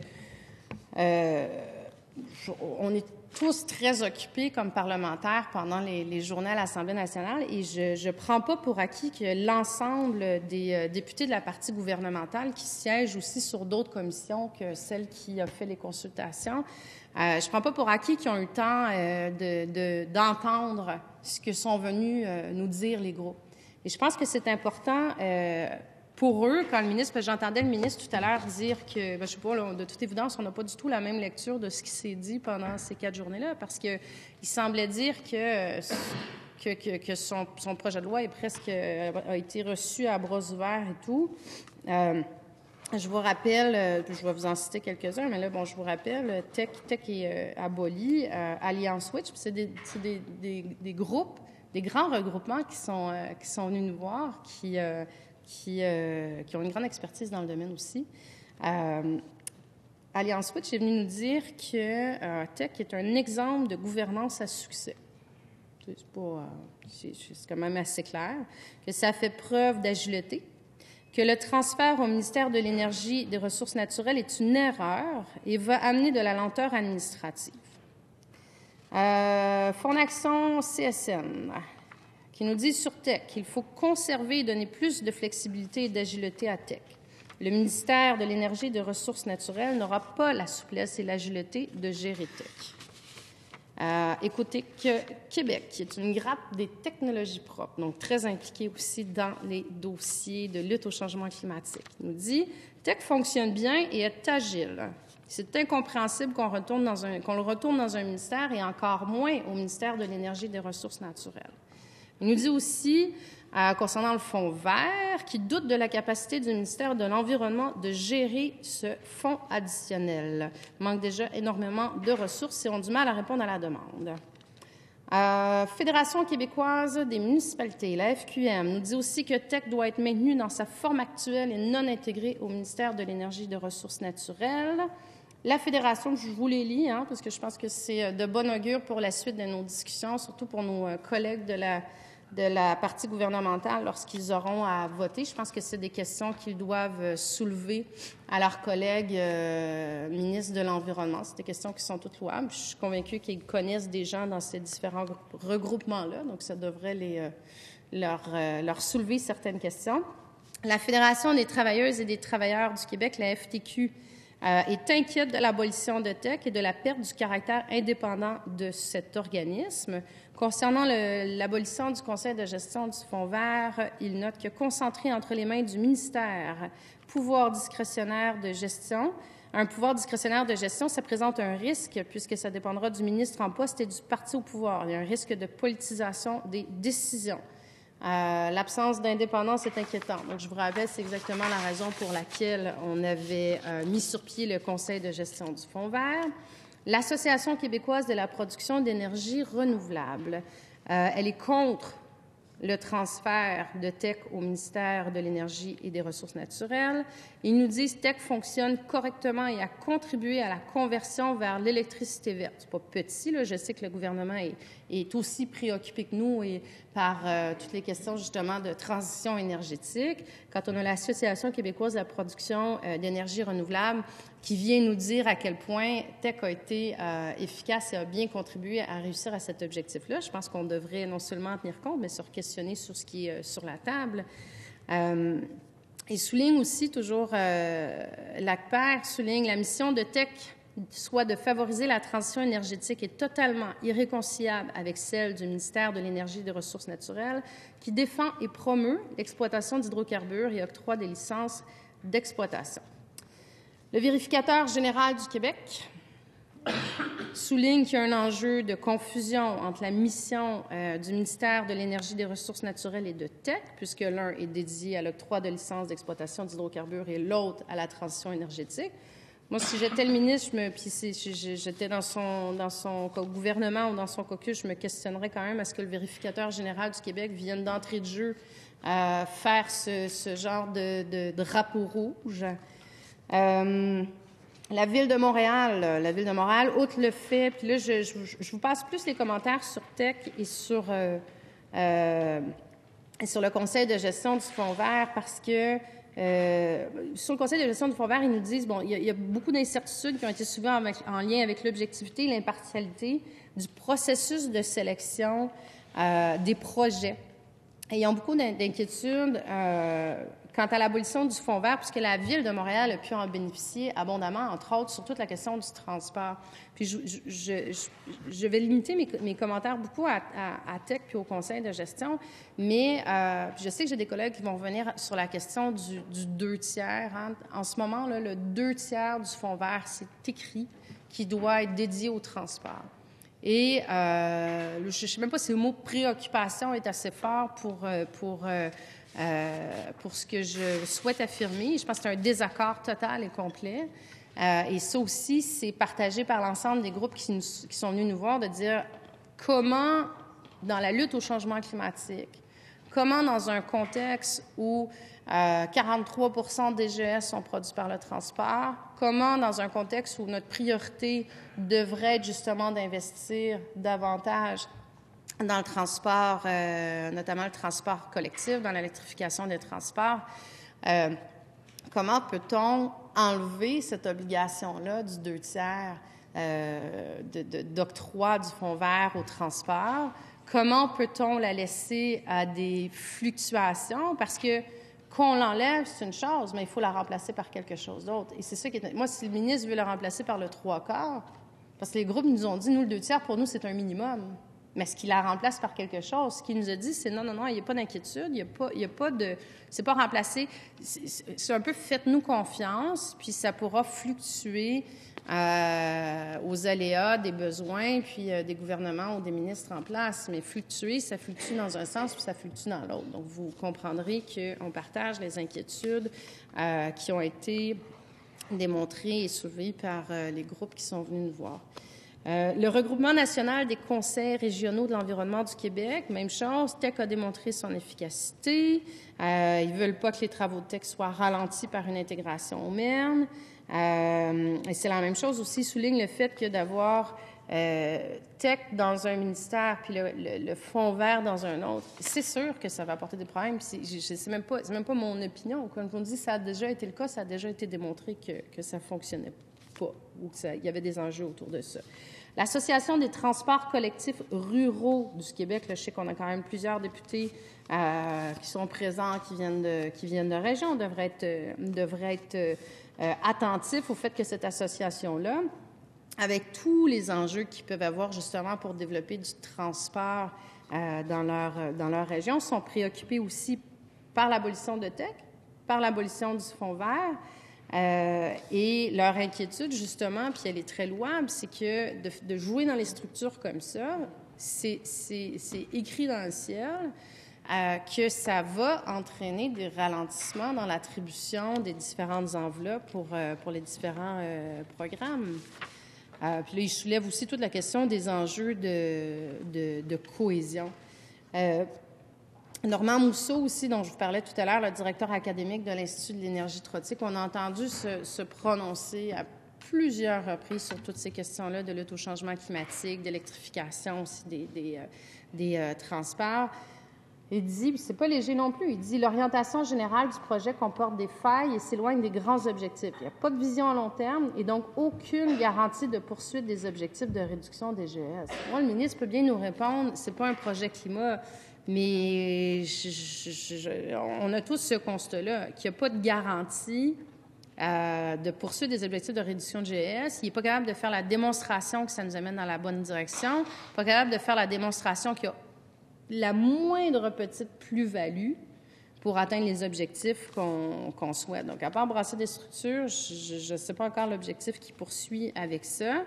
Euh, il souligne, Normand Mousseau, aucun levier, aucun pouvoir de coercition pour le ministre afin de forcer ses collègues à respecter ses avis. Donc, le ministre nous dit mes avis vont être publics. Oui, mais ils vont être publics après, puis il n'y a pas de pouvoir de coercition sur ses collègues non plus. Donc, euh, c'est ça. Ah, et il souligne aussi que le fait d'avoir tech et le fond vert dans deux ministères, je, je vous ai trouvé ça redondant, là, mais je vous lis ce que les gens nous ont dit en consultation. Donc, le ministre pourra nous dire après ça que tout le monde était d'accord avec lui, mais c'est euh, faux. Euh, donc, il souligne que c'est pas efficace d'avoir tech et le fond vert dans deux ministères. Euh, c'est ça, qu'il faut les garder de, la façon dont ils sont. Le Conseil du patronat du Québec, il dit que le succès de tech est indéniable et confirmé. Et par rapport au fond vert, préoccupation quant à l'indépendance des processus et à la politisation des décisions. La Fédération des chambres de commerce du Québec, c'est pas rien, c'est la Fédération des chambres de commerce du Québec, qui sont venus, euh, qui sont venus nous dire de façon extrêmement claire à quel point Tech est apprécié des entreprises, euh, des entreprises en région aussi, à quel point, puis on leur a posé la question, est-ce que, parce que c'est pas un, faut, faut pas perdre de vue que c'est pas un projet de loi qui est euh, qui touche qui a seulement des considérations environnementales, c'est un projet de loi qui a des considérations économiques. Et quand on a la Fédération des chambres de commerce du Québec qui vient nous dire on a des inquiétudes sur, euh, sur la capacité de nos entreprises à obtenir leurs fonds aussi rapidement qu'elles le font présentement, bien, il y a des enjeux économiques autour de ça. Donc, ils nous ont parlé euh, justement de la flexibilité, de l'agilité, de la prévisibilité. Ils nous ont dit que c'est extrêmement important de conserver tech dans, sa forme. Euh, c'est utile, c'est efficace, on l'apprécie, c'est apprécié, c'est un succès. Euh, ils sont insatisfaits de l'abolition du conseil de gestion du fonds vert aussi. Et euh, bien, je pourrais continuer comme ça assez longtemps. Euh, je porterai peut-être euh, à votre attention, euh, ouais, le Conseil québécois des entreprises en efficacité énergétique aussi, parce que encore là, dans le dossier qui nous occupe, fort important, leur avis et qui nous disent depuis sa création, Tech a su démontrer un fort dynamisme, une réelle efficacité pour collaborer avec l'ensemble du marché afin d'atteindre les cibles établies par la politique énergétique 2030. L'écho du marché recueilli par les membres du Conseil québécois des entreprises en efficacité énergétique témoigne d'une grande appréciation de la clientèle à l'égard de Tech. Donc là, je pourrais passer euh, le reste de la semaine à vous lire des commentaires positifs sur Tech. Je pense qu'on on, on, c'est pas, j'ai pas fait le.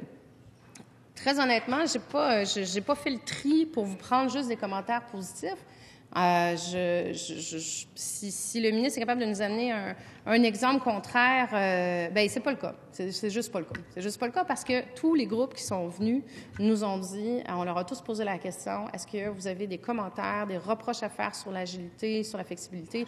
Est-ce que, comme je vous dis, il y a des gens qui nous ont dit est-ce qu'on préfère un Tech Plus? Est-ce qu'on pourrait euh, fusionner le concept de gestion avec Tech? Je veux dire, il y a des, il y a certainement des euh, il y a certainement des aménagements qui peuvent être faits pour, euh, pour, revoir, euh, pour revoir la gouvernance. Comme je vous dis, on n'est pas, euh, l'idée, c'est pas d'être obtus puis de dire euh, rien ne bouge, puis euh, tout ce qui est en place, c'est parfait. Mais euh, tout le monde nous a dit on est satisfait de ce qui est en place. On est satisfait. Est-ce que est-ce qu'on peut ajouter certaines choses? C'est pas c'est pas exclu. donc, j'aimerais vous demander, Madame la Présidente, en cette Chambre, que, qu'on fasse preuve de courage politique. Parce que la, gravité de la situation puis la, de, la, de la crise le nécessite. Et j'offre toute ma collaboration, ce n'est pas la première fois que je l'offre au ministre, j'offre toute ma collaboration avec lui pour travailler sérieusement sur un plan de lutte au changement climatique. Mais ce qui est déposé présentement, aucun gain. Aucun gain s'il est capable de m'en faire la démonstration. Euh, ben, comme je vous dis, les groupes euh, se questionnent aussi sur, euh, sur cet élément-là. On prend des structures, on prend des gens, on les déplace de département, puis on fait, on continue de faire la même chose, mais avec, avec moins de transparence, moins de reddition de comptes, moins d'imputabilité, avec tous les enjeux que de mettre ces missions-là dans deux ministères peuvent peuvent euh, amener, avec le fait, comme je vous dis, que ça a déjà été, euh, euh, ça a déjà été critiqué sévèrement par le commissaire au développement durable, par le vérificateur général. Donc, je veux dire, je, reprends ce que je disais au début, c'est c'est l'assurance, c'est faire le choix d'un échec. C'est faire le choix d'un échec, et ça, c'est très malheureux. et la crise que l'on vit aujourd'hui euh, que ce soit les, experts, les scientifiques, les groupes environnementaux, les syndicats, les économistes, euh, les financiers qui sont venus identifier la crise climatique comme le plus grand enjeu auquel nous faisons face aujourd'hui. Et là, euh, c'est sûr qu'on peut, on peut décider de se mettre dans des, dans des débats partisans de ce qui aurait dû être fait, comment ça a été fait, à quelle vitesse ça a été fait. Moi, ce que je peux vous dire, c'est que le Québec n'est pas dans une situation euh, qui est différente de celle du monde entier. C'est une crise qui est internationale. Euh, on peut continuer de, jouer, comme je vous dis, à de la partisanerie, puis à se dire, ah, ben là, les gouvernements précédents, puis euh, moi, je pense qu'on a un bilan qui est enviable en Amérique du Nord. on a fait preuve d'un grand leadership au Québec dans les, je vous dis, les 50, les 60, les 70 dernières années. Depuis qu'on a choisi l'hydroélectricité, on a fait des choix extrêmement verts, extrêmement audacieux, euh, qui allaient euh, dans une direction tout autre que ce qui se faisait ailleurs. Et c'est pour ça qu'aujourd'hui, on, est la société en Amérique du Nord qui euh, a le moins de, GES per capita. Est-ce que c'est suffisant? Évidemment que non. C'est pas suffisant avec ce qu'on sait aujourd'hui. Mais faut aussi être conscient que, euh, que la science a évolué, que euh, le rapport, les chiffres dont on parle à l'heure actuelle et la crise climatique dont on parle à l'heure actuelle, euh, les signaux d'alarme, ils étaient là depuis un moment, mais la crise dont on parle, c'est le rapport du GIEC automne 2018. C'est pas il y a 10 ans, c'est pas il y a 5 ans, c'est automne 2018. C'est là que les drapeaux rouges se sont levés. là, c'est des gros, gros, gros drapeaux rouges qui viennent nous dire il faut redoubler d'efforts il faut accélérer et il euh, faut arrêter d'être dans, de la partisanerie puis d'être dans des, euh, justement euh, de la structurite. Puis là, je veux juste vous rappeler au niveau de l'urgence, parce que c'est important de l'avoir en tête aussi, selon le dernier bilan de l'Organisation météorologique mondiale, la température a augmenté de 0,2 degrés de 2015 à aujourd'hui.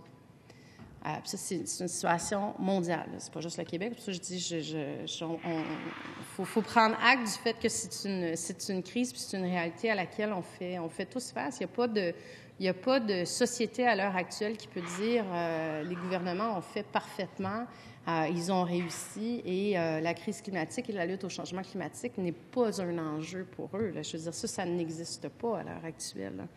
Et au rythme où on est aujourd'hui, le, seuil de 1,5 degré, on va le dépasser en 2030. Et les projections nous disent qu'à ce rythme-là, on va être à 4 degrés de plus en 2098. Bon, vous me direz 2090. Vous me direz que c'est un, un, peu loin peut-être euh, pour nous, mais certainement pas pour nos enfants, pour nos petits-enfants aussi. Et euh, la Banque mondiale, là, je, sais que le ministre, des fois, euh, il, a fait référence tout à l'heure, a eu un petit accrochage il parlait de Greenpeace, mais il y, a, surtout eu un accrochage assez important avec euh, la planète euh, s'invite euh, au Parlement. J'ai encore un mal à l'aise, un malaise de, de, cet échange, de voir un regroupement qui, qui mobilise un demi-million de personnes au Québec et qui, et qui je ne veux pas dire se fait baïonner, mais a, une réception avec assez peu d'ouverture. Il se fait dire qu'il tienne un, un, discours de peur, un discours euh, radical, alors que c'est un discours qui est, euh, qui est porté sur la science, qui mettre de l'avant. Et c'est ce qu'il nous demande aussi comme, comme élus, comme décideurs, de porter nos décisions sur la science. Donc, la Banque mondiale, j'imagine que le ministre en conviendra, c'est pas, on n'est pas dans des organismes, on n'est pas dans un organisme très, très radical et, euh, et très de gauche au niveau de ses approches non plus, mais sonne alarme encore plus fort que d'autres groupes et nous met en garde contre ce réchauffement de 4 degrés. Euh, il affirme euh, qu'il n'y a aucune certitude à l'heure actuelle que la planète puisse s'adapter à une telle hausse. Donc, on a une responsabilité, euh, on a une responsabilité collective de, s'assurer justement de, travailler, de, lutter contre ces changements climatiques, de, de travailler à l'adaptation des changements climatiques. Puis, ce qui a été souligné aussi, encore là, c'est que dans le, dans le projet de loi qui a été déposé, on ne parle pas d'adaptation au changement climatique. On parle à peu près pas de lutte non plus, pour, être, pour être très honnête. Donc, euh, je, pense que ce serait important de, de, reconsidérer, que le ministre reconsidère euh, ses objectifs, qu'il reconsidère euh, euh, ses priorités par rapport à ça et euh, qu'il qu s'assure de, encore là, un élément qui a été qui a été soulevé beaucoup, puis les groupes qui sont venus nous voir étaient d'une euh, ben, d'une pertinence, puis d'une qualité dans le travail qui avait été fait. Comme je vous dis, ça a été, euh, sont arrivés avec beaucoup de recommandations. Et euh, un des éléments qui est revenu beaucoup, c'est l'importance de, de se reposer sur la, sur la science, de justement sortir de ces, débats-là partisans, euh, d'essayer de travailler euh, tous ensemble pour un bien commun, de se reposer sur la science. La science, qu'est-ce qu'elle dit? Ben, c'est les, les cibles qui ont été établies par le GIEC, mais c'est d'insérer, d'enchasser ces cibles-là dans le projet de loi. Euh, on a parlé beaucoup de budget carbone aussi. Mais euh, donc, en, terminant, je prolongerai pas, plus que ça, Madame, la Présidente, parce que je pense qu'on aura certainement d'autres occasions euh, d'échanger sur ce projet de loi. Mais l'élément principal, puis, je, à bon entendeur, le ministre m'a entendu à plusieurs reprises. Euh, je passe le message à ses collègues pour qu'ils aient des échanges aussi avec eux, euh, avec lui. C'est euh, pourquoi se défaire de quelque chose qui fonctionne bien? Ça fonctionne bien en ce moment. ETEC et le conseil de gestion du Fonds vert. Est-ce que ça doit être bonifié? Est-ce que ça doit être fusionné? Est-ce qu'on doit revoir certains éléments? Pourquoi pas travailler sur des structures qui sont déjà en place puis qui ont fait la démonstration de leur efficacité puis de leur succès? Pourquoi faire euh, tabula rasa puis dire euh, ben je, je, je, prends le c'est même pas je prends le risque parce que c'est on sait que ça ça fonctionne pas donc c'est euh, je, je au lieu, au lieu de travailler avec ce qui est là, c'est vraiment de, de, de, comme je vous dis, de faire table rase de tout ça, puis de ramener ça dans des ministères. Je pense que c'est vraiment pas, vraiment pas la bonne direction. Donc, je pense que le ministre doit se, doit se questionner sur cet élément-là. Est-ce que sa priorité, lui, son premier projet de loi qu'il dépose, euh, qui veut, sur lequel il veut travailler comme ministre, c'est un projet de loi qui vient abolir des structures qui fonctionnent. Euh, un projet de loi euh, par lequel il n'est pas capable de nous faire la démonstration de, des gains qui vont être faits, euh, la démonstration des gains en lutte au changement climatique, qui n'est pas capable de faire la démonstration de la plus-value non plus. Quand on dépose un projet de loi, euh, je veux dire, le, comme la base, ça serait d'être capable d'expliquer euh, les gains qu'on va faire avec le projet de loi, puis le problème que ça vient corriger. Un projet de loi, il faut que ça règle un problème, minimalement. Là, ça ne règle pas de problème. Euh, je veux dire, ça fonctionne.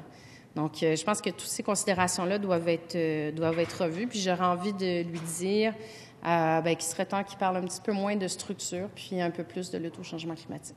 Merci, Madame la Présidente.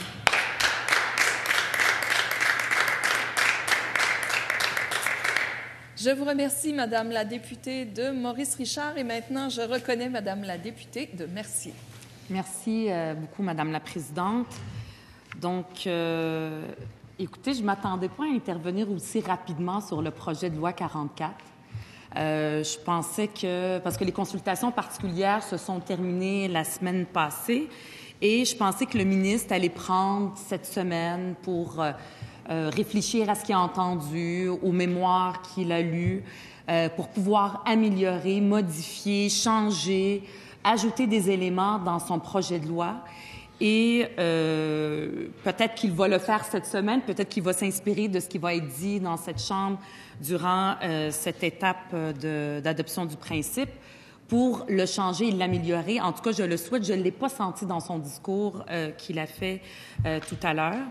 Et euh, je le souhaite, mais en même temps, je suis inquiète. Euh, je suis inquiète parce que je me demande, surtout depuis la dernière euh, journée d'intervention avec les derniers groupes qui sont venus, à quel point le ministre garde l'esprit d'ouverture qu'il a eu, en tout cas qu'il a dit qu'il allait avoir euh, tout au long de l'étude de ce projet de loi euh, dans ses remarques préliminaires. Donc, euh, voilà, donc euh, je vais, euh, il y a beaucoup, beaucoup d'éléments qui pourraient être ajoutés dans ce projet de loi et je vais en faire part. La première, très importante, c'est que naïvement, euh, je pensais, puis je pense que les autres groupes d'opposition euh, aussi, euh, les autres porte-parole des partis d'opposition le pensaient, pensaient que le projet de loi 44 était un projet de loi sur le climat. Bon, ça dit que c'est sur la gouvernance efficace de la lutte contre les changements climatiques pour favoriser l'électrification, mais on pensait que, étant donné qu'il voulait revoir les responsabilités, que c'était une loi sur le climat. C'était en tout cas la loi sur le climat dont le Québec a besoin. Puis pourquoi je pensais ça, que c'était une loi sur le climat, si on veut, à la sauce CAC? Euh, ben parce qu'à l'Assemblée nationale, il n'y a pas si longtemps, on a déclaré l'urgence climatique ici, tout le monde ensemble. Tous les députés se sont levés pour dire oui, nous reconnaissons en tant qu'élus du Québec qu'il y a urgence climatique et donc qu'il faut que nous agissions en conséquence.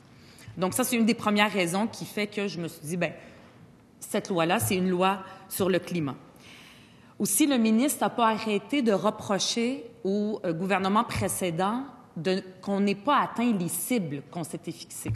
Donc, cette année, il aurait fallu qu'on atteigne la cible de réduction de 20% par rapport à 1990. On n'est même pas à 9% on est à 8 points quelque chose.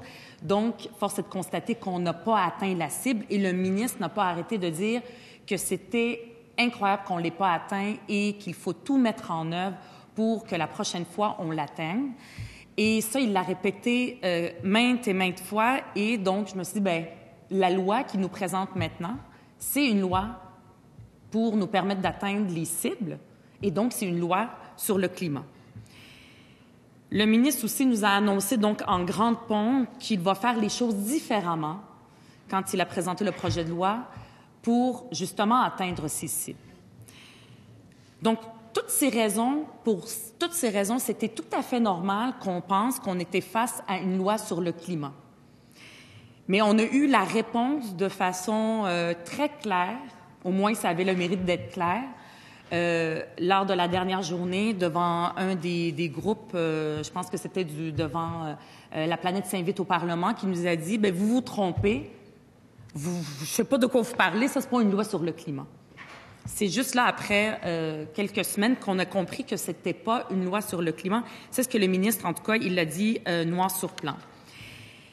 Euh, en fait, ce que moi j'ai envie de dire au ministre, c'est que, puis tout à l'heure il l'a dit, ça ne sera pas non plus une loi sur le climat. Peut-être qu'un jour on y reviendra. Mais quand on a déclaré l'urgence climatique à l'Assemblée nationale, c'est pas pour dire bien peut-être qu'un jour on va agir pour que ça change. Puis aujourd'hui on va juste s'occuper de structure, puis de changer quel ministre va s'occuper de quoi? Puis après ça, bien, on se verra, puis on va se doter d'une loi sur le climat. Bien, il y a une, urgence que le ministre reconnaît, que l'Assemblée nationale reconnaît, que tout le monde reconnaît. Bien, il faut agir en conséquence. Et la conséquence de ça, c'est de dire, bien, nous devons nous doter d'une loi sur le climat et euh, notamment en ayant toutes sortes d'éléments, les cibles en font partie. Donc, au lieu de dire on va le faire plus tard, bien, on pourrait s'épargner beaucoup de temps puis d'en gagner, vu qu'on a un projet de loi euh, devant nous ici, qu'on pourrait changer. Parce que ce projet de loi, il est amendable, il est possible d'apporter beaucoup d'amendements. Il y a des groupes qui l'ont fait, et moi, j'en ai beaucoup pour le ministre, pour ajouter beaucoup d'éléments qui vont faire que cette loi-là, qui parle de la lutte au changement climatique, bien, qu'elle va, qu'elle va être une vraie loi sur le climat qui se respecte comme celle que les pays euh, qui s'en sont doutés en ont une. On ne peut pas encore attendre et attendre euh, au calendrier grec pour en, voir, en avoir une.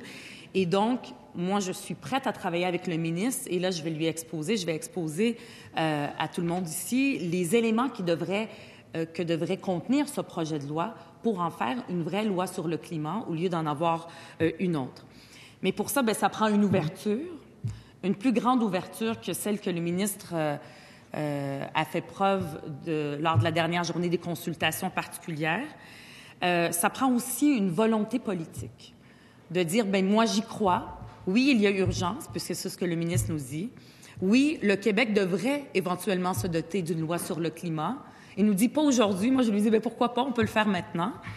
Et, euh, donc, donc s'il reconnaît tout ça, il pourrait dire, ben j'ai la volonté politique d'aller de l'avant. Mais moi, je me pose la question s'il a cette volonté politique-là. En tout cas, son attitude des derniers jours euh, n'a pas été rassurante et ne nous permet pas de garder espoir, mais je vais quand même tenter de, le convaincre et j'espère que lui-même va pouvoir convaincre aussi le Conseil des ministres pour que euh, cette loi-là devienne une vraie euh, loi sur le climat.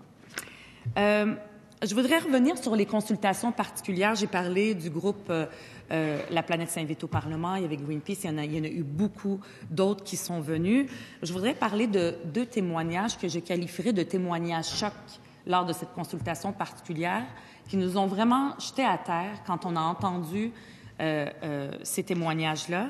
le premier, c'était celui de Mme Chagnon, la PDG du Conseil de gestion du Fonds vert, qui a révélé qu'elle n'avait tout qu'elle n'a jamais été capable depuis la création du Conseil de gestion du Fonds vert, donc en 2016, si ma mémoire, est bonne, donc ça fait c'est même avant la CAC, qu'elle n'a jamais pu faire son travail correctement. Euh, donc, sur du papier, on reconnaissait, on reconnaissait à la PDG ou au Conseil de gestion du Fonds vert certaines responsabilités, mais le transfert ne s'est euh, jamais opéré. Euh, et euh, donc, elle n'a pas pu, par exemple, ne serait-ce qu'obtenir les états financiers du gestion du Fonds vert pour les regarder. Imaginez, c'est le Conseil de gestion du Fonds vert qui demande au ministère, au ministre, aux fonctionnaires du ministre de l'Environnement d'avoir les états financiers vérifiés et même ça, elle ne les a pas. Donc, comment est-ce qu'elle pourrait, elle et son équipe, faire son travail? Euh, donc, ça, ça a été quelque chose qui, qui en tout cas, nous a profondément heurté de savoir ça, surtout que c'est quand même énormément d'argent. C'est 1,6 milliard de dollars qui dorment dans les caisses, euh, dans les caisses donc, de ce fonds-là. Et les sommes auraient pu être réallouées, mais ça n'a pas été le cas parce qu'elle avait les mains liées, elle ne pouvait pas euh, travailler.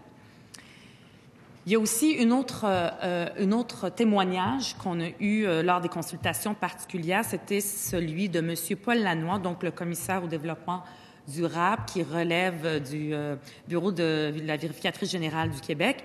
Et lui-même nous a informé qu'il a essayé euh, euh, de, d'auditer les états financiers 2017-2018, mais il, il n'a pas pu le faire. Pourquoi? Parce qu'au sein du ministère, personne n'était capable de répondre à ces questions.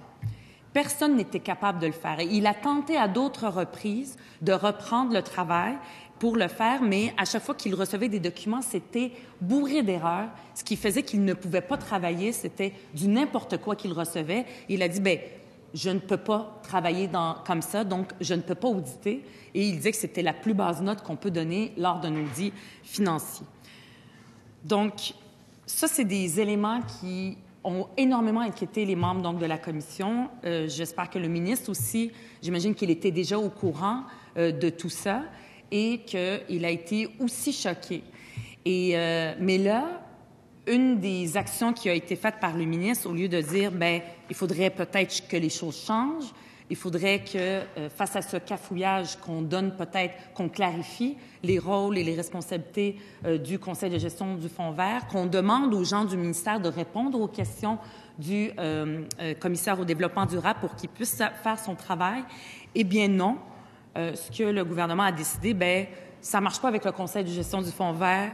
Euh, ça a été très, très présent dans les médias. On sait que ça marche pas, donc on l'abolit.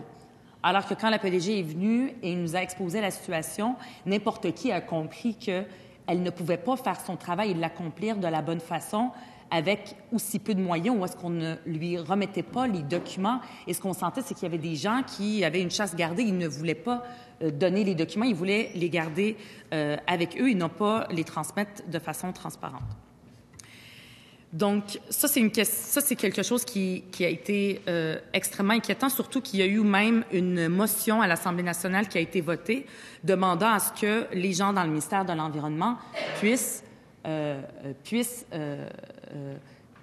offrir de façon transparente tous les documents pour permettre au vérificateur général, donc au commissaire de développement durable, de faire son travail sur le fond vert parce que ça ne pouvait pas continuer. Ça a été même un ordre de la Chambre et malgré ça, c'était quelque chose qui n'a pas été euh, possible de faire. Donc, moi, je m'explique pas ce cafouillage. Peut-être que le ministre a euh, des, connaît des éléments que nous, on connaît pas, mais ce que je, ce que je comprends pas, puis ce que je m'explique pas, c'est d'avoir décidé de simplement abolir le conseil de gestion du Fonds vert au lieu de faire les changements euh, qui s'imposaient. Donc, Là, ce qu'il a décidé de faire en l'abolissant, c'est dans le fond, c'est de se donner une sorte de chèque en blanc, de dire, bien, le Conseil, fonds le, fonds vert, qui va s'appeler maintenant le FEC, le Fonds d'électrification et de lutte au changement climatique, ça sera plus le conseil de gestion du, Fonds vert, ça va être comme dans l'ancien temps, comme avant la création du conseil de gestion, et ça va être le ministre de l'Environnement qui va décider comment est-ce que ces montants-là vont être alloués. Donc, qu'est-ce qu'on perd avec ça, au lieu de corriger la situation, parce qu'il y avait une problématique qui nous a été exposée par la PDG de façon claire, au lieu de corriger la situation, d'en prendre acte, ben on se dit, ben non, on, on l'abolit, et euh, on, ça va être le ministre, derrière les portes closes, sans transparence, qui va décider de quelle façon est-ce que ces sommes vont, vont, être allouées, qui va décider de dire oui ou non, par exemple, à un projet d'un ministère de son collègue ou non à un autre, etc. Donc, ça va être totalement mis derrière euh, euh, la, les, les, les, dans le fond, la partisanerie. Parce que cette loi-là, si elle est votée telle qu'elle, bien, elle va rester là pendant de nombreuses années et ça va être ça va être la, politique qui va décider comment est-ce que cet argent-là, l'argent qui devrait servir à la transition, va être alloué, au lieu que ce soit un organisme indépendant. Le ministre qui nous dit, ben, euh, quand il a justifié cette euh, façon de faire, il dit, ben, c'est parce que c'est important, c'est moi le ministre. Il faut que le ministre soit imputable. Le ministre peut pas dire, ben, c'est pas de ma faute, c'est le conseil de gestion du fonds vert comme ça se faisait dans le passé. Je suis imputable, donc c'est moi qui dois le faire. Ici, ça fonctionne pas. Ben, euh, en 2022, lors des prochaines élections, vous ne m'élirez pas, vous n'élirez pas la CAQ parce que vous avez vu, vous aurez vu que ben, ça n'a pas marché, que le fonds, le fonds vert ou le FEC n'aura pas été alloué de la bonne façon, puis euh, tant pis. Mais le problème, c'est qu'on est en urgence climatique, on ne peut pas commencer à faire des essais et des erreurs. Ce qu'il faut faire, c'est apprendre des erreurs du passé. Qu'est-ce qui n'a pas marché avant, pour vrai, et de les régler au lieu d'y aller euh, à la tronçonneuse puis dire ben on abolit tout puis on recommence à neuf puis en fait on recommence pas, pas à neuf on recommence dans le vieux parce qu'on fait exactement ce qui se faisait avant ou c'était le ministre qui s'en occupait. Il y a eu aussi, moi ce que je me demande aussi, c'est est-ce que le ministre va euh, au moins, après avoir aboli le conseil de gestion du Fonds vert, tenir compte de ces recommandations? Parce qu'il y a eu le, plan stratégique du conseil de gestion qui a été euh, présenté avant euh, les fêtes en décembre. Et il y avait des conclusions et des priorités qui étaient dans ce plan stratégique. Ce que j'aimerais savoir, puis le projet de loi 44 n'y répond pas, est-ce que ces éléments-là, ces priorités-là qui ont été amenées par le conseil de gestion, est-ce qu'elles vont être prises en compte par le ministre? J'aimerais euh, qu'il puisse nous le dire. Donc, je vais les nommer. Euh, il y a quatre priorités. C'est d'améliorer l'adéquation entre les objectifs du Fonds vert et les actions qu'il finance. Là, on peut dire, ben oui, c'est tout à fait logique, mais ça a été quand même important de le dire que, parce qu'on a vu, par exemple, des choses farfelues qui ont été euh, qui ont été des, projets farfelus, qui ont été euh, financés par le Fonds vert, qui ne vont pas dans le sens de la transition. Donc, il faut s'assurer que quand on a des objectifs, ben, que ce qui est financé par le Fonds vert ben, soit alloué pour que des actions soient mises en place qui vont nous permettre d'atteindre ces objectifs-là. Donc, le Conseil de gestion du Fonds vert, ce que, ce que dit le plan stratégique dans cette priorité-là, élaborera des lignes directrices afin de définir ce qui peut être financé par le Fonds vert. Donc, au lieu que ce soit le flou, que ce soit qu'on décide un petit peu comme ça, euh, ben, il faut qu'il y ait des lignes directrices qui euh, puissent le définir. Et ces lignes directrices doivent faire aussi l'objet d'une consultation. euh, une consultation chez les gens qui qui s'y connaissent pas une consultation publique nécessairement. Et la gouvernance du Fonds vert doit se faire dans les perspectives de développement durable, donc respecter les 16 principes du développement durable. Et le Conseil de gestion du Fonds vert incite aussi les ministères et organismes à tenir compte de ces principes quand ils présentent euh, une demande, une nouvelle demande de financement, de faire déjà le travail de dire est-ce que ça respecte ces principes-là, développement durable, quand ils présentent le projet, pour avoir plus de chances que ce soit euh, euh, que ce soit accepté. Donc ça, c'est un, l'adéquation entre les objectifs du Fonds vert et les actions qu'il finance. Deuxième priorité que le Conseil de gestion, avant, avant sa mort, nous, nous dit, qu'on devrait en tenir compte, ça serait de renforcer la gestion axée sur les résultats. Ça aussi, ça peut tout, tomber sous le sens, et je sais qu'il y a toute une une euh, réforme qui est en train d'être faite par euh, le président du Conseil du Trésor, et je pense qu'il peut comprendre ça, de dire bien, que c'est important que chaque ministère, s'il veut atteindre euh, ses actions, faut que ce soit des, faut qu'il y ait des indicateurs de performance, faut qu'elles soient mesurables, chiffrées, il faut que les actions s'arriment avec ça. Donc c'est un petit peu la même chose. Les changements climatiques et la question des gaz à effet de serre font un peu l'affaire de la, avec la même rigueur avec laquelle le gouvernement veut, par exemple, gérer euh, les finances publiques ou qu'il veut gérer les actions du gouvernement. Donc, le Conseil de gestion du Fonds vert privilégie une gestion par projet axée sur les meilleurs résultats en fonction des objectifs préétablis et les éléments de gestion prioritaire, euh, ils, nomment qui seront intégrés pour chaque projet. C'est des objectifs précis, mesurables, un indicateur et une cible, un budget détaillé, un échéancier, des risques qui sont déterminés, des mesures d'atténuation, un cadre d'évaluation. C'est toutes des choses avec lesquelles, normalement, le gouvernement euh, en fait, devraient être, euh, être familiers, mais qui n'ont jamais été appliqués pour le, pour le fonds vert et qui devraient l'être. Et un élément extrêmement important, c'est d'accroître la transparence. Ça, c'est le troisième élément que le Conseil de gestion du fonds vert met dans son plan, plan stratégique. C'est d'accroître la transparence et même qu'ils disent conformément à ce que la Commission l'administration publique, donc la CAP, recommandait, c'est qu'il y ait un tableau de bord euh, du fonds vert euh, donc d'élaborer un tableau de bord, comme il le disait, pour pouvoir évaluer euh, les projets et d'adopter des lignes directrices aussi en matière de, des frais d'administration, comme le recommande aussi la vérificatrice générale. Donc, ça, c'est des éléments qui, devront, être tenus en compte. La transparence, c'est extrêmement important, mais là, avec le fait que le fonds vert sera au sein du ministère, comme c'était le cas avant, ben, euh, je ne sais pas si cette, euh, cette recommandation-là va être suivie. Quatrième recommandation du plan stratégique, c'est d'améliorer le modèle d'affaires du Fonds vert et du conseil de gestion du Fonds vert, mais là, il sera euh, aboli. Donc, ce qu'il demande, c'est de profiter de la transition entre le PAC, donc le plan d'action euh, de lutte au changement climatique qui, se termine en, en 2020, et le PEC, euh, qu'il y a un arrimage pour faire un étalonnage des meilleures pratiques à travers le monde dans la gestion du fonds vert. Donc, de ne pas réinventer la roue, de s'inspirer des meilleures pratiques. Et aussi, euh, ben, à la fin, le Conseil était supposé faire des recommandations, mais, voici les recommandations du Conseil de gestion du fonds vert. Et j'espère que, euh, à la suite de son abolition, qu'au moins on va tenir compte de ces recommandations. Euh, maintenant, je vais. Ça, c'est le conseil de gestion du fonds vert. Ça, c'est un élément. Dans le projet de loi, il y a un autre élément fondamental qui est Tech, Transition énergétique Québec. Ça, c'est la partie la moins compréhensible encore que le conseil de gestion du fonds vert. Parce que euh, tout le monde, en fait, 100% je pourrais m'avancer et dire 100 des gens qui ont travaillé avec Tech le ministre me dit non, mais bon, peut-être une personne.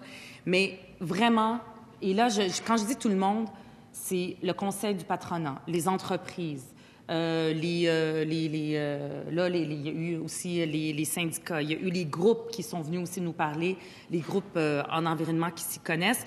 Ceux qui ont travaillé avec Transition énergétique Québec ont dit que ça fonctionne, c'est efficace, c'est malléable. C'est de ça qu'on avait besoin il y a longtemps, cette rapidité-là de réponse et pas moins de bureaucratie. Hein. Le gouvernement veut euh, qu'il y ait moins de bureaucratie. Ben, Tech faisait exactement ça. Et euh, même que, si je me rappelle bien de la statistique, c'est que 60 des actions du plan directeur euh, de- du plan directeur donc de la transition ont été atteintes avec 18 des ressources du Fonds vert. Donc, c'est vraiment quelque chose qui marche très bien. Est-ce que c'est parfait? Ben non, il n'y a rien de parfait euh, dans la vie, c'est impossible. Est-ce qu'il y a des choses qui pourraient être améliorées? Tout à fait. Mais euh, vraiment, il n'y a pas de problème. En fait, s'il y avait des problèmes, c'est plus que cet organisme-là avait moins de pouvoir, avait moins euh, ne faisait qu'exécuter la transition et les actions au lieu de même de les planifier, alors qu'il aurait tellement, il y a tellement d'expertise dans Transition énergétique Québec, tellement euh, de, compétences que ces gens-là pouvaient eux-mêmes aussi planifier quelles sont les actions qui devaient être priorisées pour atteindre les cibles de réduction de gaz à effet de serre. Il y a même un organisme, c'est Equita, qui nous a dit, et j'ai euh, retenu sa phrase, qui dit exactement ce que c'est. L'abolition de tech, c'est une solution qui se cherche un problème. En fait, on le cherche, le problème. Comme je le dis, tout est perfectible. C'est possible de le perfectionner, tech. Mais en quoi est-ce que ça va l'améliorer en le mettant dans un ministère? Euh, euh, et encore, on aurait pensé le ministère de l'Environnement, mais non, surprise, c'est le ministère de l'Énergie et des Ressources naturelles, je ne sais pas pourquoi. Donc, c'est vraiment euh, quelque chose qu'on ne s'explique pas. Donc, ce qui est très, très important en plus de ça, donc, on s'explique pas pourquoi est-ce que le conseil de gestion du Fonds vert a été aboli au lieu d'être amélioré suite à ce qu'on a entendu en commission. On ne s'explique pas pourquoi Tech est, est aboli et mis sous le ministère, alors que les gens aimaient cette agilité-là et cette rapidité-là d'action. Et en plus, il a été réellement efficace. Si on regarde les indicateurs puis les chiffres, il a été réellement efficace avec le 60 euh, en peu de temps des actions qui ont été atteintes et il pouvait aller encore plus loin, mais on lui a coupé euh, euh, euh, les- on lui a coupé les ailes et on lui dit non, maintenant tu vas aller dans une dans une case qui n'existera plus, Tech n'existera plus, et ça va aller dans une case euh, sous le ministère euh, euh, de l'Énergie et des Ressources naturelles. Même que les groupes qui sont venus, que ce soit les entreprises, les ONG, ce qu'ils nous ont dit, au contraire, il faut aller plus loin. Au lieu d'abolir ça puis de mettre ça à l'intérieur de l'appareil gouvernemental, il faut aller plus loin et mettre toute la question de la transition, que ce soit le fonds vert, que ce soit la, euh, la planification de la transition énergétique, que ce soit les actions du plan directeur dont Tech s'occupait, tout ça, il faudrait que ce soit au contraire dans un organisme indépendant. Il y en a qui parlaient même d'une société d'État. Euh, et il faudrait que, au lieu que ce soit dans un ministère en particulier, il faut que ça aille même, euh, que ça relève cet organisme indépendant du Conseil des ministres. Il y en a même qui ont euh, donné, qui ont voulu inspirer le ministre, ils lui ont dit on pourrait même l'appeler Tech 2.0 ou peu importe le nom qu'on lui donnera. Il faut surtout rapidement sortir toute la question de la transition des mains euh, de l'appareil gouvernemental et du, euh, euh, du gouvernement et que ce soit dans un organisme indépendant au plus haut niveau. Il faut que ce soit le Conseil des ministres qui, qui le chapeaute. Et je voudrais revenir, moi, ce que je comprends pas, c'est pour quelle raison est-ce que c'est le ministère de l'Énergie et des Ressources naturelles? Et je vais pouvoir y revenir. Et voilà, Madame euh, la députée Mercier. Alors, vous venez de mentionner que vous n'avez pas terminé votre intervention. Je vais vous inviter à poursuivre euh, un peu plus tard, à 19h30, alors que nous reprendrons le débat sur l'adoption du principe du projet de loi numéro 44. Maintenant, tel qu'annoncé précédemment, nous allons procéder aux trois débats de fin de séance. Le premier débat portera sur une question adressée par Madame la députée de Saint-Laurent au ministre de l'Éducation et de l'Enseignement supérieur concernant la démobilisation des parents et des enseignants face à la loi numéro 40 du gouvernement caquiste imposée sous Bayon. Je vous rappelle que conformément à l'article 310 du règlement, la députée qui a soulevé le débat et le ministre qui lui répond ont chacun un temps de parole de cinq minutes et le député a ensuite droit à une réplique de deux minutes. Madame la députée de Saint-Laurent, je vous cède la parole pour une durée de cinq minutes. Merci beaucoup, Madame la Présidente. Maintenant, il faut l'appeler la loi 40. Cette loi 40, il faut quand même retourner un petit peu euh, la semaine dernière, lundi, pour être plus précise. Le premier ministre disait tout a été dit. Il y a maintenant urgence d'agir et on doit mettre fin aux études détaillées. On doit mettre fin aux discussions. Pourquoi? Parce que tout a été dit.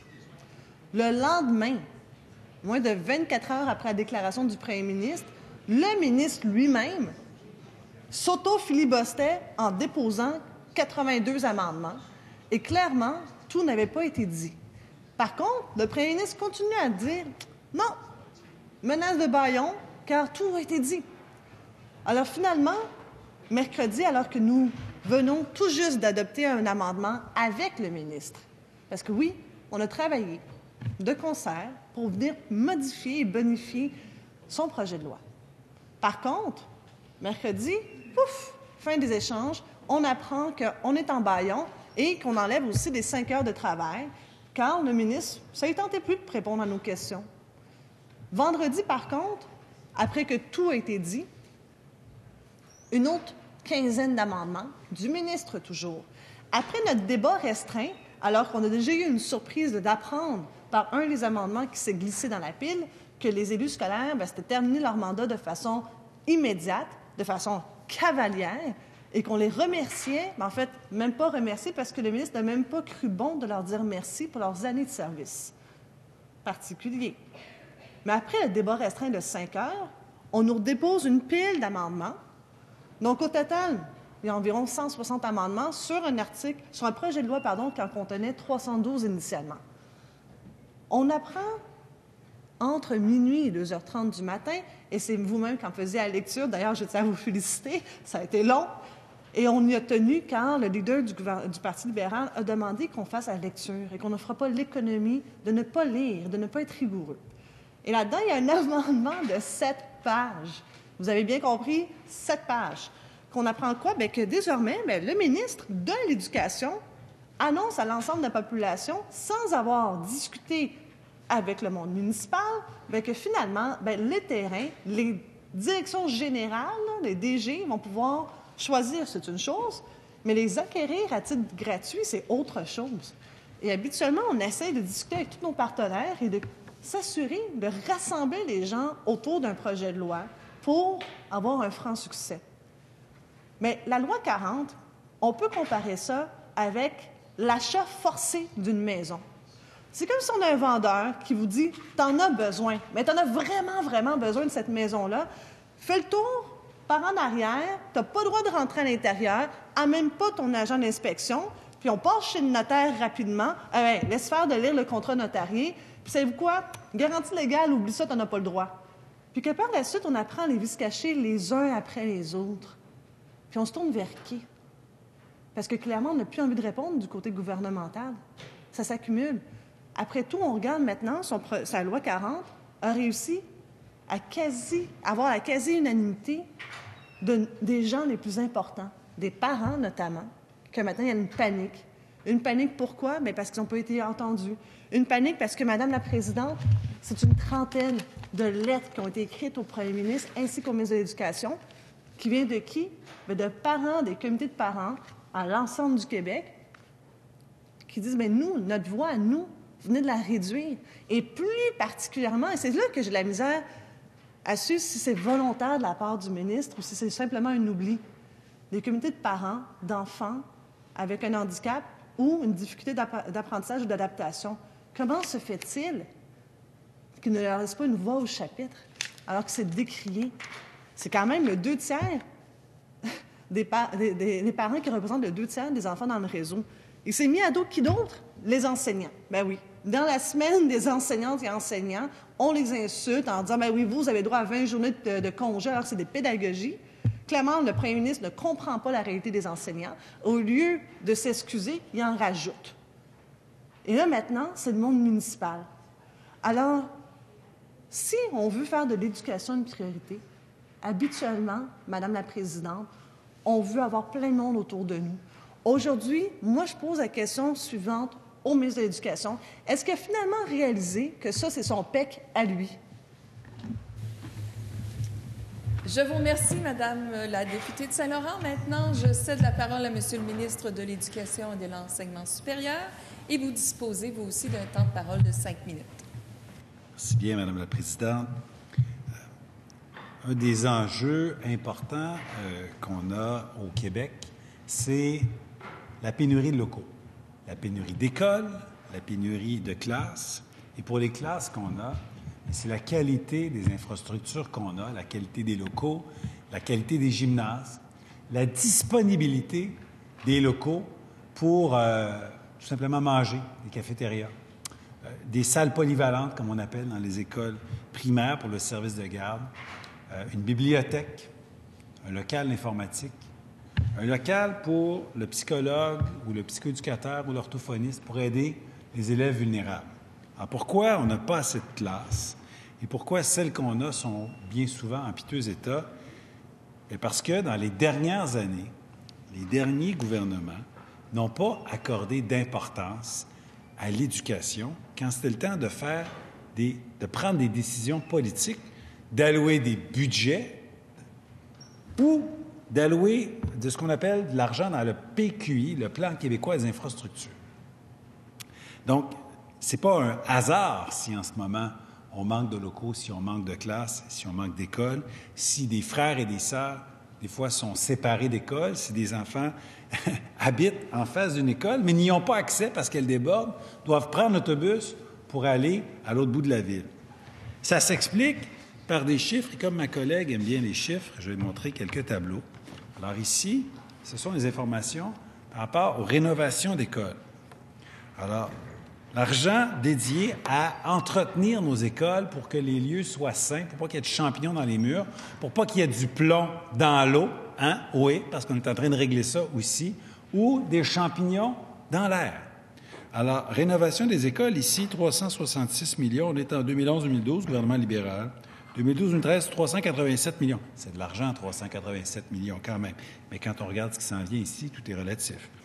Après ça, année euh, péquiste, péquiste, euh, gouvernement libéral, libéral. Oh, c'est drôle, ça monte à mesure qu'on approche de l'échéance électorale. Hein. Oh, ça devient plus important à la fin du mandat, mais ça n'a rien à voir avec la première année du mandat du gouvernement de la coalition Avenir Québec. Donc, on ne fait pas seulement qu'en parler des rénovations d'écoles. On ne fait pas simplement que dire oui, c'est important de prendre soin des enfants.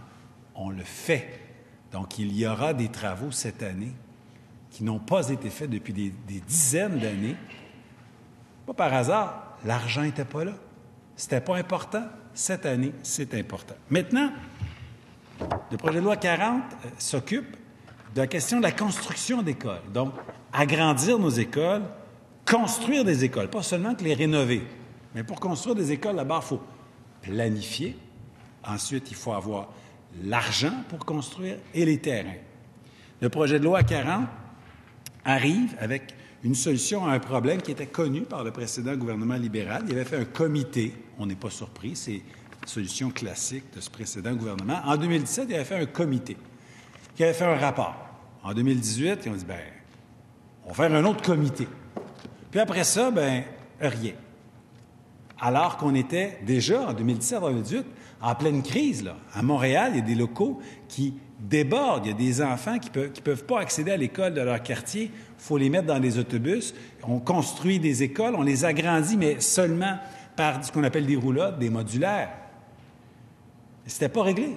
Alors nous, on a constaté ça. On n'est pas allé faire un comité. Non, on a envoyé ce qu'on appelle une équipe tactique de terrain, affaires municipales éducation. On les a envoyés sur le terrain, on les a envoyés par la municipalité, on les a envoyés dans les commissions scolaires. Dire, là, régler ça, ça nous prend des terrains. Comment on fait pour dénouer l'impasse? On s'est rendu compte que dans certains cas, il fallait simplement sensibiliser les maires, les mairesses, et ça fonctionnait. Dans d'autres cas, ils nous offraient des terrains en milieu humide, en zone agricole, en zone inondable. Ça ne fonctionnait pas. On leur a écrit une lettre en janvier en disant là, ça ne fonctionne pas. Hein? L'intention du gouvernement, c'est de poursuivre et formaliser l'approche en vigueur depuis 1995, selon laquelle les terrains pour les écoles sont fournis gracieusement par la Ville. Ça veut dire, vous allez les donner. On les a avisés. Ça s'en vient. Maintenant qu'on a les terrains, bien, les écoles vont se construire parce que voici les colonnes qui démontrent l'argent qui était alloué au gouvernement péquiste libéraux. On ne voit pas trop trop la différence. Et arrive le gouvernement de la CAQ. L'argent est là. Les terrains vont être là. Nous réglerons les problèmes et les enfants auront droit à une éducation de qualité dans des locaux rénovés et dans des classes construites. Je vous remercie, Monsieur le ministre de l'Éducation et de l'Enseignement supérieur. Et maintenant, Madame la députée de Saint-Laurent, à vous de profiter de votre réplique de deux minutes. Merci beaucoup, Madame la Présidente. J'apprécie beaucoup les tableaux que le ministre maintenant s'emploie à faire. Toutefois, il oublie une chose.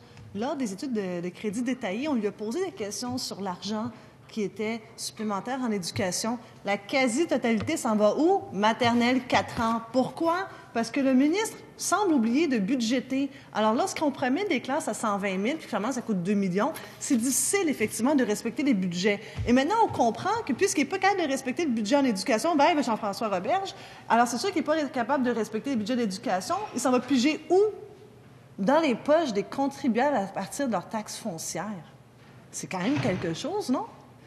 Je comprends que le premier ministre a dit que ça coûtera ce que ça coûtera, mais il y a des limites, Madame la Présidente. Il faut respecter la capacité de payer des Québécois. Puis surtout, c'est que quand on essaie d'enfoncer des réformes, que ce soit maternelle 4 ans ou maintenant, j'ose même pas appeler ça une réforme de l'éducation parce que c'est un gros brassage de structures qui amène absolument rien pour la réussite éducative des enfants, qui mobilise plein de monde contre la loi 40. On a maintenant des enseignants fâchés et je les comprends parce que lorsqu'on a un premier ministre puis un ancien enseignant qui dit que les pédagogues, c'est des journées de congé, c'est sûr que c'est insultant. Plus que ça, on a des parents qui, eux, là, nulle part ont été écoutés. On est pour avoir des belles écoles, mais c'est pas en ne respectant pas les élus municipaux. Il faut quand même avoir un dialogue constructif. Et si on veut parler de trouver des beaux terrains, encore faut-il les compenser. Nulle part il été question de compensation dans l'amendement. Si le ministre de l'Éducation est tellement fier de son, de son amendement, pourquoi il l'a déposé en douce, en catimini? Pourquoi? Pourquoi on n'a pas été capable d'en discuter correctement tous ensemble? Quand on est fier de quelque chose, Madame la Présidente, on est tellement sûr de ça, bien, on passe pas par la porte de derrière, on n'arrive pas à la grande porte, puis effectivement, on répond aux questions, on n'essaie pas de baïonner tout le monde, incluant maintenant les élus municipaux. Merci, Madame la Présidente.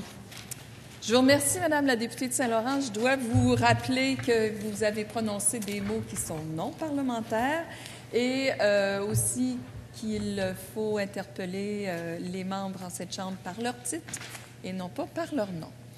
Alors, je vous remercie. Maintenant, nous allons maintenant procéder au deuxième débat qui portera sur une question adressée par Madame la députée d'Anjou Louis Riel à la ministre des Affaires municipales et de l'Habitation concernant la colère des municipalités quant à la loi numéro 40 du gouvernement caquiste imposée sous Bayon.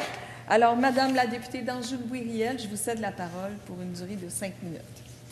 Merci, Madame la Présidente. Très heureuse de me retrouver euh, devant vous à la fin de la journée, Madame la Présidente. Euh, je dois avouer clairement que je suis restée sur ma faim euh, suite aux questions que j'ai posées à la collègue, la ministre des Affaires municipales. Madame la Présidente, je suis pas la seule à être restée sur la fin. Plusieurs élus aussi ont eu le temps de prendre connaissance de ce que la ministre a répondu à mes questions. Et honnêtement, Madame la Présidente, je dois vous dire que je suis tout à fait surprise, mais déçue et surprise de voir à quel point on fait fi de l'autonomie municipale dans le dossier qui nous occupe. Vous savez, Madame la Présidente, moi, quand on dépose des projets de loi, parfait. Ça fait presque 18 ans que je suis dans ce Parlement-ci, Madame la Présidente on dépose des projets de loi. On demande aux gens de lire les projets de loi qu'on a déposés, chose qu'on a faite, honnêtement. On l'a fait pour le projet de loi 40. Les municipalités ont répondu, ben, on n'a pas besoin d'y aller, il n'y a pas grand-chose qui nous regarde. Euh, ont même fait une lettre, ils l'ont tournée en portant certains bémols en disant, ben, faites attention à ça, faites attention à ça. Puis là, finalement, ben, on se ramasse avec un projet de loi en baillon où on dit, bon, on n'a pas eu le temps de parler, mais il aurait peut-être fallu nous laisser parler et faire le travail de parlementaire, Madame la Présidente, parce que notre rôle, c'est de s'asseoir puis c'est de faire des modifications sur les projets de loi au fur et à mesure qu'on les a devant nous en disant, ben ça, on peut le changer, on peut modifier, on peut améliorer, on peut faire ça. Force est de constater qu'il y a un engagement qui a été rempli par le gouvernement. C'est pas qu'il a rempli son engagement, Madame la Présidente. On a tout dit en commission parlementaire au ministre qu'on savait fort bien que le ministre était pour passer, il y a la majorité. C'est sûr que le projet de loi va passer. Bon. Par contre, notre rôle comme parlementaire, nous, c'est de s'asseoir et c'est de bonifier le projet de loi. Le ministre le sait, le projet de loi 16, on a passé euh, le record d'heure en commission, mais on était unanime, on était d'accord, mais on l'a bonifié, puis on a fait des amendements. Bon, on, a fini par l'adopter parce que c'est un projet de loi qui était important. Mais dans le cas du projet de loi 40, on aurait pu faire la même chose. Ce qui est choquant, Madame la Présidente, c'est de se faire répondre que oui, oui, on leur a parlé. On a quoi? On n'a pas parlé. Madame la Présidente, on a déposé des lettres aujourd'hui qui ont été envoyées aux directeurs généraux de municipalités. Certains directeurs généraux de municipalités. Savez-vous quoi, Madame la Présidente? On n'a jamais parlé aux élus. Jamais on n'a parlé aux maires. Et je mets la ministre au défi de me dire ici dans le micro qu'elle a parlé aux maires de Gatineau, elle-même en personne, ou des gens de son cabinet, pas des fonctionnaires, des élus. J'ai parlé aux maires, Madame la Présidente. Il n'y a jamais personne qui lui a parlé. Je peux vous dire également, Madame la Présidente, que quand la directrice générale a reçu la lettre, elle a appelé le sous-ministre. Puis elle lui a dit qu'ils étaient en total désaccord avec ce qui était écrit dans la lettre. Savez-vous quelles étaient l'essence des discussions au comité où, justement, le ministère des Affaires municipales, le ministère de l'Enseignement, de l'Éducation de l'Enseignement supérieur, l'UMQ, le FQM et tous les intervenants étaient. Savez-vous quelles étaient les essences des recommandations, des pistes qui s'étaient dégagées, Madame la Présidente, du comité qui a été mis sur pied par le précédent gouvernement? Madame la Présidente, en matière de financement des terrains, proposition numéro 1, option 1. Prévoir un financement complet de l'achat des terrains par le gouvernement à la valeur marchande pour la construction et l'agrandissement des infrastructures scolaires. Option 2. Mise en place d'un programme de financement partiel à l'achat de terrains à la valeur marchande par le gouvernement. Option 3. Examen des autres mécanismes de financement faisant appel à la participation des promoteurs. Jamais, Madame la Présidente, jamais, au grand jamais, dans toutes les discussions, et je mets la ministre au défi de dire le contraire, dans toutes les discussions, il a été question que les municipalités soient forcées de donner les terrains. Jamais. Madame la Présidente, voulez-vous m'expliquer pourquoi que lorsque le gouvernement du Québec va ouvrir un bureau quelque part, n'importe où, n'importe où, on va construire une bâtisse, un hôpital notamment, pourquoi est-ce qu'on achète les terrains? Pourquoi est-ce que le gouvernement du Québec va toujours payer pour les terrains qu'il a besoin, pour ses infrastructures, euh, peu, peu importe? Hein? On paye, on achète. Ça fait partie du PTUI. Dans les terrains pour les, pour les écoles, Madame la Présidente, c'est pas le cas. Savez-vous qu'exceptionnellement, c'est arrivé au ministère de l'Éducation qu'on paye pour l'achat de terrain, mais on a compensé les municipalités. On l'a fait. Ça faisait partie des options qui étaient sur la table, Madame la Présidente. Et la raison pour laquelle ça a été déposé, cet amendement-là, à minuit et 21, vendredi, Madame la Présidente, c'est parce qu'on a signifié le désaccord. À preuve, la lettre de l'UMQ qui est rentrée le 10 février. Le désaccord était signifié totalement et il demandait une rencontre avec le ministre. Et on a voulu faire quoi? Imposer ses vues. On a dit, nous, on fait fi de la démocratie municipale, on fait fi de l'autonomie municipale, Madame la Présidente. C'est exactement ce qu'ils ont fait. Puis ils ont déposé l'amendement de sept pages que vous avez lu brillamment, que le leader du gouvernement voulait pas lire en chambre. Ça, Madame la Présidente, c'est pas travailler avec ses élus municipaux. Je vous remercie, Madame la députée d'Anjou Louis Riel. Et maintenant, je vais céder la parole à Madame la ministre des Affaires municipales et de l'Habitation.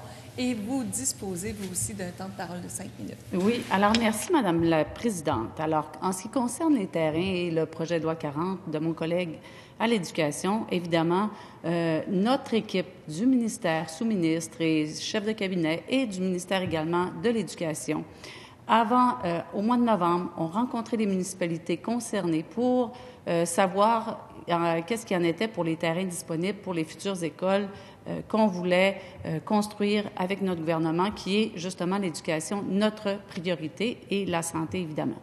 Alors, quand on a fait la visite de terrain avec certains maires, certains directeurs généraux, évidemment, on a fait après ça un rapport. On a essayé de discuter avec des municipalités. On a demandé quel terrain était possiblement pourrait être offert pour avoir des futures écoles. Et parfois, on nous offrait des terrains en milieu humide, en zone inondable, et également des terrains zonés agricoles ou euh, des terrains industriels. évidemment, c'est certain que pour avoir une nouvelle école, c'est pas les milieux qu'on cherchait. Ceci étant, je maintiens que les municipalités sont les mieux placées pour l'aménagement dans leur municipalité, pour ériger une nouvelle école. Ce sont les municipalités qui sont responsables de l'aménagement du territoire. Également, quand on a fait les visites, quand mon équipe a fait les visites, on demandait quelles relations ou encore quels gestes ont été posés avec les commissions scolaires pour avoir des nouvelles écoles dans leur municipalité. On a vraiment entendu, et à un faible, à un grand pourcentage, que la collaboration entre les commissions scolaires auparavant et les municipalités n'existait ou presque pas du tout. Alors évidemment, la collaboration et les, euh, les nouveaux plans d'action pour les futures écoles, moi je suis totalement en confiance qu'avec les municipalités et maintenant les nouveaux centres scolaires, je crois qu'on va passer en mode construction d'écoles. Ça fait cinq ans que les municipalités et les commissions scolaires essayaient de se rencontrer et souvent, ben, il n'y avait même pas une possibilité de dire on va demander une école dans notre municipalité. C'est certain que depuis 16 ans, il n'y a pas eu une nouvelle école au Québec. Alors, qu'est-ce qu'on fait, nous, en tant que gouvernement? Moi, je suis très fière. Puis, j'ai même énormément de municipalités qui, ont, qui ont communiqué avec nous. J'ai eu des messages pour me faire dire, moi, Madame la ministre, j'en voudrais une école chez moi. J'en voudrais une et le plus tôt possible. S'il vous plaît, amenez une école chez moi. C'est certain que c'est pas moi qui ai l'agenda du PL 40 de mon collègue à l'éducation. Par contre, les municipalités avaient été toutes rencontrées. On a reçu justement, je l'ai présenté aujourd'hui, la lettre. Je ne sais pas si je devrais la relire. Par contre, je l'ai lue euh, aujourd'hui euh, en cette chambre. Alors, je ne pense pas que ce serait euh, important, important de la relire et en plus, je l'ai déposée. Alors, les municipalités ont été tout à fait informées. On dit que certains maires, j'ai pas eu de rencontre avec certains maires. Bien, vous comprendrez qu'on avait une bonne équipe terrain, éducation et habitation, et toutes les rencontres ont eu lieu. Maintenant, je suis tout à fait disponible parce que moi, ce que je tenais dans le projet de loi 40 pour les terrains, c'était que les municipalités puissent, une fois les écoles construites, que les municipalités puissent, sans frais, utiliser tous les services de l'école qui va être construite. Ça, on le maintient dans le projet de loi 40. Évidemment, il y a une autre possibilité, c'est que la contribution à des fins de parcs, de terrains de jeu et d'espaces naturels qui peut être exigée en vertu de la loi évidemment sur l'aménagement et l'urbanisme, pourra désormais être utilisé pour acquérir, les terrains qui devant être cédés au centre de services scolaires. Alors, évidemment que toute la planification va se faire avec les municipalités. D'ailleurs, j'ai exigé, écoutez bien, j'ai exigé que tous les futurs centres scolaires, centres de services scolaires, déposent un plan d'action à la municipalité. J'ai pas dit du tout que, puis on n'a pas décidé, mon collègue et moi, comme ça rapidement, que le centre scolaire va déposer un plan pour une future maison, euh, une future euh, école, sans aviser la municipalité. Non, non, c'est pas comme ça que ça va se passer. Les centres de services scolaires qui vont vouloir avoir une école dans leur quartier devront déposer un plan d'action, un plan de gestion pour avoir la nouvelle construction d'écoles dans leur quartier. Également, la loi aussi donne aussi aux municipalités un pouvoir de préemption qui peuvent être utilisés spécifiquement au présent régime, évidemment, à une municipalité lorsque l'immeuble fait l'objet d'une transaction entre deux tiers afin de l'acquérir ou, si l'acheteur original, au même prix et aux mêmes conditions. Par la suite, l'école construite sera pour tous les citoyens. Je vous remercie, Madame la ministre. Et maintenant, pour votre réplique de deux minutes, Madame la députée d'Anjou-Wiriel. Merci, Madame la Présidente. Madame la Présidente, je suis profondément déçue quand j'entends le ministre dire qu'elle n'a pas l'agenda du projet de loi 40, que ça appartient à son collègue. Madame la Présidente, elle a failli à sa tâche de ministre responsable des Affaires municipales. Son rôle comme ministre des Affaires municipales, c'est de parler à ses partenaires, les maires, pas les sous-ministres, pas les fonctionnaires, parler aux directeurs généraux, parler aux maires, parler avec les mairesses pour être sûr que ce qu'on s'apprête à faire, c'est correct. Entendre leur voix. C'est la porte-parole. Elle doit trouver la voie de passage. Elle leur a même pas parlé, Madame la Présidente. Zéro. Zéro plus zéro est égal à zéro. C'est un échec. C'est sa note qu'il faut lui donner, Madame la Présidente. C'est pas compliqué dans ce dossier-là. C'est zéro. Elle n'a pas parlé aux pas compliqué. La lettre du 10 février, Madame la Présidente, voici ce qu'elle dit. Le 7 février dernier, le comité exécutif de l'Union des municipalités a pris acte de la nouvelle directive gouvernementale qui a pour objectif de réaliser des projets d'établissement scolaire dans les deux prochaines années en fonction. Toutefois, l'UMQ exprime son profond désaccord quant à la décision du gouvernement du Québec d'acheter à ses frais des terrains privés à la juste valeur marchande, mais d'obliger en contrepartie les municipalités à céder gratuitement leurs propres terrains pour les constructions de nouvelles écoles. Cette directive est d'ailleurs contraire à la position adoptée à l'unanimité par le conseil d'administration de l'UMQ le 16 mai 2018, demandant au gouvernement du Québec de prévoir un financement complet de l'achat de terrain à la valeur marchande pour la construction et l'agrandissement d'établissements scolaires. Madame la Présidente, le milieu municipal est préoccupé par la directive du ministre du ministère qui remet en cause le partage des compétences tout en causant préjudice au pouvoir discrétionnaire octroyé aux municipalités. Nous aimerions vous rencontrer dans les plus brefs délais afin de travailler de concert cet enjeu crucial pour les municipalités. La ministre va-t-elle répondre présente à l'invitation de l'UMQ? Jeudi, allez les voir, allez leur expliquer, allez les entendre, allez leur parler, allez leur expliquer pourquoi ils ont passé ça en douce, Madame la Présidente, puis déposer un amendement qui n'a jamais été porté à la connaissance des élus à minuit 21. Jamais. Je vous remercie, Madame la députée d'Anjou, Louis Riel. Et nous allons maintenant euh, procéder au troisième débat euh, qui portera sur une question adressée par Madame la députée de Fabre à la ministre responsable des aînés des proches aidants, qui sera euh, remplacée par Madame la ministre de la Santé et des Services sociaux. Et euh, ce débat concerne l'absence de mesures concrètes à court terme pour pallier la pénurie de préposés aux bénéficiaires. Alors, Madame la députée de Fabre, à vous la parole pour une durée de cinq minutes. Merci beaucoup, Madame la Présidente. Euh, je veux d'abord euh, vous parler de ma volonté euh, qui est là, qui était là et qui va continuer à être là, à vouloir questionner les deux ministres sur les solutions apportées à la crise qu'on vit au Québec, qui est historique, la crise des préposés aux bénéficiaires. Et je vais vous dire très sincèrement, Madame la Présidente, que j'avais une certaine naïveté J'étais euh, très, euh, très fébrile à voir le document qui suivrait le napperon que j'avais reçu avant les fêtes suite à une demande d'accès à l'information pour avoir finalement le plan d'action dont tout le monde parlait, dont le ministre de l'Emploi parlait. Euh, comment est-ce qu'on est dans une stratégie d'action pour régler la situation de la pénurie? Alors, j'avais eu droit à une feuille huit et demi par onze avant les fêtes. Et là, finalement, euh, bien, bien plus longtemps, on a eu la semaine dernière le fameux plan d'action. Alors, je l'ai lu euh, de façon plus qu'attentive et je continue à poser des questions parce que, Madame la Présidente, il n'y a pas là des solutions pour régler la pénurie, alors qu'on entend de l'autre côté que tout va bien, que l'embauche va très bien, que, euh, franchement, les actions ont déjà porté fruit. Moi, je vais vous le dire, là, je parcours le fameux plan d'action qui est une centaine de pages. Puis il y a 15 mesures là-dedans. 15 mesures qui sont des copier-coller de tout ce qui est déjà en place ou en cours d'implantation au niveau administratif. Ce plan d'action-là, c'est un document administratif. Ce n'est pas le reflet d'un leadership politique qui veut régler une crise de préposés aux bénéficiaires pour nos aînés, les patients du Québec. Je vais vous donner des exemples, Madame la Présidente. La première, les premières actions, vigier au niveau des programmes de formation, prévoir les effectifs, c'est de l'administratif en continu qui est déjà là et qui fait partie des exercices qu'on fait de façon annuelle ou biannuelle.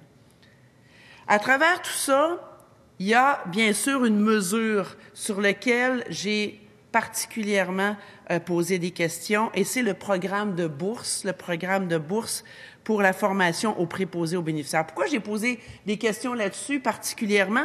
Parce que quand je posais mes questions à différentes occasions, on me disait à quel point c'était la panacée, ce programme de formation. Et euh, j'ai suivi l'annonce qui avait été faite au mois d'août dernier et j'ai suivi l'évolution. L'objectif, là, c'était 2000 bourses de 7500 dollars. Savez-vous quoi, Madame la Présidente? non seulement les résultats, c'est 50% Quand on passe un examen puis qu'on a 50% on coule. Bien, la note de passage du programme, du fameux extraordinaire programme de bourse, c'est 50% Et non seulement c'est très mauvais, c'est un constat d'échec, mais en plus, le gouvernement l'assume cet échec puisque dans ce plan d'action, à la page 85, pardon, alors, on a dans la mesure 5, vous me permettrez, j'ai un petit rhume, Madame la Présidente. Alors, à la page 85, on a la mesure programme de bourse et c'est clairement écrit fin du programme, mars 2020. Ça ne peut pas être plus clair, là. Donc, non seulement ça n'a pas fonctionné alors qu'on disait que c'était pour être mirobolant, mais en plus, on a 50% de résultats, ce qui nous fait dire qu'on ne veut pas continuer là-dessus. Pour ce qui est de l'embauche, 350 sur des milliers de postes annoncés, c'est moins de 10% Fait que moi, je veux bien être dans les constats euh, qui disent euh, qu'il y a urgence. Je veux bien être dans les constats de dire qu'il faut agir parce qu'il faut agir. Et je vais être tenace là-dessus. Il faut trouver des solutions. Je pense qu'il n'y a pas de débat entre nous sur l'état de situation. Le gouvernement est très fort sur les constats, mais sur les solutions, on repassera. Je vais vous rappeler un peu la citation qu'avait fait la ministre de la Santé lors de la fameuse annonce et le déploiement du programme de bourse. Elle disait ceci, ce nouveau programme de bourse s'inscrit dans notre démarche afin de recruter des ressources compétentes et en nombre suffisant. On est tellement loin du compte, Madame la Présidente. C'est honteux. C'est vraiment honteux parce que ce plan d'action il devait faire en sorte qu'il soit porteur, qu'il redonne de l'espoir aux préposés aux bénéficiaires qui sont épuisés. Il devait faire en sorte que des gens soient intéressés à devenir préposés alors qu'ils ne le sont pas aujourd'hui. Et ça devait surtout rassurer les familles, les aînés, les patients fragiles dans des situations de santé. Et tous ces gens-là, on n'en parle pas, on ne parle que d'actions administratives. Mais ces gens-là, ils sont au cœur de ce qui est vécu par eux et il faut trouver des solutions de façon urgente. Merci, Madame la Présidente. Je vous remercie, Madame la députée de Favre. Et maintenant, je cède la parole à Madame la ministre de la Santé et des Services sociaux pour une durée de cinq minutes. Merci, Madame la Présidente. Alors, Madame la Présidente, je pense que ma collègue députée de Fabre euh, devrait se rappeler ce qui s'est passé quand le précédent gouvernement était au pouvoir où est-ce que dans la première année où il était au pouvoir, on a fait des investissements en santé de 1,5% Madame la Présidente? Ça, ça couvre même pas le coût de système. En comparaison, nous, on arrive au pouvoir, on fait un investissement, on augmente le budget de 5,4% Madame la Présidente. En fait, là, le gouvernement libéral, ce qu'il a fait, c'est des coupures c'est des coupures dans le réseau de la santé et des services sociaux. Et en plus, il a fait une réforme, une réforme majeure, une réforme qui a centralisé les pouvoirs, puis une réforme qui a démobilisé le personnel sur le terrain, Madame la Présidente, incluant les préposés aux bénéficiaires. Alors, vous savez, Madame la Présidente, je pense que ma collègue députée de femme devrait avoir une petite gêne. Parce que nous, on rentre au pouvoir, puis ce qu'on dit et ce qu'on fait, on investit. On investit pour prendre soin du personnel. On investit des millions, 200 millions, dans le secteur hospitalier et CHSLD pour des préposés aux bénéficiaires, des infirmières, entre autres, parce que c'est ça qu'il faut faire. En fait, le gouvernement précédent, en arrivant au pouvoir, a désinvesti dans le réseau. Ça a causé des dommages. On a encore des dommages actuellement, aussi de la réforme du gouvernement libéral en santé. Alors, nous, ce qu'on dit, on a un plan, on met des mesures en place, et là, je vais devoir clarifier, euh, encore une fois, ce qui a été apporté par ma collègue députée de femme. C'est pas 450 préposés bénéficiaires qu'on a embauchés, c'est 4000. Et c'est pas 4 000 seulement, c'est 4 000 équivalents temps complet. C'est du monde pour remplacer les départs à la retraite. Il faut pas faire peur au monde, là. On remplace les préposés aux bénéficiaires qui partent à la retraite, mais en plus, on en a 700, plus de 700 équivalents temps complet dans le réseau actuellement. L'année n'est pas terminée. Et les bourses, oui, les bourses. Hmm. Le gouvernement libéral, là, euh, je pense pas qu'il a fait ça dans sa première année là, au pouvoir. Nous, on ajoute des bourses pour 15 millions de dollars et il y en a au-delà de 1000 qui ont trouvé preneur. C'est très intéressant pour euh, les gens qui veulent devenir préposés aux bénéficiaires. Alors, puis on fait vraiment, je ne passerai pas en revue l'ensemble des mesures, mais écoutez, nous, on s'occupe du personnel, on redonne l'espoir aux gens et aux préposés aux bénéficiaires. Et on sait aussi qu'au sein de, des négociations, des conventions collectives, il y aura un traitement spécial pour les préposés aux bénéficiaires parce qu'on sait à quel point leur travail est précieux. Alors, Madame la Présidente, moi, je pense que, encore une fois, là, euh, je pense que ma collègue devrait se garder une petite gêne. Euh, moi, j'ajouterais aussi que dans ma carrière, j'ai beaucoup travaillé avec les préposés aux bénéficiaires. Puis je vais vous dire, c'est très important pour moi et pour ma collègue responsable des aînés de nous occuper des préposés aux bénéficiaires et de faire tout ce qu'on peut pour améliorer leurs conditions. C'est très important pour le président du Conseil du Trésor et pour l'ensemble du gouvernement. On en fait un objet important d'attention de notre gouvernement. Et moi, je salue leur travail parce que je connais leur travail et je sais que les préposés aux bénéficiaires font la différence dans la vie des gens, de nos aînés et de toutes les personnes qui ont le, bonheur d'avoir des préposés aux bénéficiaires qui s'occupent d'elles euh, et d'eux dans le réseau de la santé et des services sociaux et aussi des auxiliaires en santé et en services sociaux au maintien à domicile, Madame la Présidente. Alors, on ne ménagera pas nos efforts, on va continuer et on va arriver à bon port. Merci, Madame la Présidente. Je vous remercie, Madame la ministre de la Santé et des Services sociaux. Maintenant, vous disposez de deux minutes pour votre réplique, Madame la députée. Merci beaucoup, Madame la Présidente. Écoutez, je suis, euh, je vous cacherai pas et je vais contrôler un peu mon émotion, mais je suis dans une colère quand j'entends de l'autre côté que tout va bien. Alors, tous ces gens qui, euh, qui viennent nous rencontrer euh, dans nos bureaux de comté, tous ces gens qui viennent s'exprimer pour dire à quel point la situation elle est plus qu'alarmante, elle est euh, historique. Euh, ces gens épuisés, ces aînés inquiets, ces patients qui manquent de soins, ce n'est pas faute de l'engagement des préposés qui sont à leur travail. Alors quand j'entends que tout va bien, qu'elle est fière, la ministre de la Santé, de ce qui est fait, je lui dis non, non, les actions n'ont pas de résultat. Et le meilleur exemple, c'est le programme de bourse qu'elle a promis comme étant une solution miracle à la situation. Et il faut bien admettre que c'est un échec complet. C'est un échec après à peine quelques mois. Comment est-ce qu'on peut faire en sorte d'être fier de son travail et de parler de solutions? C'est elle la ministre responsable de la santé et des services sociaux? C'est son gouvernement et le gouvernement qui est en mi-mandat. Alors donc, elle est responsable de trouver des solutions à la crise actuelle pour les aînés, pour les patients. Elle invoque le passé, le présent, il lui appartient, la solution, elle lui appartient et les solutions ne sont pas au rendez-vous. Quand va-t-elle se soucier des aînés, des patients, des gens fragiles et des familles inquiètes? Et des préposés qui n'en peuvent plus, qui le disent haut et fort, et d'entendre que tout va bien de l'autre côté. Madame la Présidente, je suis dans une colère et je demeurerai tenace à m'assurer qu'on entende de l'autre côté enfin des solutions pour tous les gens fragiles au Québec. Merci. Je vous remercie, Madame la députée de Fabre. Alors, ceci met fin à ce troisième euh, débat de fin de séance et je suspends nos travaux jusqu'à 19h30.